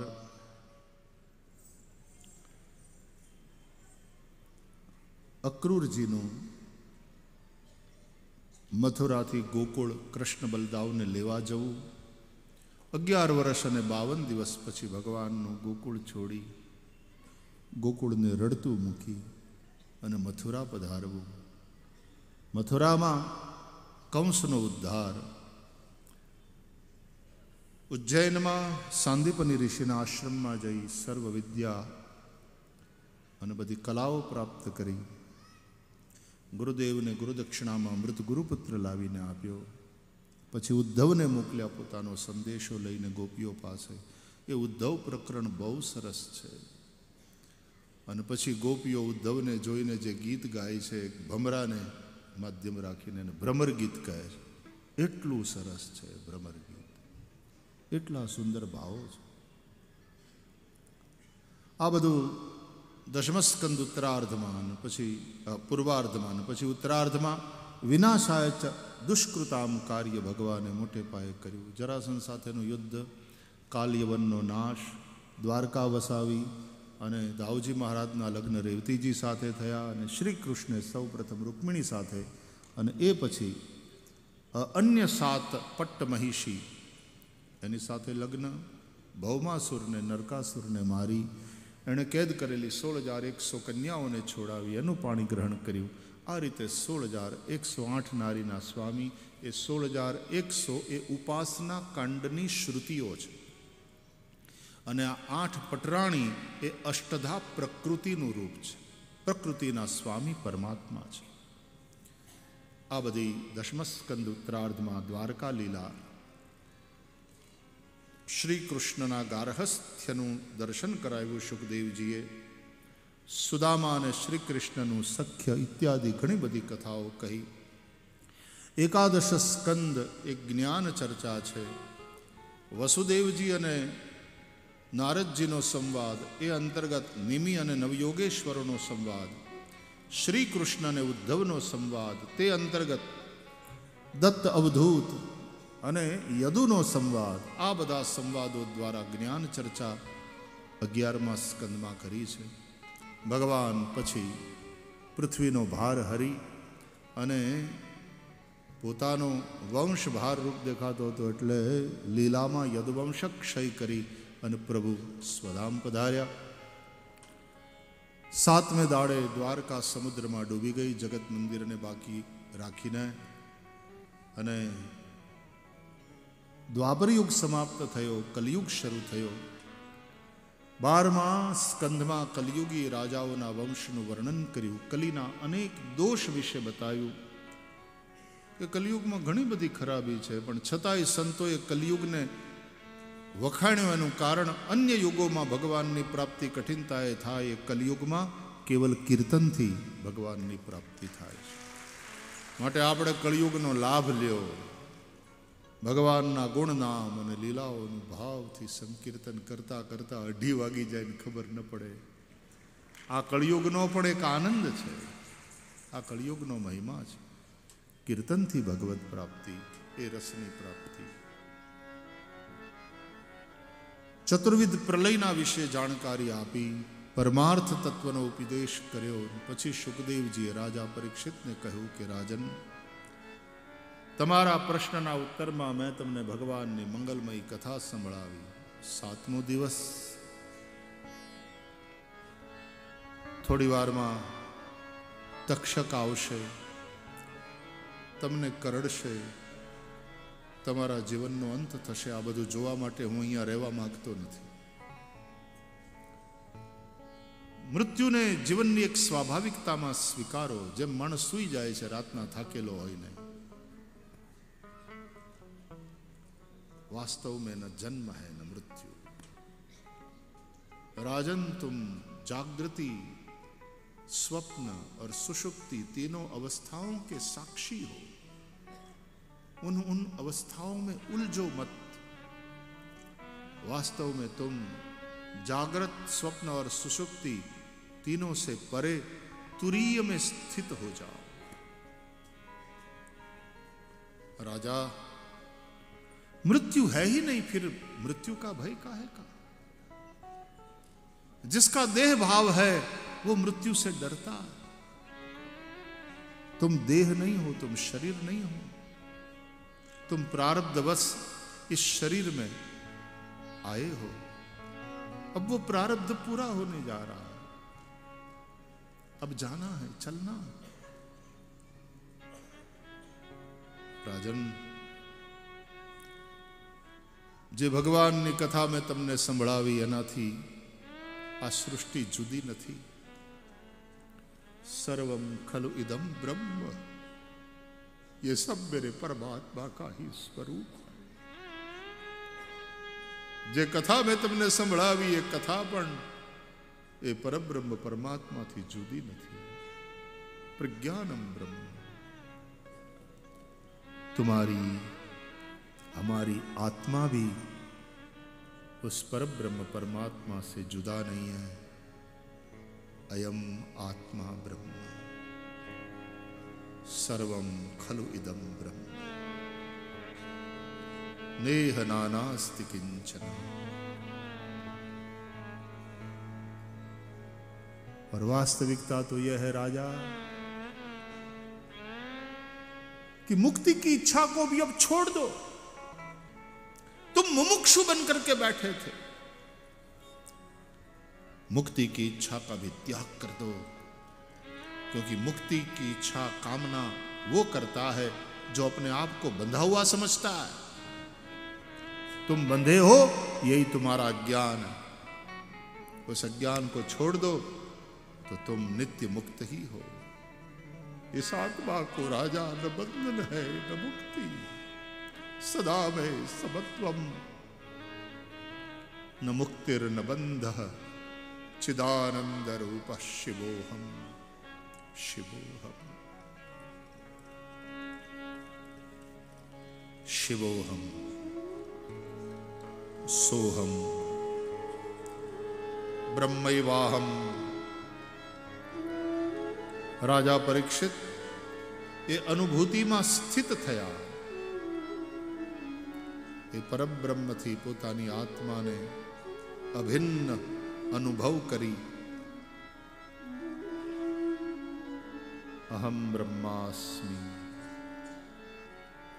બ્રહ્મૈવાહમ આ અદ્વૈત સિદ્ધિ આદ્ય શંકરાચાર્ય ભગવાનનું આ અદ્વૈત વેદાંત અદ્વૈત ફિલોસોફી કેવલાદ્વૈત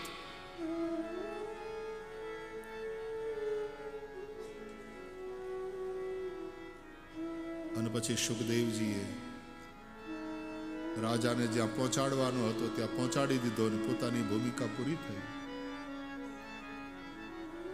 ઊભા થયા.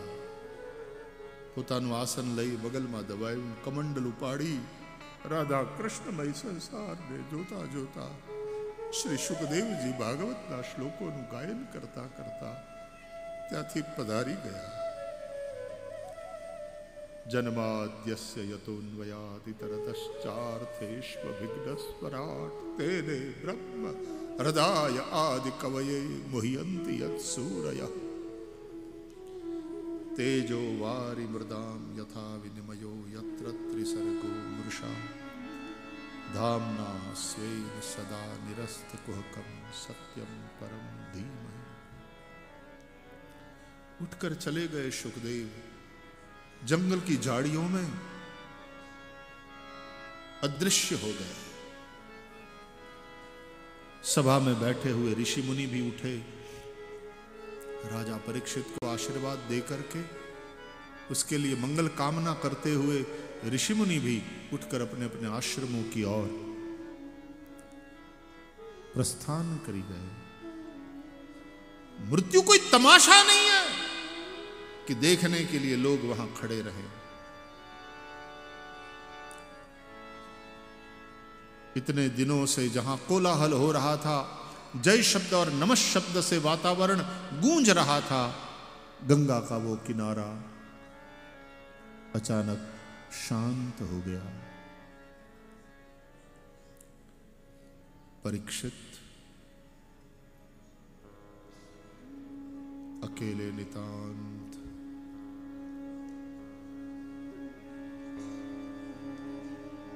એકલા જ આવ્યા બનવા, એકલા જવાના.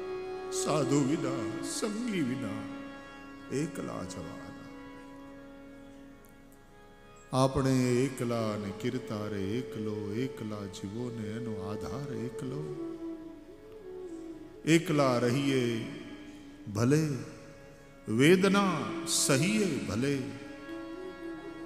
અને એકલા જ રહીને ભેરું થઈએ બધાના. એકલા જ આવ્યા મનવા એકલા જવાના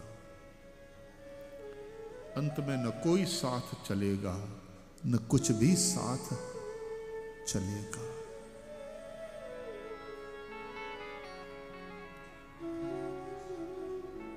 તેલ ખૂટે ને ટમટમ તો દીવો જેમ ધીમેથી શાંત થઈ જાય ને એ શાંત થતા પહેલા એની લો એકદમ ઓર પ્રજ્વલિત થઈ ઉઠે અને પછી શાંત થઈ જાય.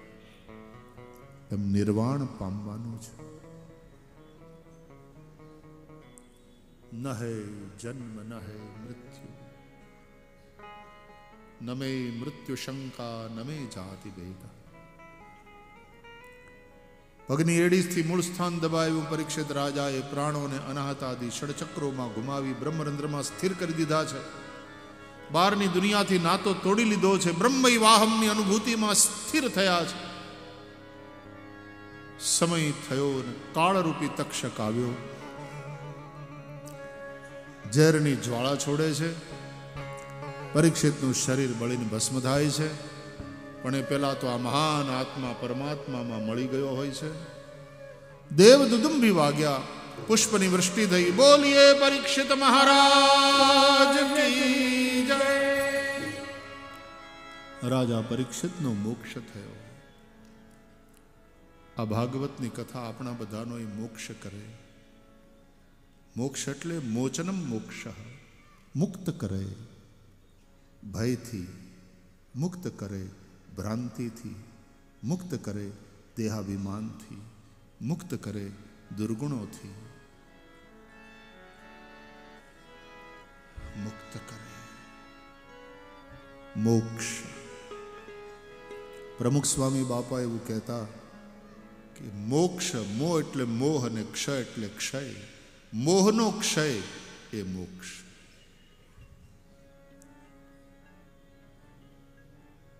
આપણે અમૃતના સંતાન છીએ. જીવનમાં એ અમૃતત્વની પ્રાપ્તિ કરવાની છે. તમારી ઈચ્છા હોય તો ઋષિમુનિઓ તૈયાર છે, આ ગ્રંથો તૈયાર છે. સત્સંગ દ્વારા અજ્ઞાન દૂર થશે, દેહાભિમાન મળશે. અને જે આપણું અમૃત સ્વરૂપ છે એનો આપણને અનુભવ થશે. ચિદાનંદ રૂપ શિવોહમ શિવોહમ. રાજા પરીક્ષિતની મુક્તિ થઈ. પછી તો જન્મે જઈનો સર્પ યજ્ઞ માર્કંડે ઋષિએ કરેલા મહાપ્રલય લીલાના, ભગવાન માયા નિર્મિત મહાપ્રલય લીલાના દર્શન. વિભિન્ન વેદો વેદોની શાખાઓ એની માહિતી વિભિન્ન પુરાણો અને દરેક પુરાણના શ્લોકોની સંખ્યા વિશેની જાણકારી ભાગવતોક્ત બધા જ વિષયોનું પુનઃ વિવરણ જેને આપણે ભાગવતની હુંડી કહીએ છીએ ઉપસંહાર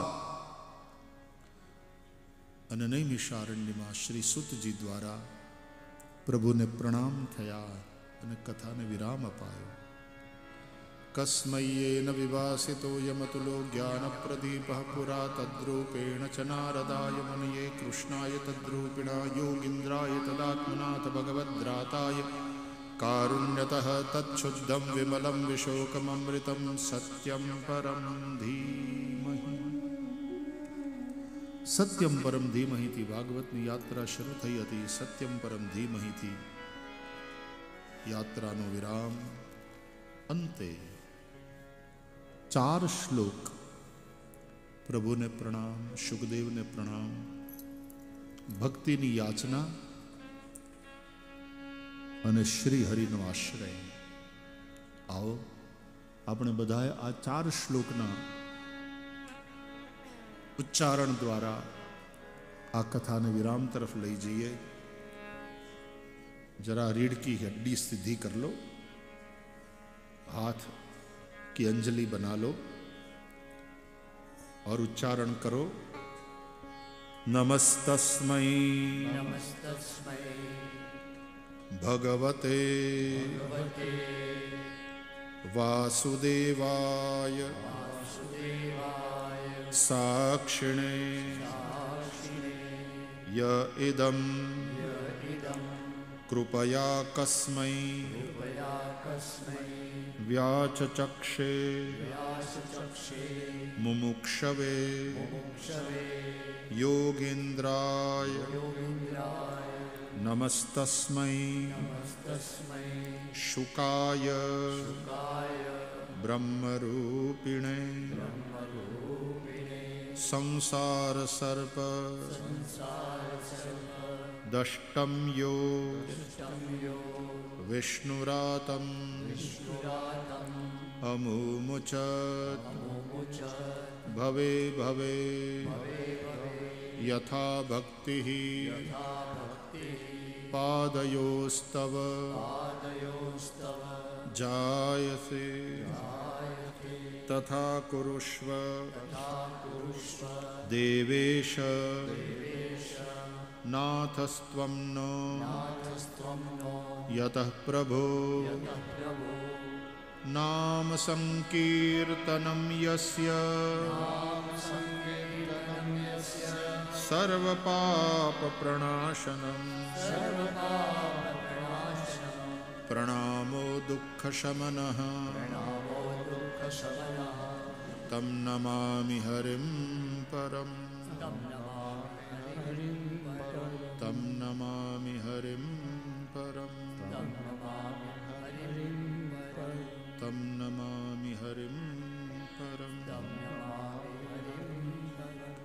हरे कृष्णा हरे कृष्णा कृष्णा कृष्णा हरे हरे हरे राम हरे राम राम राम हरे हरे हरे कृष्णा हरे कृष्णा कृष्णा कृष्णा हरे हरे हरे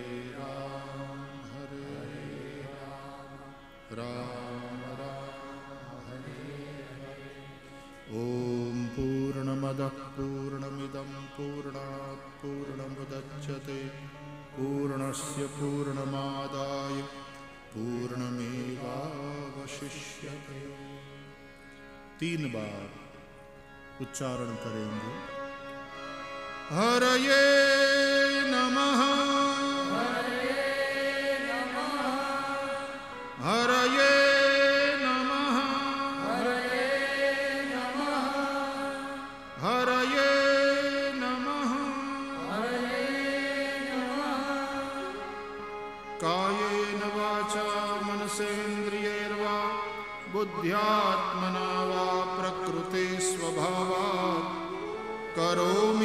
यद्यत् सकलं परस्मै નારાયણાયેતિ સમર્પયા આ સંપૂર્ણ ઉપક્રમ જે હતો ભગવાનની કૃપાથી આજે વિરામ લઈ રહ્યો છે અને સંપૂર્ણ सत्कार्य भगवान श्री हरि के चरणों में हम सादर समर्पित करते हैं જેમના સંકલ્પથી આપણને સૌને આ અવસર પ્રાપ્ત થયો. ભગવદીય રામભાઈ મોકરિયા ભગવદીયા બહેન, શોભના બહેન, ચિરંજીવી અજય, ચિરંજીવી મૌલિક અને પૂરો પરિવાર.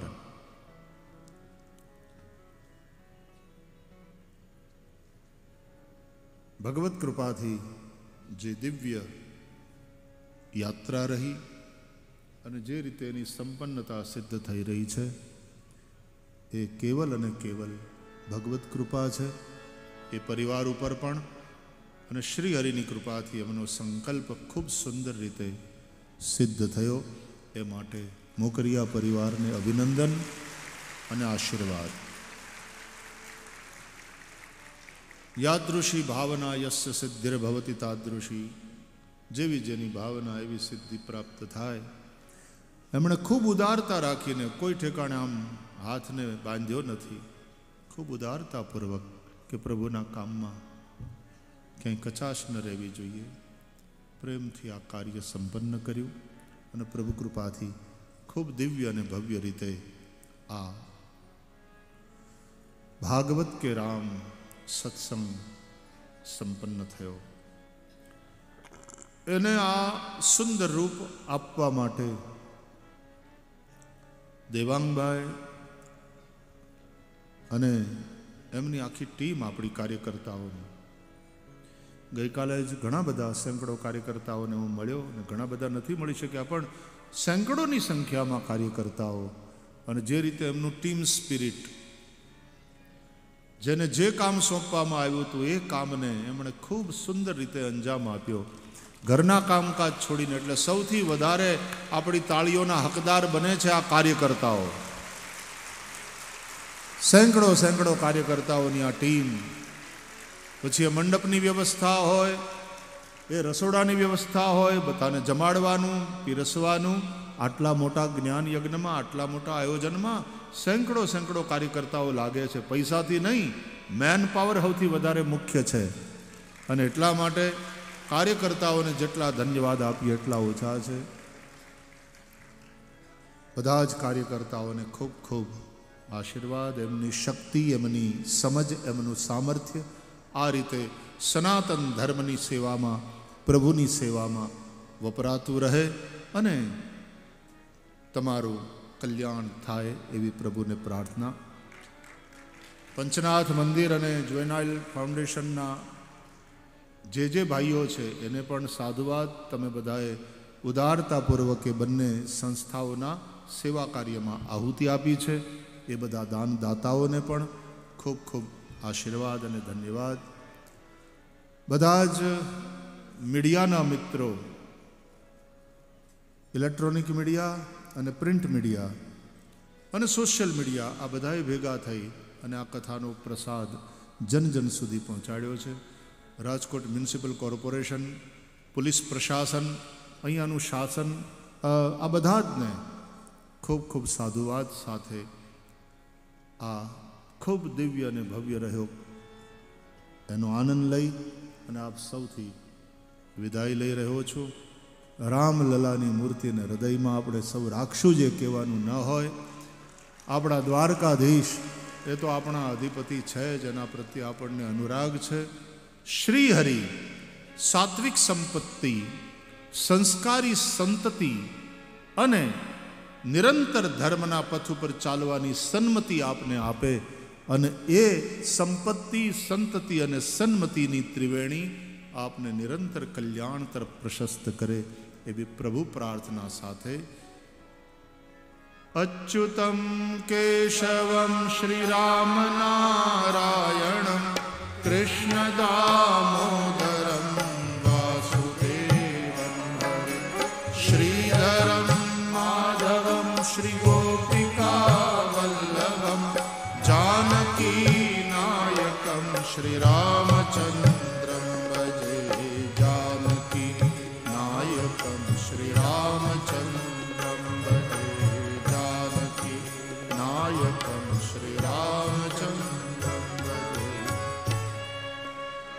श्रीद्वारिकाधीश की जय।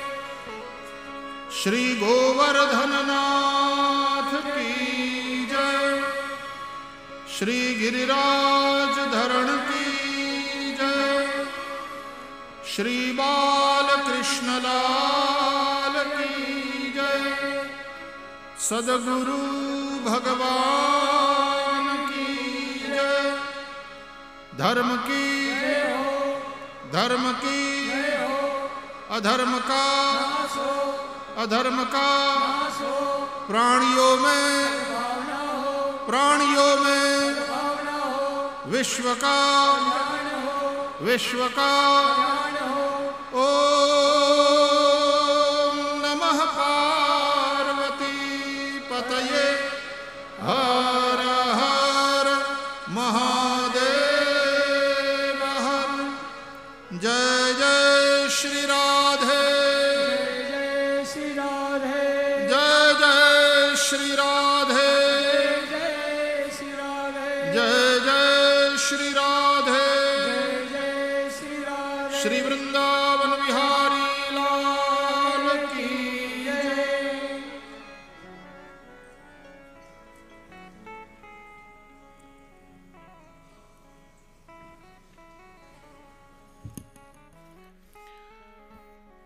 હરિઓમ જય શ્રી કૃષ્ણ ભાગવતજીને વંદન અને પૂજ્ય ભાઈશ્રીના ચરણોમાં કોટી કોટી વંદન આજે આ દિવ્ય કથા શ્રીમદ ભાગવત સપ્તાહ ભાગવત કે રામ નો અંતિમ દિવસ આવી પહોંચ્યો અને અત્યારે જ્યારે કથા વિરામ લઈ રહી છે ત્યારે ભાઈશ્રી, અમારા નયનો કાલથી આ વ્યાસપીઠ શોધશે. અમારા કર્ણો આપણી, આપની અમૃત વાણી સાંભળવા માટે કાલે તડપી રહ્યા હશે. એવી આ વિદાયની ક્ષણ નજીક પહોંચી ગઈ છે. સર્વેને વિનંતી છે કે આજનો આ અંતિમ દિવસનું આ છેલ્લું સત્ર છે એ પૂરેપૂરી વાત સાંભળીને આપણા યજમાન તરફથી પણ જ્યારે આજે આપણને ઉદ્બોધન મળવાનું છે, ત્યારે બધા જ શ્રોતાગણ, ધર્મપ્રેમી જનતાને બધી વાત સાંભળી અને જવા માટે હું કરબદ્ધ વિનંતી કરું છું. કદાચ આ આઠ દિવસ અમારા શ્રુતિપટ પર હંમેશ માટે અંકિત થઈ જશે. અને જો પૂજ્ય ભાઈશ્રી અને રામભાઈની તૈયારી હોય તો અમારે હજી આઠ દિવસ ખેંચવાની તૈયારી છે.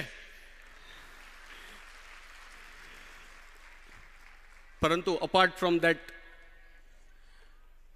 અંતે તો આપણે ફરી એકવાર રામભાઈ જો આવનારા વર્ષોમાં કંઈ પણ આવું આયોજન કરે, તો ફરી એકવાર મળવા માટે આજે વિખૂટા પડવાના છીએ. ત્યારે આજે આપણે પૂજ્યભાઈશ્રીની ભાવવહી હૃદયસ્પર્શી સંગીતમય શૈલી દ્વારા આ અદ્ભુત રામ સપ્તાહનું આપણને શ્રવણ કરવા મળ્યું છે.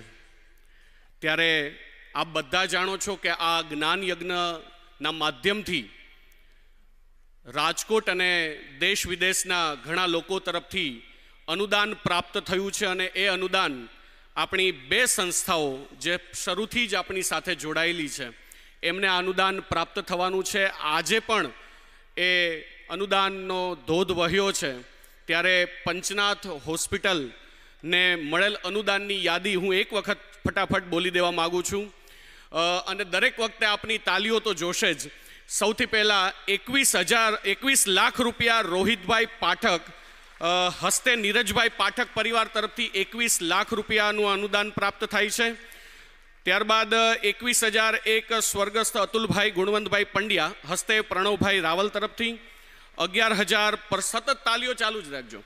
અગિયાર હજાર પરસોત્તમભાઈ વાલજીભાઈ ભોગાઈતા તરફથી, અગિયાર હજાર મીનાબેન લાભશંકર વ્યાસ, અગિયાર હજાર દિનેશભાઈ કુછડિયા રવિ રેસિડેન્સી તેમના તરફથી, અગિયાર હજાર રાજેશકુમાર મોકરિયા તરફથી અને અત્યારે જે વાત કરવા જઈ રહ્યો છું, જે નામ દીકરીનું બોલવા જઈ રહ્યો છું, અગિયાર હજાર એકસો ને એક.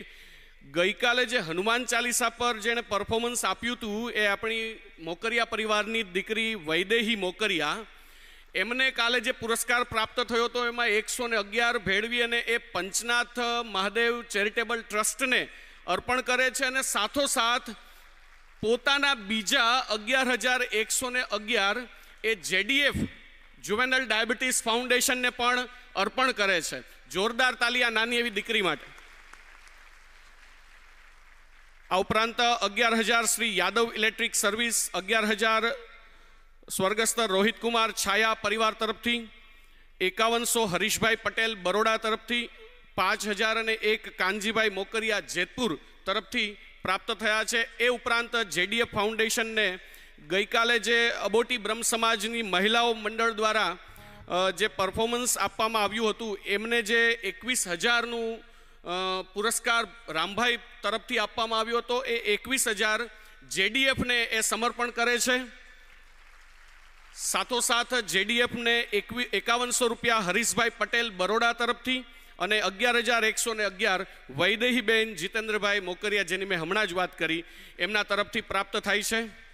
હવે વધુ સમય ન લેતા આપણે આઠ આઠ દિવસથી જે આ સુંદર મજાની ભાગવત કથા, ભાગવત કે રામનું જ્યારે આપણે શ્રવણ કરી રહ્યા છીએ, રસપાન કરી રહ્યા છીએ, ત્યારે જેમના કારણે શક્ય બન્યું, એવા કથાના મુખ્ય યજમાન શ્રી રામભાઈ મોકરિયા, જેમણે આ ભવ્ય ભગીરથ કાર્ય લેવા, કરવા માટેનો સંકલ્પ હાથ ધર્યો અને આજે એમણે પૂર્ણ પણ કર્યો.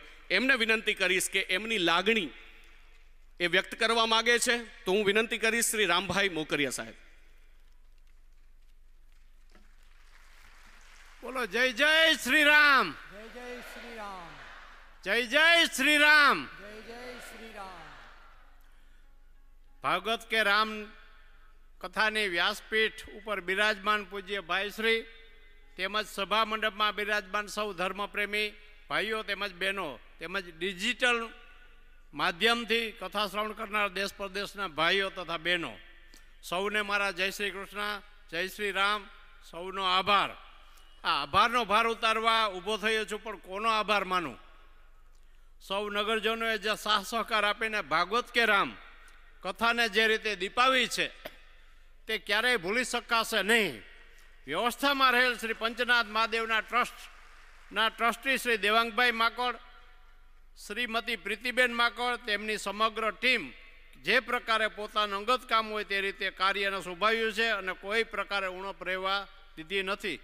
તે ટીમનો જેટલો આભાર માનું, તેટલો જ ઓછો છે. તેમજ જેડીએફની જે ટીમ છે, અપુલભાઈ દોશીની, એને પણ ખભે ખભા મિલાવી ને જે કાર્યમાં મદદરૂપિયા હતા મદદરૂપ થયા છે તેમનો, તેમની ટીમનો, બહેનોનો સૌનો ખૂબ ખૂબ આભાર માનું છું. તેમજ જે ક્લબનું સરનામું નથી, પણ ટીમવર્ક અને ગમે તેવી ચેલેન્જ ઉપાડવાની ક્ષમતા ધરાવે તેવી રેસકોર્સની ટીમ. તેમજ કિરીટભાઈ પાંધીની રઘુવંશી ટીમ, જેમને ભાવિકો મહાપ્રસાદ જમાડવાની જવાબદારી ખડે પગે રહીને નિભા, સેવા બજાવેલ છે, તે બેજોડ છે. ઉપરાંત પાર્કિંગ વ્યવસ્થા, લાઇટ સાઉન્ડ વ્યવસ્થા, ગ્રાઉન્ડ વ્યવસ્થા, પાણી વ્યવસ્થા, સફાઈ વ્યવસ્થા, ખાસ સફાઈવાળાને ધન્યવાદ, વંદન, પ્રણામ. ખૂબ જ સુંદર વ્યવસ્થા કરી. બેઠક વ્યવસ્થા, આરોગ્ય વ્યવસ્થા, કાર્યાલય વ્યવસ્થા, સ્વાગત સમિતિ, સિક્યુરિટી સમિતિ, મેડિકલ સમિતિ, કથા મંડપ વ્યવસ્થા સમિતિ, ભોજન વ્યવસ્થા સમિતિ, કોમ્પ્યુટર આઈટી સમિતિ, સાંસ્કૃતિક સમિતિ, મંડપ, સ્ટેજ ડેકોરેશન તથા સિવિલ વર્ક સમિતિ આરતી પૂજન સમિતિ, ઉતારીની ચા, નાસ્તાની વ્યવસ્થા સમિતિ, સોશિયલ મીડિયા સમિતિ જેમણે જેણે નાની મોટી જવાબદારી સોંપડી છે, તેમના સૌએ સુપેરે નિભાવી છે. ઉપરાંત આપણા ધોળકિયા સ્કૂલના સંચાલક શ્રી જીતુભાઈ ધોળકિયાએ આઠ દિવસ સુધી જે બસની સેવા આપી વિના મૂલ્યે સામેથી ઉપર કરીને, એનો પણ હું ખૂબ જ આભાર માનું છું. તે ક્યારેય મારા જીવનમાં ભૂલાશે નહીં. આ લોકોએ જે કામ કર્યું છે, દેવાંગભાઈ અપુલભાઈ અને વિશ્વકર્માની ટીમ જે ચારસોથી પાંચસો લોકોની હતી, એક સૌને હું સત સત વંદન કરું છું, પ્રણામ કરું છું અને એમનો જેટલો આભાર માનું, એટલો ઓછો છું. હું પ્રયત્ન કરીશ ઋણ ચૂકવાનો પણ એ ઋણ હું નહીં ચીકવી શકું, એટલું વધારે સફળતાથી કામ કર્યું છે. માટે સૌને વંદન, પ્રણામ. ઉપરાંત હિન્દુ, મુસ્લિમ, શીખ, વોરા સમાજ તેમજ નગરના તમામ સમાજના જ્ઞાતિ અગ્રણીઓ, સમાજના શ્રેષ્ઠીઓ, તેમજ ઉદ્યોગપતિઓ, ડોક્ટરો, હજારોની સંખ્યા કથા શ્રવણનો લાભ લેનાર, તેમજ Rajkot police department, municipal corporation commissioner કલેક્ટરશ્રી તેમજ જીબી વિભાગ તમામ જે સેવા સુપારે નિભાવી છે, તેમનો પણ હૃદયપૂર્વક આભાર માનું છું. ઉપરાંત મારા પોતાના અબોટી શ્રી અબોટી બ્રહ્મ સમાજ રાજકોટ તથા પોરબંદરના સમાજનો પણ ખૂબ ખૂબ આભાર માનું છું. કે જેટલા લોકો જે મહેમાન આવ્યા, તેને પોતાના ઘરે બધી વ્યવસ્થા કરી, માર્ગદર્શન આપ્યું અને પોતાના વાહનમાં સ્થળ સુધી પહોંચાડવા, સાથે જમવું અને સાથે પાછા પોતાના ઘરે લઈ જવા. બધા યજમાનની જેમ એકસો ત્રેવીસ ઘરે જે સુપરે જવાબદાર નિભાવી છે, એ સૌને પણ મારા વંદન પ્રણામ છે. સેંકડો વર્ષથી જેમની પ્રતિષ્ઠા સમગ્ર સનાતન ધર્મ પ્રેમીઓનો ઇંતજાર હતો, તે ભગવાન રામલલ્લા પણ આ જ સમયગાળામાં ભવ્ય મંદિર બિરાજમાન થયા તે પણ એ આ કથાની ઐતિહાસિક ઘડી છે. કથામાં પધારેલ શ્રી વજુભાઈ વાળા, માજી મંત્રી શ્રી વિજયભાઈ રૂપાણી, મુખ્યમંત્રી શ્રી વિજયભાઈ રૂપાણી, અમારા રાઘવજીભાઈ પટેલ, ભાનુબેન બાબરિયા મોડુભાઈ બેરા કુંવરજીભાઈ બાવળિયા, મોહનભાઈ કુંડારિયા, અમારા રાજકોટના ધારાસભ્ય ઉદયભાઈ કાનગડ રમેશભાઈ ટીલાળા, દર્શિતાબેન શાહ, અન્ય માજી ધારાસભ્ય ગોવિંદભાઈ લાખાભાઈ અમારા મેયરશ્રી કોર્પોરેટરો શહેર ભાજપના તમામ જિલ્લાના હોદ્દેદારો, પદાધિકારીઓ, શિક્ષણવિદો, શાળા સંચાલકો, યુનિવર્સિટીના વીસી તથા સર્વે પદાધિકારી, પદાધિકારીઓ, આ કથાને શોભાવી છે તે બદલ તેમનો પણ આભાર માનું છું. ખાસ મારી પાર્ટી શહેર ભાજપ અને પ્રદેશ ભાજપનો પણ ખૂબ ખૂબ આભાર માનું છું કે જે મને મારી ફરજ હતી એમાં મને રજા આપી અને આ કથાનું આયોજન થયું. એટલે એનો પણ આભાર માનું છું. સાથે સાથે એ પણ ઉલ્લેખ કરવાનો છે કે ભગવાન શ્રી રામલાલાની ભવ્ય દિવ્ય કાર્યક્રમ સમયે જ હોવાથી, વિવિધ સ્થાનો પર તેમના કાર્યક્રમ હોવાથી અનેક નેતાઓ આ કથામાં પધારી શકેલ નથી. પરંતુ તેમની લાગણીને આશીર્વાદ ટેલિફોનથી મળેલ છે, તેમનો પણ હું આભાર માનું છું. ટોપ ટુ બોટમ રાજકોટથી માંડી અને દિલ્હી સુધીના જે જે મુખ્ય નેતાઓ છે, જેને જેને આમંત્રણ પહોંચ્યું, કોઈને કોઈ કારણસર ન પહોંચી શક્યા. આખા દેશમાં પાર્ટી લેવલે કાર્યક્રમો ચાલુ હતા, રામલલ્લાના કાર્યક્રમ ચાલુ હતા. એટલે ન પહોંચી શકે બધાનો હું આભાર માનું છું, કારણ કે એમના મને આશીર્વાદ ફોનથી, રૂબરૂ પત્રથી મળેલ છે. એ બદલ એ સૌનો, ટોપ ટુ બોટમ, મોદી સાહેબ સહિત સૌનો આભાર માનું છું. આપ સર્વનો જેટલો આભાર માનો તેટલો ઓછો છે જેથી સૌનો આભાર, સૌને શ્રી, જય શ્રી કૃષ્ણ, જય શ્રી રામ ખાસ હિમાચલના રાજ્યપાલ શ્રી, મારા એક જ ફોનના આમંત્રણથી પોતાનો કાર્યક્રમ હતો એ છોડી અને શિવ પ્રતાપ શુક્લજી દિવસના કથામાં ન પહોંચી શક્યા તો રાતના કાર્યક્રમમાં પહોંચી મને આશીર્વાદ આપ્યા. ભાઈશ્રીના આશીર્વાદ લીધા. આ તો કે એમનો પણ ખૂબ ખૂબ આભાર માનું છું અને એને પણ વંદન કરું છું. ઉપરાંત બંને સંસ્થા જે જરૂરી ફંડ મળે તે માટે સર્વ સમાજના શ્રેષ્ઠીઓને નમ્ર નિવેદન પ્રાર્થના કરું છું. કારણ કે બંને સંસ્થાઓ સમાજના દર્દી નારાયણની સેવા જ કરે છે. તે માટે મોકરિયા પરિવાર મેં જે તે વખતે કીધું હતું કે હું મારા તરફથી કંઈક અર્પણ કરું અને પછી જો વિનંતી કરું તો યોગ્ય લાગશે. એટલે બંને સંસ્થાને, જેડીએફ અને આપણી પંચનાથ હોસ્પિટલને અમારા પરિવાર તરફથી પાંચ લાખ પંચાવન હજાર પાંચસો પંચાવન રૂપિયા બંને સંસ્થાને અર્પણ કરું છું, જે સ્વીકારવા વિનંતી છે. અને મારા રાજકોટના તથા મારા મિત્ર જે કોઈ વડીલો, દાતાઓ, જે કોઈ આ સમાજના શ્રેષ્ઠીઓ છે જે સારું કામ કરી રહ્યા, સેવાનું કામ કરી રહ્યા છે, તે સૌને પણ વિનંતી છે કે કોઈને કોઈ રીતે બંને સંસ્થા છે જે દરિદ્ર નારીની સેવા કરે છે, એને માટે મનથી આપનો તિજોરી થોડી ખોલી મૂકી અને ફૂલ નહીં તો ફૂલની પાખડી આપવા માટે હું સૌને વંદન કરું છું, પ્રણામ કરું છું, રિક્વેસ્ટ કરું છું. સર્વે ઇલેક્ટ્રોનિક મીડિયા, પ્રિન્ટ મીડિયાના માલિકો તથા પત્રકારો, ફોટોગ્રાફરો માહિતી એકાતું વગેરે ખૂબ જ આભાર કે આપ સૌએ ભાગવત કે રામ કથા, ભાગવત કથાના શહેર ગુજરાત, દેશ વિદેશમાં આપના માધ્યમથી પ્રચાર પ્રસારમાં કિંમતી ફળો આપેલ તે માટે આપ સૌનો ખૂબ જ દિલથી આભાર. કારણ કે એક મહિના પહેલાં, કથાના એક મહિના પહેલાંથી સર્વે મીડિયા, નાના મોટા બધા જ મીડિયાના લોકોએ, ઇલેક્ટ્રિક મીડિયા હોય, પ્રિન્ટ મીડિયા હોય, સોશિયલ મીડિયા, ખૂબ જ આ કથાને પ્રચાર પ્રસારના માધ્યમથી ધાર્મિક લોકોના મન સુધી, એના કાન સુધી અમારી જે વાત છે પહોંચાડી છે માટે એનો જેટલો આભાર માનું, એટલો ઓછો છો. જેટલી પ્રેસ નોટ મોકલી, જેટલા ફોટા મોકલ્યા, જેટલા એ વખત અમે રજૂઆત કરવા ગયા, મળવા ગયા, દરેક વખત સહર સ્વીકાર્યા છે. એટલે સૌથી વધારે મીડિયા પ્રિન્ટ મીડિયા ઇલેક્ટ્રિક મીડિયાનો ખૂબ ખૂબ આભાર માનું છું, વંદન કરું છું, પ્રણામ કરું છું. અને આપનો પણ કાયમ ઋણી રહીશ. જીટીપીએલ અબતક ચેનલ યુટ્યુબ તેમજ આરજે રેડિયોના માધ્યમથી પણ આઠ દિવસ સુધી ધાર્મિક જનો સુધી, ભાગવત કે રામ જન જન સુધી પહોંચાડવા માટે તથા સરકારી કર્મચારી સરકારની વિવિધ યોજનાના પ્રચાર પ્રસાર કરવા માટે પણ એ સર્વે કલેક્ટર ઓફિસના જે સ્ટાફ છે, એ કર્મવીરોનો પણ હું દિલથી આભાર માનું છું. મોદી સાહેબની અને ભૂપેન્દ્રભાઈ પટેલની જે જે પ્રજાલક્ષી યોજના છે, એ યોજના ટેન્ટમાં આઠ દિવસ સુધી સતત ખડે પગે રહી, લોકોને માર્ગદર્શન આપ્યું, માહિતી આપી અને જરૂરી લોકોના કાર્ડ કે જે કોઈ જરૂરિયાત હતી એ પૂરી પાડી છે. એટલે એ લોકોનો પણ આભાર. સાથે બ્લડ બેંકના વિનયભાઈનો પણ આભાર કે આઠ દિવસ સુધી બ્લડ બેંક અહીંયા બ્લડ ડોનેશનનું આયોજન કર્યું અને સરકારી હોસ્પિટલમાં જે જરૂરિયાત બ્લડ છે એને પૂર્ણ કરવા પ્રયત્ન કર્યો છે. એમનો પણ ખૂબ ખૂબ આભાર માનું છું. ઉપરાંત ગોકુલ હોસ્પિટલની સમગ્ર ટીમ, આરોગ્ય, સેવા, એમ્બ્યુલન્સ પૂરી પાડવા માટે એમનો પણ આભાર અને ખાસ કુદરતનો પ્રભુનો આભાર કે ક્યાંય કોઈ જરૂરિયાત નથી પડી. એ સતત ખડે પગેરિયા પણ કોઈને પણ ક્યાંય ઠેસ પણ નથી લાગી. એ પ્રભુનો, ભગવાનનો અને પૂજ્ય ભાઈશ્રીનો આભાર કે આવા સત્કાર્યમાં કોઈ ઇન્સિડન્ટ બન્યા વિના કોઈને પણ કંઈ મુશ્કેલી પડ્યા વિના જે સુપરે પાર પડ્યું છે માટે સૌને વંદન પ્રભુનો, પૂજ્ય ભાઈશ્રીનો ખૂબ ખૂબ આભાર. આઠ દિવસ સુધી ચા પાણીની સેવા કરનાર એક અમારા પાંચાભાઈ ભરવાડ છે. એ પોતાનો ધંધો છોડી મને પહેલાં એવું કીધું કે રામભાઈ, મને સેવાનો મોકો આપો. કેવી રીતના તો કે બધું હું બધા જ લોકો જેટલા આવે, એને આની પહેલાંના કાર્યક્રમ મેં બધાને ચા પાણી પાયા મારે ખર્ચે. તો મને એ તક આપો. એટલે મેં વિનયપૂર્વક ના પાડી કે ભાઈ, એ તક હું તમને નહીં આપી શકું. તમને સેવાની તક આપું. ખર્ચ બધો પરિવાર કરશે. પણ તમે સતત ખડે પગે આઠ દિવસ સુધી જે આ સેવા કરી, બાપ દીકરા ત્રણેય. એટલે તમને પણ વંદન, પ્રણામ. નાનો માણસ છે. અને પોતે બધા હું પોતાનો ધંધો છોડી અને અમારા જે અહીંયા કાર્યકરો જે કામ કર્યું છે, જે ઘણા કરોડપતિ છે, સારી નોકરીવાળા છે, ઓફિસર છે, પોતાનો ધંધો લઈને બેઠા છે, આ બધા જ લોકોએ કોઈ પણ જાતના હિચકિચાટ વિના ઇવન સાફ કરવાની સાફ સફાઈથી માંડીને મેનેજમેન્ટ સુધીની રસોડાની, આગતા સ્વગતાની જે સેવા કરી છે, નામી અનામી સર્વે કાર્યકર્તા હોય.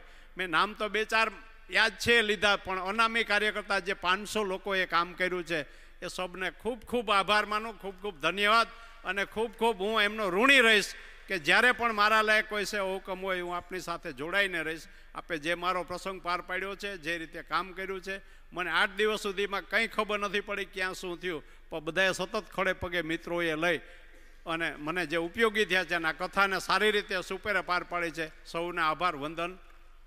ઉપરાંત, સર્વે જે નામી નામી દાતાઓ પણ છે એમનો પણ આભાર. ઘણા બધા લોકોએ નામથી લખ્યા, ઘણા લોકોએ અનામી દાન કર્યું છે આ બે સંસ્થાને. તો એનો પણ ખૂબ ખૂબ આભાર માનું છું. કારણ કે આ કાર્ય માત્ર પૈસાનો સદુપયોગ કરવાથી નથી શક્ય બનતું. જેમ ભાઈશ્રીએ કીધું એમ, આમાં સમય દેવો પડે, સમયનું દાન દેવું પડે, પોતાનું મન પરાવવું પડે, તન પરાવવું પડે. અને એના માટે આપ સૌ કાર્યકર્તાઓનો, મિત્રોનો, સૌનો ખૂબ ખૂબ આભાર માનું છે. ઋણી રહું છું. ઉપરાંત ભાઈશ્રીની જોડે જે બધા બ્રહ્મદેવતાઓ છે, જે પૂજાપાઠમાં, સંગીતમાં જે લોકોએ સેવા આપી છે, એમને પણ મારા પ્રણામ, વંદન કરું છું. ખાલી બે વાત મારે કહેવાની છે. મારી આભાર વિધિ અહીંયા પૂરી થાય છે. સૌને વંદન, પ્રણામ. અને જો કોઈ ભૂલચૂક થઈ હોય તો મોકરિયા પરિવારની ગણશો. કાર્યકરોએ જે દિલથી કામ કર્યું છે, એની કોઈ ભૂલ નથી થઈ. અને આપ સૌ શ્રોતાજનો પણ એટલી ડિસિપ્લિન જાળવી કે ક્યાંય કોઈ કલેશ કે ક્યાંય કોઈ ચિંતા કે કોઈ દલીલ વિના આઠ દિવસ ઉપરે પાર પડ્યા. આપ સૌને ફરીથી વંદન. માધ્યમથી જે લોકો દેશ વિદેશમાં પણ જે મને સાંભળી રહ્યા છે, સૌને પણ વંદન, સૌને પણ પ્રણામ. ખાસ મારે સાંદીપની વિશે બે વાત કરવી છે. આમ તો મહેન્દ્રભાઈએ બધી વાત કરી છે.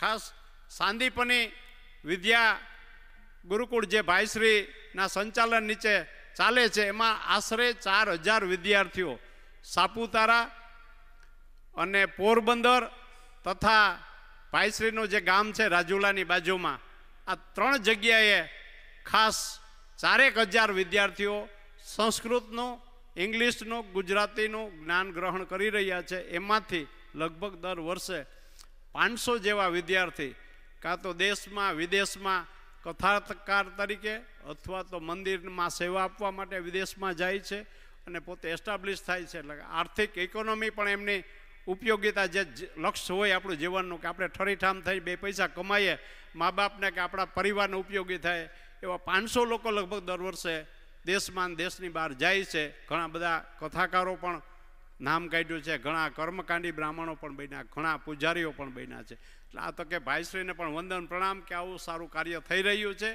અને એ પણ મેં એક હમણાં દાખલો આપ્યો હતો ગરીબ બ્રાહ્મણનો. અમારા ત્રિવેદી છે, જગદીશભાઈ ત્રિવેદી. જે પોતાનો કંઠ કે પોતાની મિમિકરી કે હાસ્યરસથી જ્યારે જ્યારે એને ટાઈમ મળે છે ત્યારે વિદેશમાં જાય છે, પોતાના ખર્ચે, ટિકિટ ખર્ચીને અને જે પણ ફંડ આવે છે, એ સમાજની સેવા માટે, શિક્ષણ આરોગ્ય માટે વાપરે છે. એમ આ બ્રાહ્મણ દાનવીર થયો એ જગદીશભાઈ પેલો મને દેખાય છે. પહેલાં કહેવત હતી કે એક ગરીબ બ્રાહ્મણ, એક લોભી વાણિયો આ કહેવત હતી ને ગરીબ બ્રાહ્મણ કદાચ આર્થિક રીતે ગરીબ હોય, પણ મગજથી કે એને, એની શક્તિ કે એને સંસ્કૃત કે એનું નોલેજ સાંસ્કૃતિક ખૂબ જાણકાર હોય છે, પણ આ કહેવત પડી ગઈ હતી. અને વાણિયા પણ લોભી હોતા નથી. અત્યારે ખૂબ જ મોટા દાન કરે છે. મોટાભાગના વણિક સમાજમાંથી દાન આવે છે. એમ પરમ પૂજ્ય ભાઈશ્રી આટલા વર્ષોથી તપશ્ચર્યાથી જે કંઈ ઉપાર્જન એમના દેશ વિદેશના ભક્તો કે કથાના માધ્યમથી જે કંઈ પણ એમને અર્પણ થાય છે, બધું આ ચાર હજાર વિદ્યાર્થીને ભણાવવામાં એક પણ રૂપિયાનો ફી લીધા વિના ખર્ચ કરીને ભણાવે છે. એમને પણ આ તકે વંદન. આ માહિતી એટલા માટે કે આપ સૌને ખ્યાલ આવે કે જે કથાના માધ્યમથી જે ઉપાર્જન થાય છે, એ બધું જ આ વિદ્યાર્થીઓ માટે અર્પણ થાય છે. ગૌશાળા પણ ચાલે છે. એક આદિવાસીની સ્કૂલ સાપુતારામાં છે, જેના ક્લાસરૂમ એર કન્ડિશન, હોસ્ટેલ પર એર કન્ડિશન ને બધા ભણનાર આદિવાસી વિદ્યાર્થીઓ છે કે જે જંગલમાં રહેતા હોય એ આવા સારા સમાજમાં જોડાય, એની પ્રગતિ થાય, એના માટે સરકારે જે સ્કૂલ ભાઈશ્રીને વિનંતી કરી દત્તક લેવાની, એ વિનંતી માન આપી ભાઈશ્રી આનંદીબેન જ્યારે મુખ્યમંત્રી હતા, આ સ્કૂલ સંભાળી અને સ્કૂલ જોવા ગયા તો આપણે પ્રફુલ્લિત થઈ જાય કે આદિવાસીના દીકરાઓ ભણે છે air condition room air condition hostel ફરી એ બેચારા ઘરે જાય ત્યારે તો ઝૂંપડું જ હોય છે. પણ આવી સારી સગવડ આપે છે. સમાજને આગળ લઈ આવવા માટેના જેમ સરકારના પ્રયત્ન, એમ ભાઈશ્રી પણ બ્રહ્મ સમાજના જે સર્વે સંસ્કૃત શીખે છે એ લોકો, આદિવાસીના બાળકો, અન્ય બાળકો જે પણ સ્કૂલોમાં ભણવા આવે છે, ઇંગ્લિશ મીડિયમમાં ભણવા આવે છે બધાનો ઉદ્ધાર થાય એના માટે ભાઈશ્રી સતત પ્રયત્નશીલ છે અને પૂરેપૂરો સમય એમાં આપે છે એટલે એમને પણ ખાસ ખાસ વંદન, એમની ટીમને પણ વંદન, પ્રણામ અને ખાસ આપ સૌએ જે લાભ લીધો અને મને જે સહકાર આપ્યો આપ સૌનો આભાર, વંદન, પ્રણામ. મારા પરિવારનો પણ આભાર કે મને બધી છૂટ આપી અને મને જે છૂટા હાથે કામ કરવાની છૂટ આપી, એ માટે મારી ધર્મપતિનું નામ લઈ તો ગમશે નહીં. એમને પણ નામ લઈ લઈ, આજ ભલે ધોકા પડે પણ કંઈ વાંધો નહીં. મારી ધર્મપત્ની અને મારા બંને દીકરા અને મારી દીકરી આ ત્રણ ચાર લોકોએ મને બધી છૂટ આપી કે તમે જેવું કરવું હોય, જેમ કરવું હોય એમ છૂટ છે. અને એ તલપાપડ હતા કે આપણે જલ્દીથી ભાઈશ્રીની રાજકોટમાં કથાનું આયોજન કરીએ. એ મનોમન પ્લાનિંગ કરીને બેઠા હતા. અને એ અમારું કામ હતું ભાઈશ્રીના આશીર્વાદથી સફળ થયું છે. ભાઈશ્રીની અમે આજ્ઞા લીધી ને અમને તરત જ આજ્ઞા મળી. અને એમાંય કુદરતી અમારા જેડીએફ વાળા એક કાર્યક્રમમાં આપણા ભાઈ અપુલભાઈ દોશી મળી ગયા ને એની ભાઈશ્રીને વિનંતી કરી કે અમને કથા ફંડ રેજિંગ માટે. ભાઈશ્રીને અમારે ચર્ચા થયેલી હતી કે અમારી કથા ફિક્સ હતી. તો ભાઈશ્રીએ કીધું કે આ કથા ખર્ચ મોકરિયા પરિવાર કરશે, પણ અપુલભાઈને જે ફંડ રેઝિંગ કરવું હોય એ ખર્ચ એને કોઈ ન કરવો પડે. અને આ નાના બાળકો જે એની પરિસ્થિતિ ખૂબ ખરાબ હોય છે, નાના બાળકો એને જેને ખૂબ જ તકલીફ પડે છે સુગર હોય છે જે ભાઈશ્રી કહેતા પીપરમેન્ટ ન ખાઈ શકે. એના મા બાપ હોય એ પણ વિચારે કે આને આની હાજરીમાં પણ ન ખવાય, એની માં એની ગેરહાજરીમાં પણ ન ખાય. આવી પરિસ્થિતિમાં એમને ફંડ રેઝિંગ થાય, એમને વધુ ફંડ મળે. એના માટેના અમારા પ્રયત્ન હતા સત્યુત ઉપરાંત અમારા દેવંગભાઈ, ખાસ કુદરતે જ બધું આ ખેલ પાડ્યો છે કે મેં દેવાંગભાઈને જોડ્યા અને મારી સપ્તાહની બધી જ જવાબદારી આ બંને કમિટીએ, બંને સંસ્થાએ લઈ લીધી. અને ચારસો લોકો આઠ દિવસ સુધી અને એની પહેલાંના દિવસોમાં મુખ્ય લોકો લગભગ એકાદ મહિનાથી જે કંઈ પ્લાનિંગ, સેવા, ગ્રાઉન્ડ સાફ, સફાઈ કમિટી, જે બધા લોકો એટલું બધું દિલથી કામ કર્યું કે જાણે પોતાના ઘરે પ્રસંગ હોય અને ન કરે એનાથી વધારે કર્યું. અને અમુક કાર્યકર્તા એવું કહેતા કે અહીંયા આવ્યા પછી એવો ભાવ જાગતો હતો અમને કે આપણે આ બધું કામ ઉકેલીએ. એટલે સૌને પણ વંદન, પ્રણામ. ભારત માતા કી જય, વંદે માતરમ. અને મોદી સાહેબનો ખાસ આભાર. નામદાર સુપ્રીમ કોર્ટનો પણ આભાર કે બાવીસ તારીખનો જે મોકો આ પાંચસો વર્ષથી જે શક્ય નહોતું બનતું, એ નામદાર સુપ્રીમ કોર્ટના ચુકાદાથી અને મોદી સાહેબની ઈચ્છા શક્તિથી જે પાર પડ્યું છે અને એ જ દિવસમાં આપણે અહીંયા બધાને આનંદ કરવા મળ્યો છે અને રામલલાનું ત્યાં પ્રાણ પ્રતિષ્ઠા થતી આપણે બધા અયોધ્યા ન જઈ શકીએ. પણ કુદરતી યોગ બન્યો કે એક બાજુ મોદી સાહેબ મંદિરમાં પધારે છે, આ બાજુ અહીંયાથી પૂજ્ય ભાઈશ્રી આપણી આરતી કરવા માટે થાળી લઈને સામે ઊભા છે. અને જે કો એક્સિડન્ટ થયો ને જોયો આપણું મન એકદમ પ્રફુલ્લિત થઈ ગયું કે કેવો યોગાનું યોગ છે. એટલે સત્કાર્યમાં સૌનો સહકાર મળ્યો, મોદી સાહેબનો સહકાર એ રીતે મળ્યો કે મોદી સાહેબે જે સ્વપ્ન જોયું હતું, એકસો ચાલીસ કરોડના દેશને, વિશ્વના સૌ સનાતની ધર્મના લોકોનું સ્વપ્ન પૂરું કર્યું છે. એ માટે એમનો પણ આભાર, અમારી પાર્ટીનો પણ આભાર, પૂજ્ય ભાઈશ્રીનો પણ આભાર. નામી અનામી સર્વ કાર્યકર્તાને વંદન, પ્રણામ, આભાર. ભારત માતા કી જય.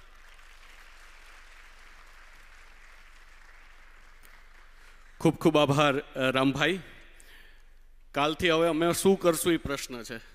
અહીં આવવાની રોજ ટેવ પડી ગઈ છે અને હવે કાલથી અમે નવરા થઈ ગયા છીએ.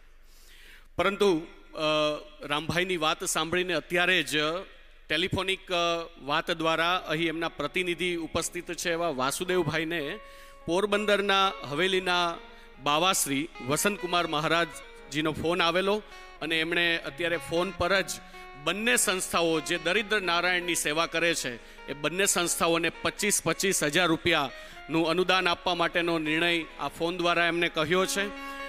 વાસુદેવભાઈના મારફતે. ઉપરાંત પચીસ હજાર મનસુખભાઈ ડોડિયા, શિવમ સ્ટીલ ફેબ્રિકેશન, જે પંચનાથ મહાદેવ મંદિર ટ્રસ્ટને પચીસ હજાર રૂપિયાનું અનુદાન આપે છે. અને હવે, જે મહેમાન આમંત્રિતો આપણા છે એમના નામ અત્રેથી બોલું છું. હમણાં આપણા સ્વયંસેવકો એમને સ્ટેજ પર લઈ આવશે. ભાઈશ્રી દ્વારા એમનું અભિવાદન, એમના આશીર્વાદ પ્રાપ્ત થશે.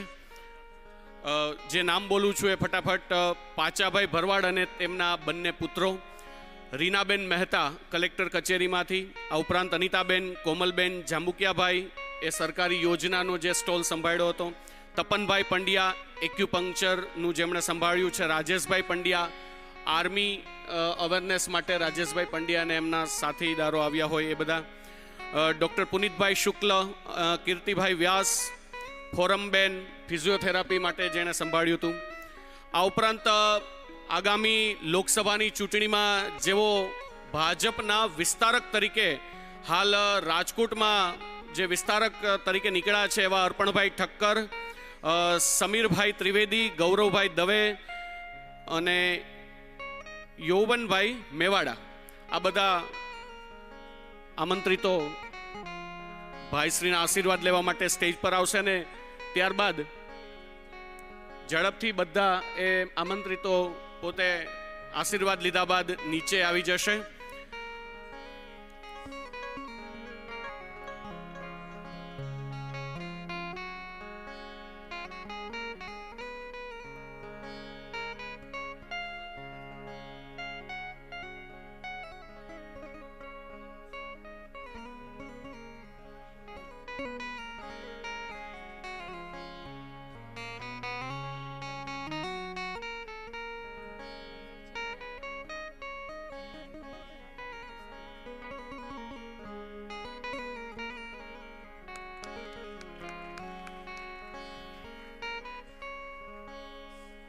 આમંત્રિતો દર્શન અને આશીર્વાદ પ્રાપ્ત કરી લેશે.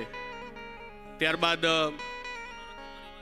હવે યજમાન મનોરથી પરિવાર શ્રી રામભાઈ મોકરિયાનો સમગ્ર પરિવારને અત્રે સ્ટેજ પર આવવા માટે આમંત્રિત આમંત્રણ આપું છું અને સાથોસાથ પૂર્વ ધારાસભ્ય ગોવિંદભાઈ પટેલ, લાખાભાઈ સાગઠિયા, વિજયસિંહ બારડ, કિશોરભાઈ રાઠોડ, નિરેનભાઈ જાની, મહેશભાઈ અઘેરા જીતુભાઈ ધોળકિયા, ધર્મેન્દ્રસિંહ ભટ્ટી અને વિક્રમજી ડીજી, જીએસટી આ મહેમાનોને પણ સ્ટેજ પર આવવા માટે આમંત્રણ પાઠવું છું.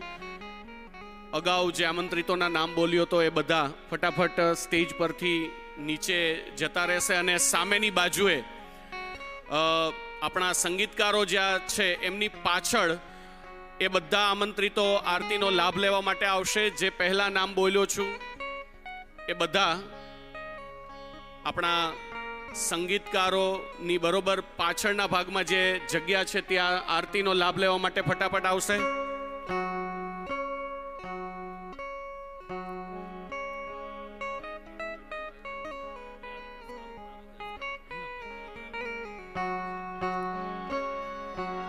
શ્રી કૃષ્ણ કનૈયા કી જય અગર કપૂરે કરું આરતી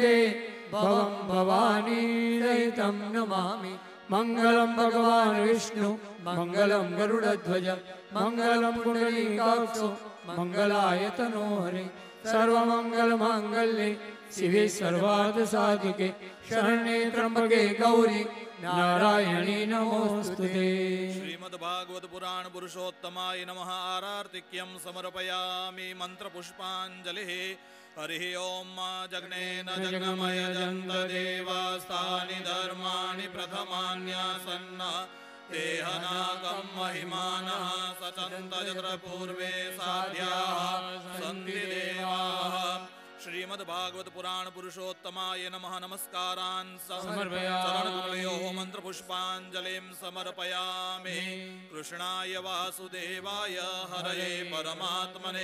વાસુદેવાય क्लेशनाशाय गोविन्दाय પ્રણતઃ ક્લેશનાશાય ગોવિંદાય નમો नमस्कारान् પુરાણ પુરુષોત્તમાય નમઃ નમસ્કારાન સમર્પયામિ શ્રી ભાગવત ભગવાન કી જય શ્રી કૃષ્ણ કનૈયા લાલ કી જય શ્રી રામચંદ્ર ભગવાન કી જય સદગુરુ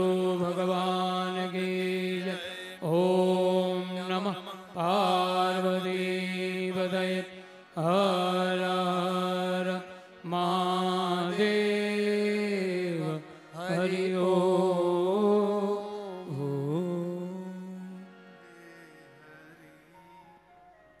हे हरि हे हरि હવે બધા સ્ટેજ પરથી નીચે જશે યજમાન પરિવાર અને સર્વે મહેમાનો હવે સ્ટેજ પરથી. નીચે આવી જશે એવી વિનંતી છે. સર્વેને હે હરે. હે હરે. હે હરે.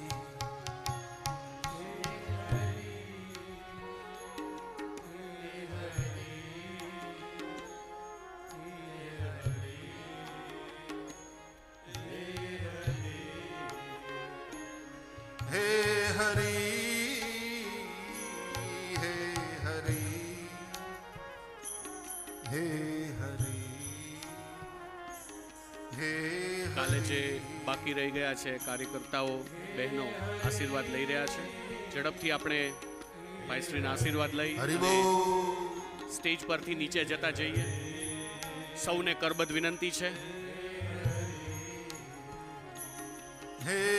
સર્વે શ્રોતાજનોને પ્રસાદનો લાભ લેવા માટે પંડાલની ડાબી બાજુએ જ્યાં ભોજન કક્ષ આવેલો છે ત્યાં ભોજન લેવા માટે જવા માટે વિનંતી છે. ત્યાં ભોજન પ્રસાદ શ્રી હરિ ચાલુ છે. આપણા મનોરથી યજમાન શ્રી રામભાઈ મોકરિયા ભાગવતજીને આજે કથાના અંતિમ દિવસે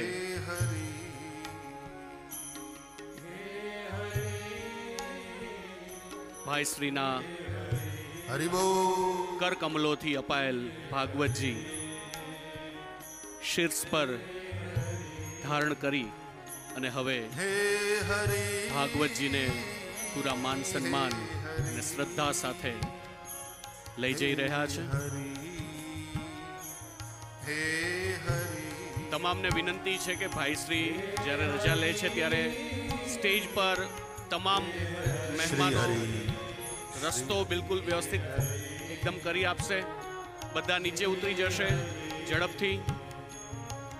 હે હરી હે હરી હે હરી હે હરી,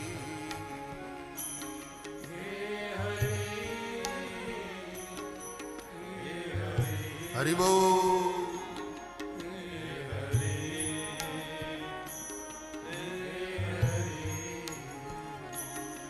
હે હરી હે હરી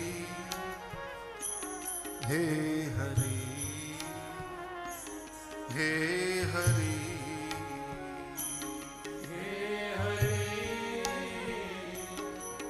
ભાઈશ્રી જ્યારે પવિત્ર કથા મંડપમાંથી રજા લઈ રહ્યા છે ત્યારે સર્વેને વિનંતી. બધા જ પોતાના સ્થાન ઉપર ઊભા રહેશે હરી હે હરી સર્વેને ભોજન પ્રસાદ લેવા માટે ડાબી બાજુએ જવા માટે વિનંતી કરું છું. ભોજન પ્રસાદ લેવા જવા માટે સર્વેને નમ્ર નિવેદન છે.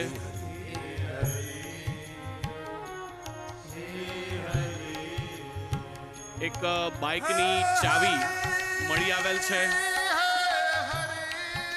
કથા મંડપના જમણી બાજુએ આવેલ કાર્યાલયમાં એ ચાવી મોકલાવું છું. ત્યાંથી ચાવીની ઓળખ આપી અને પોતાની ચાવી લઈ જશે.